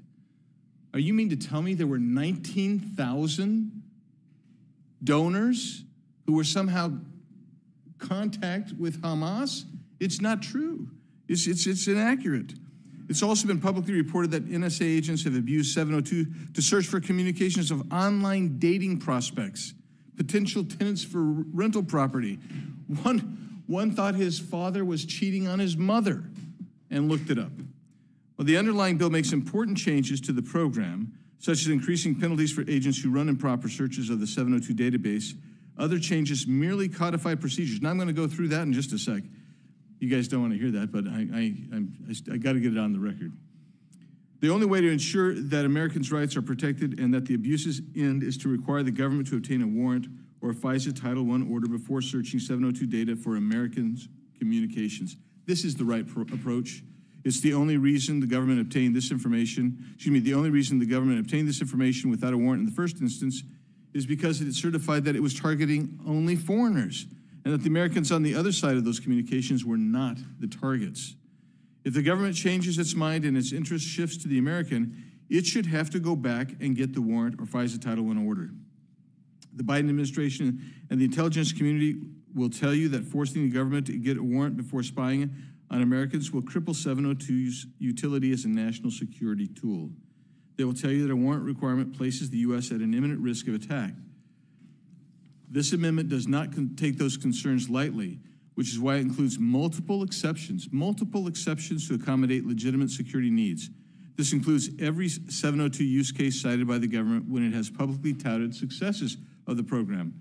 For instance, there's an exception for exigent circumstances where an imminent threat to life or bodily harm exists. The administration says that isn't broad enough, that they might not know at the time of the query whether there's, there's an urgent threat. But it is the same exception that's in place in every other context where the government is required to get a warrant or FISA Title I order. If it's broad enough in a situation where the government is directly investigating a suspected American terrorist, it's broad enough here. There's also an exception for consent, which will come into play mostly when the government is conducting a query for the purposes of identifying potential victims of foreign plots or so called defensive queries. The administration has provided a small handful of examples of U.S. queries that proved to be useful in identifying victims, including cases where the FBI is trying to help companies recover ransoms and ransomware attacks or protect U.S. officials from assassination plots. It is hard to imagine, for instance, those companies would not have granted consent. And this gets to a point Mr. Massie was making earlier, and I want to uh, I want to make that point right now. These are not exceptions, right? But they are exceptions. They're not notifications merely, they are consent. They're going and they're getting consent. But you know who, who doesn't get that consent? Anybody who's not in Congress. You're not entitled to that consent. That is the point Mr. Massie was making, and what's what makes it so insidious. Additionally, the base text of this bill includes a similar exception with a narrow universe under the base text of this bill. The F- FBI must get it for members of Congress, but again, not for non members. There's a third exception that applies to certain cybersecurity related queries. This would enable the FBI to identify communications that contain malware and act quickly on that information. Finally, our amendment would not require a court order to conduct U.S. person queries of communications metadata. In other words, things like to, from, line in an email, and the, the date and time the email was sent. That means the government will be able to determine without getting a court order whether and when a particular U.S. person was in contact with a foreign target. In many cases, that information combined with whatever information led the government to look at this particular U.S. person in the first place will be enough to support a probable cause order. Warrantless searches to Americans' private communications undermines both our liberty and our republic. It is contrary to our nation's values. Section 702 may be a valuable authority. I'm, I am I'm assured that it is for monitoring foreign threats to our nation. But you have to protect Americans' rights as well. I've offered also uh, an amendment to codify reforms to empower the FISC amici consistent with the Lee Leahy amendment, which passed the Senate 77 with 77 votes in 2020. The amendment substantially strengthens the role of amici to independently analyze FBI surveillance requests that are particularly sensitive. This protection is critical because the FISA court is not adversarial, meaning that there's only a government lawyer, there's only a government lawyer there, and the judge, and there's no one there to uh, protect Americans' who interests who are under surveillance and advocate for them. So that's why this amici amendment is so important. Uh, the amendment would authorize and actively encourage FISC judges to seek independent amicus reviews in all sensitive cases, and that's important. Amendment would also require that exculpatory information be provided to the FISA court. That is important. So uh, I want to just uh, give you two, two or three documents. Uh, one is uh, the FISA 702 reauthorization amendment. So you heard in earlier testimony the claim that um, there was no cyber uh, spying going on, that there was not going to be anything at the at the um, coffee house, but you didn't ask it quite in the right way because the the it, it does the underlying bill actually has that, and so I give you an article um, expressly stating that dated today's date, FISA 702 reauthorization amendments.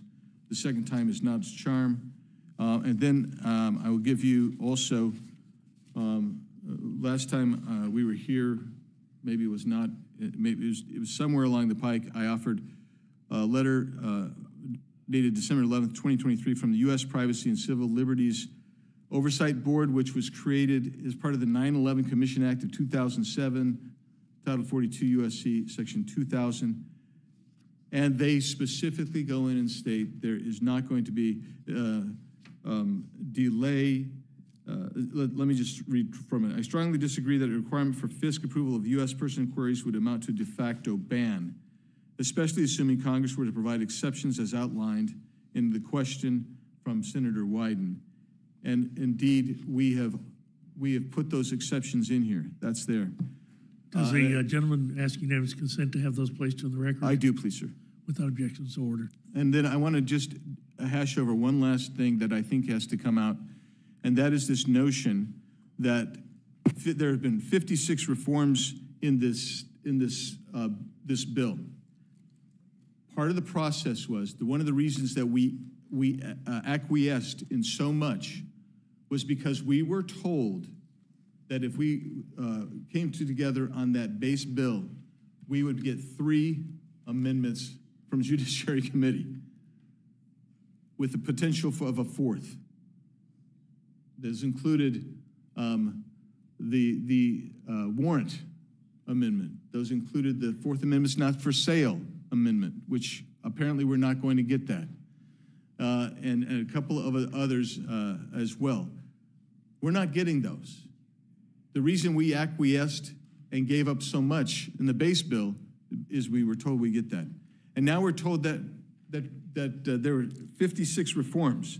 Well, I want to tell you what those reforms look like and why they're so uniquely one sided.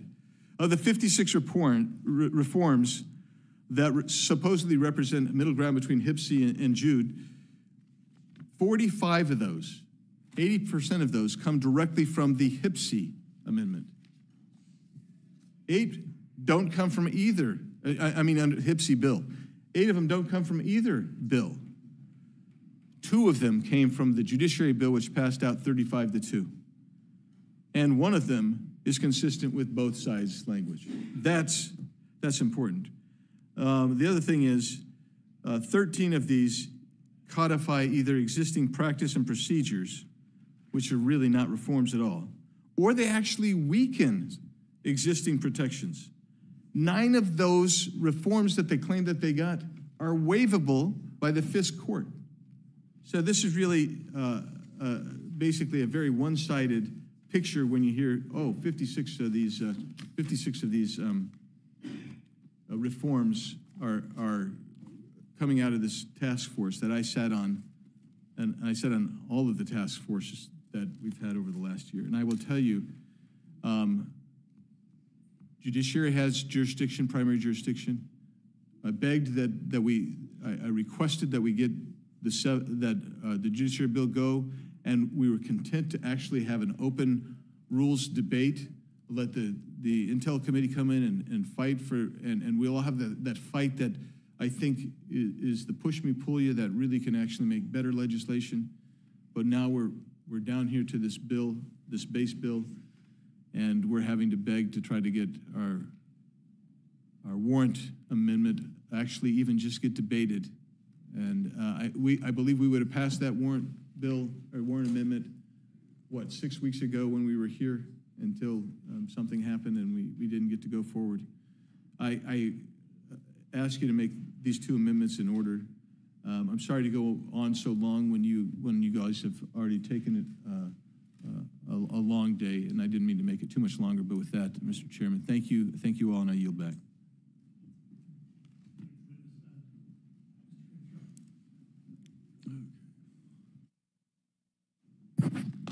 Thank you, Mr. Chairman. Uh, Thank you, members of the Rules Committee, uh, for staying up late with us. And uh, I can tell you how much we we appreciate that. I want to say um, uh, quite a few words about my amendments and maybe the the bill in general.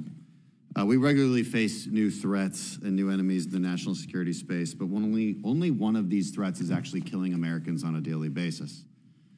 Every day, the poison trafficked into our country by Mexican drug cartels is killing Americans. In the last three years, more than 200,000 Americans have died from synthetic drug overdoses, and that's mostly from fentanyl.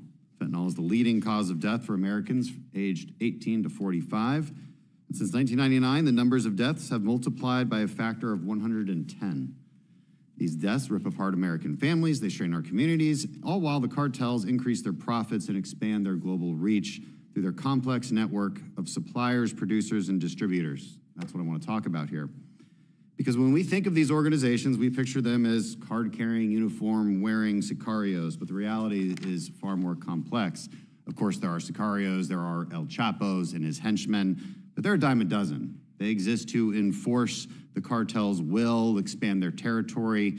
But the trafficking network is far wider, it's more compartmentalized, and it's much more like a business than it is a gang. The network starts with the precursor wholesaler, wholesalers, mainly in China. They ship those precursors, actually, usually to the US, using international carriers. Those precursors are then picked up or delivered before being moved south to Mexico by freight carriers who take those precursors to be distributed to producers who mix the precursors to create fentanyl before it's incorporated into pill form, mixed with other drugs or just kept as pure fentanyl. They then move it north back into the US for its sale and distribution on American streets. The funds are then laundered either through remittance or a Hawala system or by buying high end luxury goods like a trade based laundering system. And throughout the whole process, white collar enablers play a role lawyers, accountants, bankers. They are the ones who allow the business of killing Americans to thrive and reinvest money back into the process so the cartels can continue to grow in power. Let's not forget about China. The cartels are the ones who make and traffic fentanyl, but they cannot do so without their Chinese partners who provide the precursor chemicals and also launder their money. This means our greatest strategic competitors working with well armed and networked groups right on our border to actively kill Americans, and we can't use FISA to gather intel on them. You might think I'm kidding about that, but I'm not kidding about that. Not even through the court system can we get a warrant to actually gather intelligence on those associates of the cartels. I am not kidding. that's also why I'm offering this amendment to add counter narcotics to the definition of foreign intelligence. Right now, as the law is written, we can only use FISA Section 702 to target foreign governments, international terrorism, or countering weapons of mass destruction. You've heard those three categories quite a bit during these, during these testimonies. My amendment would allow the intelligence community to also use its tools against the entirety of the narcotics trafficking organizations that are poisoning and killing U.S. citizens with impunity. Not just, not just the El Chapos, not just Ismael Zambada of the Sinaloa cartel, not just the Chapitos, not just Nemesio Cervantes of the Jalisco cartel. We can target them. We've managed to put them under the counterterrorism uh, uh, category. But everybody they deal with, we have no legal ability to even get a warrant on them. This amendment would allow us to go after the entirety of their network from precursor supplier to shippers and carriers to producers and pill pressers to distributors because it's these networks, not the cartel leaders, who are actually making the deaths of Americans possible. I know there's opposition. I know some simply wave their hands and say, well, you're expanding FISA, so no. That, that's an incomplete argument. What we're doing is we're updating our target sets, just as anyone would when you face a massively increased uh, threat and massively increasing deaths of Americans because of this particular problem. We're providing those new authorities because we're getting 29 11s every year from this problem.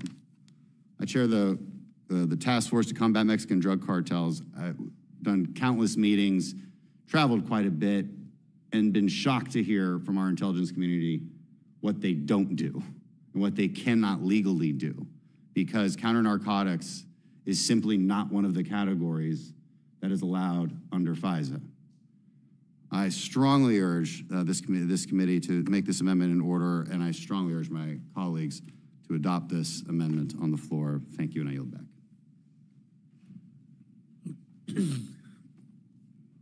Rules Committee thanks both of our witnesses for their thoughtful uh, contributions to the tonight's discussion. I have no additional questions. I'll yield to Mr. McGovern.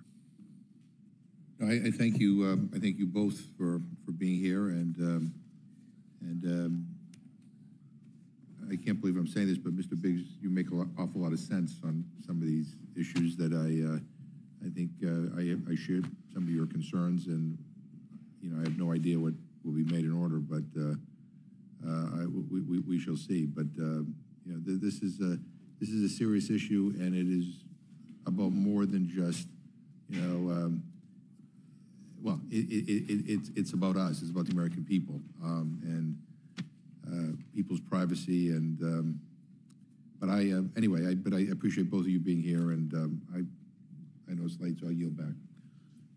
Thank you, Mr. McGovern. I, and I should have said Mr. Cline is on his way back. If he arrives, we will allow him to uh, talk on his amendments, but until that happens, we'll proceed with questions from members. Mr. Massie from Kentucky is recognized. thank both of you for sticking around. This is actually early for us. Um, But uh, I know you were here, you sat through a lot of this waiting to testify, and I appreciate your, both of your amendments. I think they're thoughtfully offered and sincerely offered, both to solve problems. Mr. Crenshaw, you may not have been here uh, I think when your amendment was discussed, or maybe you were in the back, but I, don't- I don't think the, uh, the objection was really to your amendment, and, um, because I know it's, it's addressing a real problem. I think the objection would be almost completely ameliorated if the base FISA program were, were handled differently. So, in other words, people aren't worried about, and in fact, I think your amendment will probably do pretty well on the floor if it's made in order. People aren't worried about the target of your amendment. They're worried about the byproduct, and it's nothing that you created or that, or that your amendment does. Um, Mr. Biggs, uh, and, I, and I'll be brief, I swear. I know I kind of filibustered earlier, and that's why you guys are here later. Um, so I'll be brief, but if let me just ask a question of you. You have a warrant provision in there. Wouldn't you know, we're, we're being told there's nothing to worry about in the base bill, but if there's nothing to worry about, why did Congress create a carve out for itself to be, uh, number one, notified? It- You know, the Cong- you know, the leaders, I guess they call it the Gang of Eight, get notified. Um, if a member of Congress is going to be surveilled by the FBI, by the way, I don't, didn't really say about NSA or CIA or anything else in there. Um, and then uh, also you have to give consent if, if ostensibly the FBI is doing this for your benefit to protect you, you have to give consent. What, we probably, I- I doubt that members of Congress would need that or ask for that if we actually had your warrant provision in there. Uh, Thanks for the question. You would not need that, Mr. Chairman. You would not need a special defensive briefing uh, if you had a warrant necessarily. Now, what I would tell you is, is what, what the Intelligence Committee Chairman, his argument is, and his position is that, is that um, these are special interests and that these are subject to political bias, both, both from the, the agency, but also potentially compromising politically. So that's why they, they provide the carve out. Now, I'm not sure that persuades me, but um, my understanding is that's that's really their position. I and I'm not trying to articulate it, but I that's I mean, I, like I say, I was in there with them for a year. I'm pretty sure how that how that goes. But but I think a better approach would be to treat us like the American people and say they got to have a warrant and um, and or or do what we say, include our warrant provision where we actually say you can you can go to somebody and seek consent, like like on on, on the businesses that that they surveil. They, it's an exigent circumstance for the business. They want to get that resolved. They're going to grant consent because they want to. If there if there's ransomware and they're being held hostage. All right, I yield back. May, may I respond? Councilman yields back. Uh, yes, did, did you have something you wanted to add, Mr. Crenshaw? I'll, I'll yield time before I yield back to Mr. Crenshaw. Uh, th- th- Thank you. Um, Well, well, certainly, I, I, I, I believe you're sincere in your remarks. Um, I, I was listening to the to the conversation earlier about this particular amendment, and multiple members voiced their opposition to it as such. Um, and I hope we're not in a place where we where we where we oppose things we say we support just because we don't support some of the underlying processes of, of FISA. Um, and so I think it's important to, to maybe make a few comments then about about the, the, the real debate here, which is about warrants uh, on queries. And let's say counterterrorism, uh, for instance. So it's, it's easy to say that foreign intelligence should be directed at counterterrorist threats abroad. But I might remind everybody that we only care about counterterrorism abroad because of what they do here. And they can only do things here if they're talking to Americans here. And so you have to imagine certain scenarios, whether it's drug related, whether it's narcotics related, or say, you know, some maybe something like a bunch of terrorists around the world uh, talking about a specific location in Florida where they might take flying lessons. Maybe you want to do a query on that specific location. That location would have a name. It'd be an airfield. It'd be some kind of like flying instructor course. That would be under the U.S. person's category. Now, if they're just talking about taking flying lessons, you would not have probable cause to get a warrant but a good investigator might want to put some, put some, uh, draw some lines there and make some connections. And you might want to know if you're following one guy, you know, Muhammad whoever, because that's the one guy you have a warrant on for FISA, you might want to know who else is also taking flying lessons there, and you would not be able to do that anymore under this new regime. You wouldn't be able to figure out how many others, um, whether they're foreigners or not, are actually taking flying lessons at that particular airfield. And you could use this same logic about drug trafficking into the US. Drug traffickers would be talking about specific locations within the United States, and they might be talking about them nonchalantly, as they would, as somebody who's tracked bad guys quite a bit. They never say openly what they're going to do. They never say openly they're going to kill a bunch of people or traffic drugs. They speak in code, um, and you know they use some degree of operational security.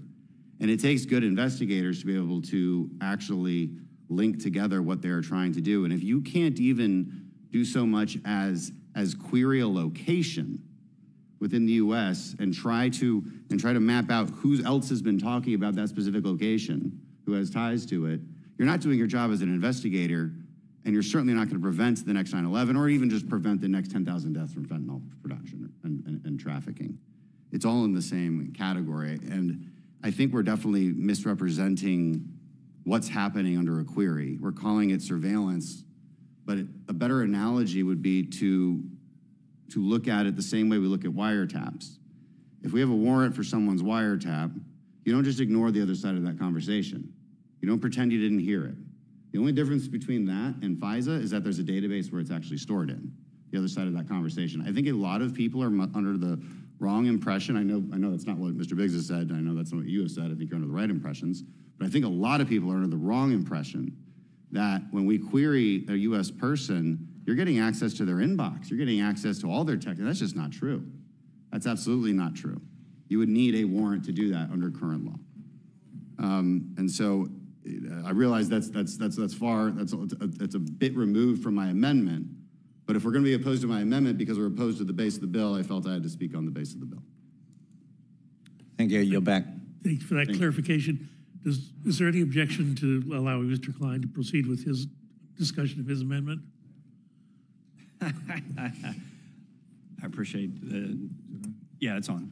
I, I appreciate the opportunity. Briefly, Mr. Chairman, members of the committee, uh, I have an amendment uh, to uh, prohibit the resumption of abouts collection, which uh, mirrors language from legislation reported from the Judiciary Committee in December 2023 by an overwhelmingly bipartisan vote. Abouts collection involves the government capturing vast amounts of communication in which the selector, such as an email address, if a target appeared somewhere in communications, even when the target's not a party to the communications. So currently, the government's only permitted to collect communications to or from a target. Existing law, however, permits the resumption of abouts collection with notice to Congress. Uh, this has been the subject of controversy for many years. A declassified FISC opinion from 2011 shined a light on this type of collection, uh, noting that it resulted in the collection of tens of thousands of wholly domestic communications each year by the National Security Administration. In 2017, the NSA announced it was no longer performing abouts collection. In 2018, Congress amended Title VII of FISA to prohibit abouts collection unless the AG and DNI notify the House and Senate Judiciary and Intelligence Committees that the NSA plans to resume such a collection. But this would ensure uh, that the NSA cannot resume abouts collection um, even with notification to Congress. The government hasn't been conducting this type of surveillance for over seven years and has yet to provide Congress with any rationale for resuming it. It's a common sense amendment that will ensure the government may not resume this type of collection, which is ripe for abusive domestic surveillance. With that, I yield back. Happy to answer any questions. Gentleman yields back. The uh, the gentlelady from Pennsylvania has not had a chance to ask questions. I want to thank the gentleman for the brevity of his pres- presentation. Um, Certainly, those of us who are on judiciary have heard quite a bit of discussion on the FISA issue over the last few months, so thank you all for your testimony. Gentlelady yields back. Any additional questions from ranking member? Any additional questions from any on the Republican side? If not, uh, committee thanks this panel and, uh, and you are excused.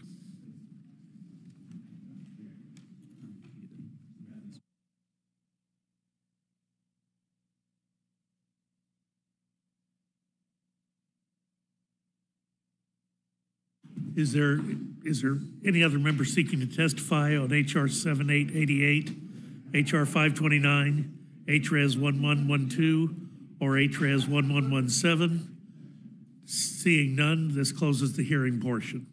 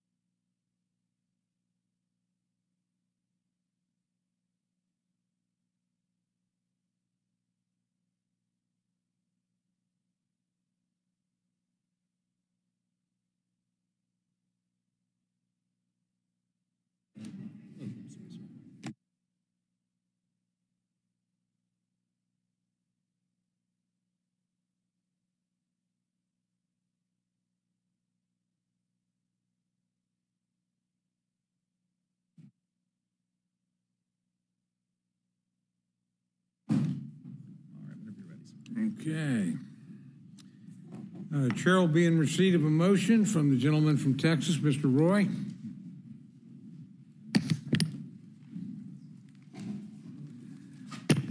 Mr. Chairman, I move the committee grant H.R. 7888, the Reforming Intelligence and Securing America Act, a structured rule.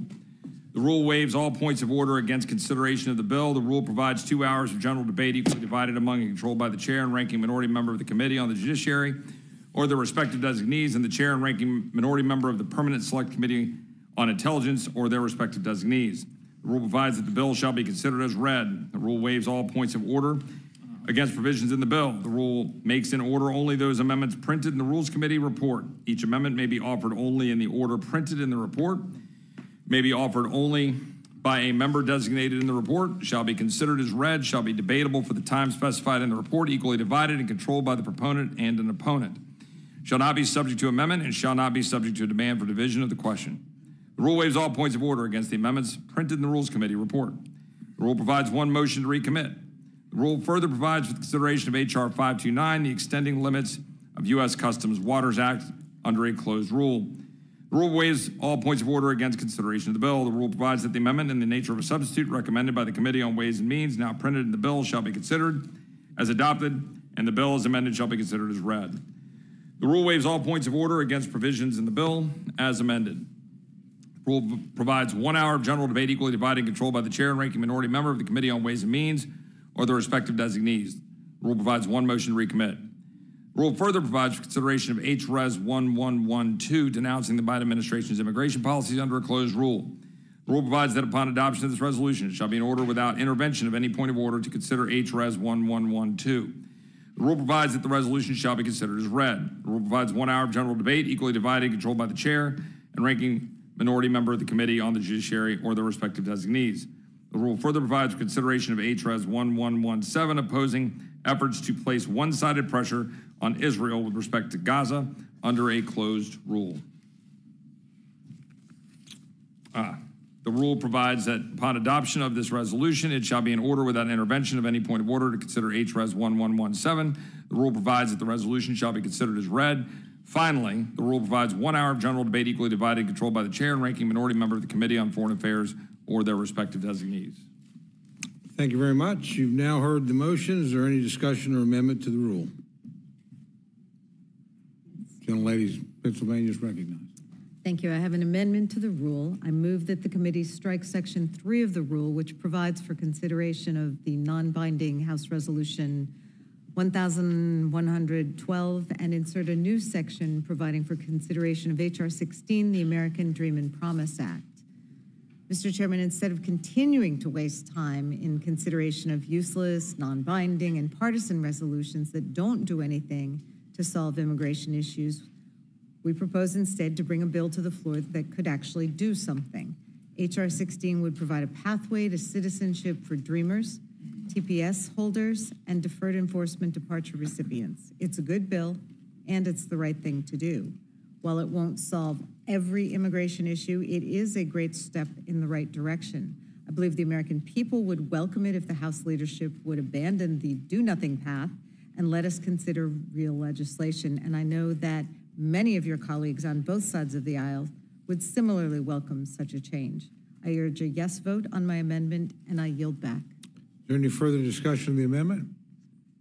Hearing none, the questions on the amendment, all those in favor signify by saying aye. Aye. Those opposed say no. No. Opinion of the chair, of the noes have. it. Request a vote. Uh, Vote has been requested. The clerk will call the roll. Mr. Burgess. Mr. Burgess, no. Mr. Reschenthaler. Mr. Reschenthaler, no. Mrs. Fischbach. Mrs. Fischbach, no. Mr. Massie. Mr. Massie, no. Mr. Norman. Mr. Norman, no. Mr. Roy. Mr. Roy, no. Mrs. Houchin. Mrs. Houchin, no. Mr. Langworthy. Mr. Langworthy, no. Mr. McGovern. Aye. Mr. McGovern, aye. Ms. Scanlon. Aye. Ms. Scanlon, aye. Mr. Neguse. Ms. Leger Fernandez. Mr. Chairman. No.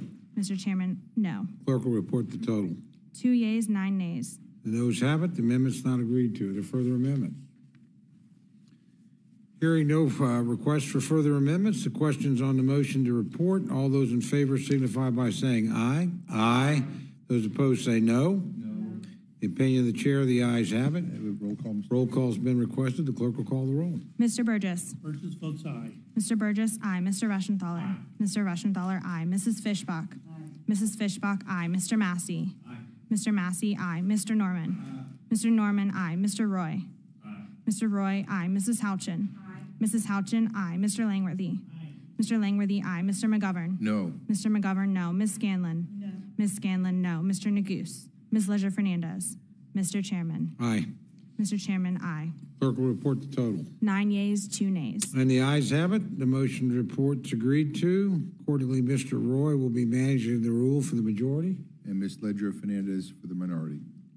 Very good. Uh, um, I recognize my friend. Yeah, I, I, um, I would be uh, remiss tonight if I didn't uh, mention uh, my gratitude to you for your leadership on this committee. Um, and I know there's still a vote that needs to happen, uh, but I have no doubt that our colleagues will recognize your skill as a legislature, uh, legislator and your decency as a person, and will name you the next chairman of the Appropriations Committee.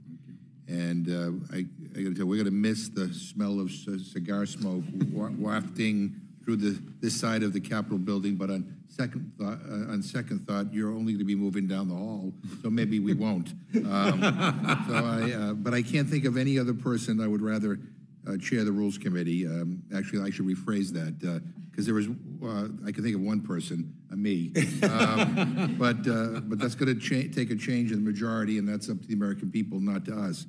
But I have to say, it has been an enormous privilege sharing this dais with you. Uh, it is clear that you have a tremendous respect for this institution, and you have always conducted yourself in a way that demonstrates that. And you have chaired this committee with decency and dignity and decorum,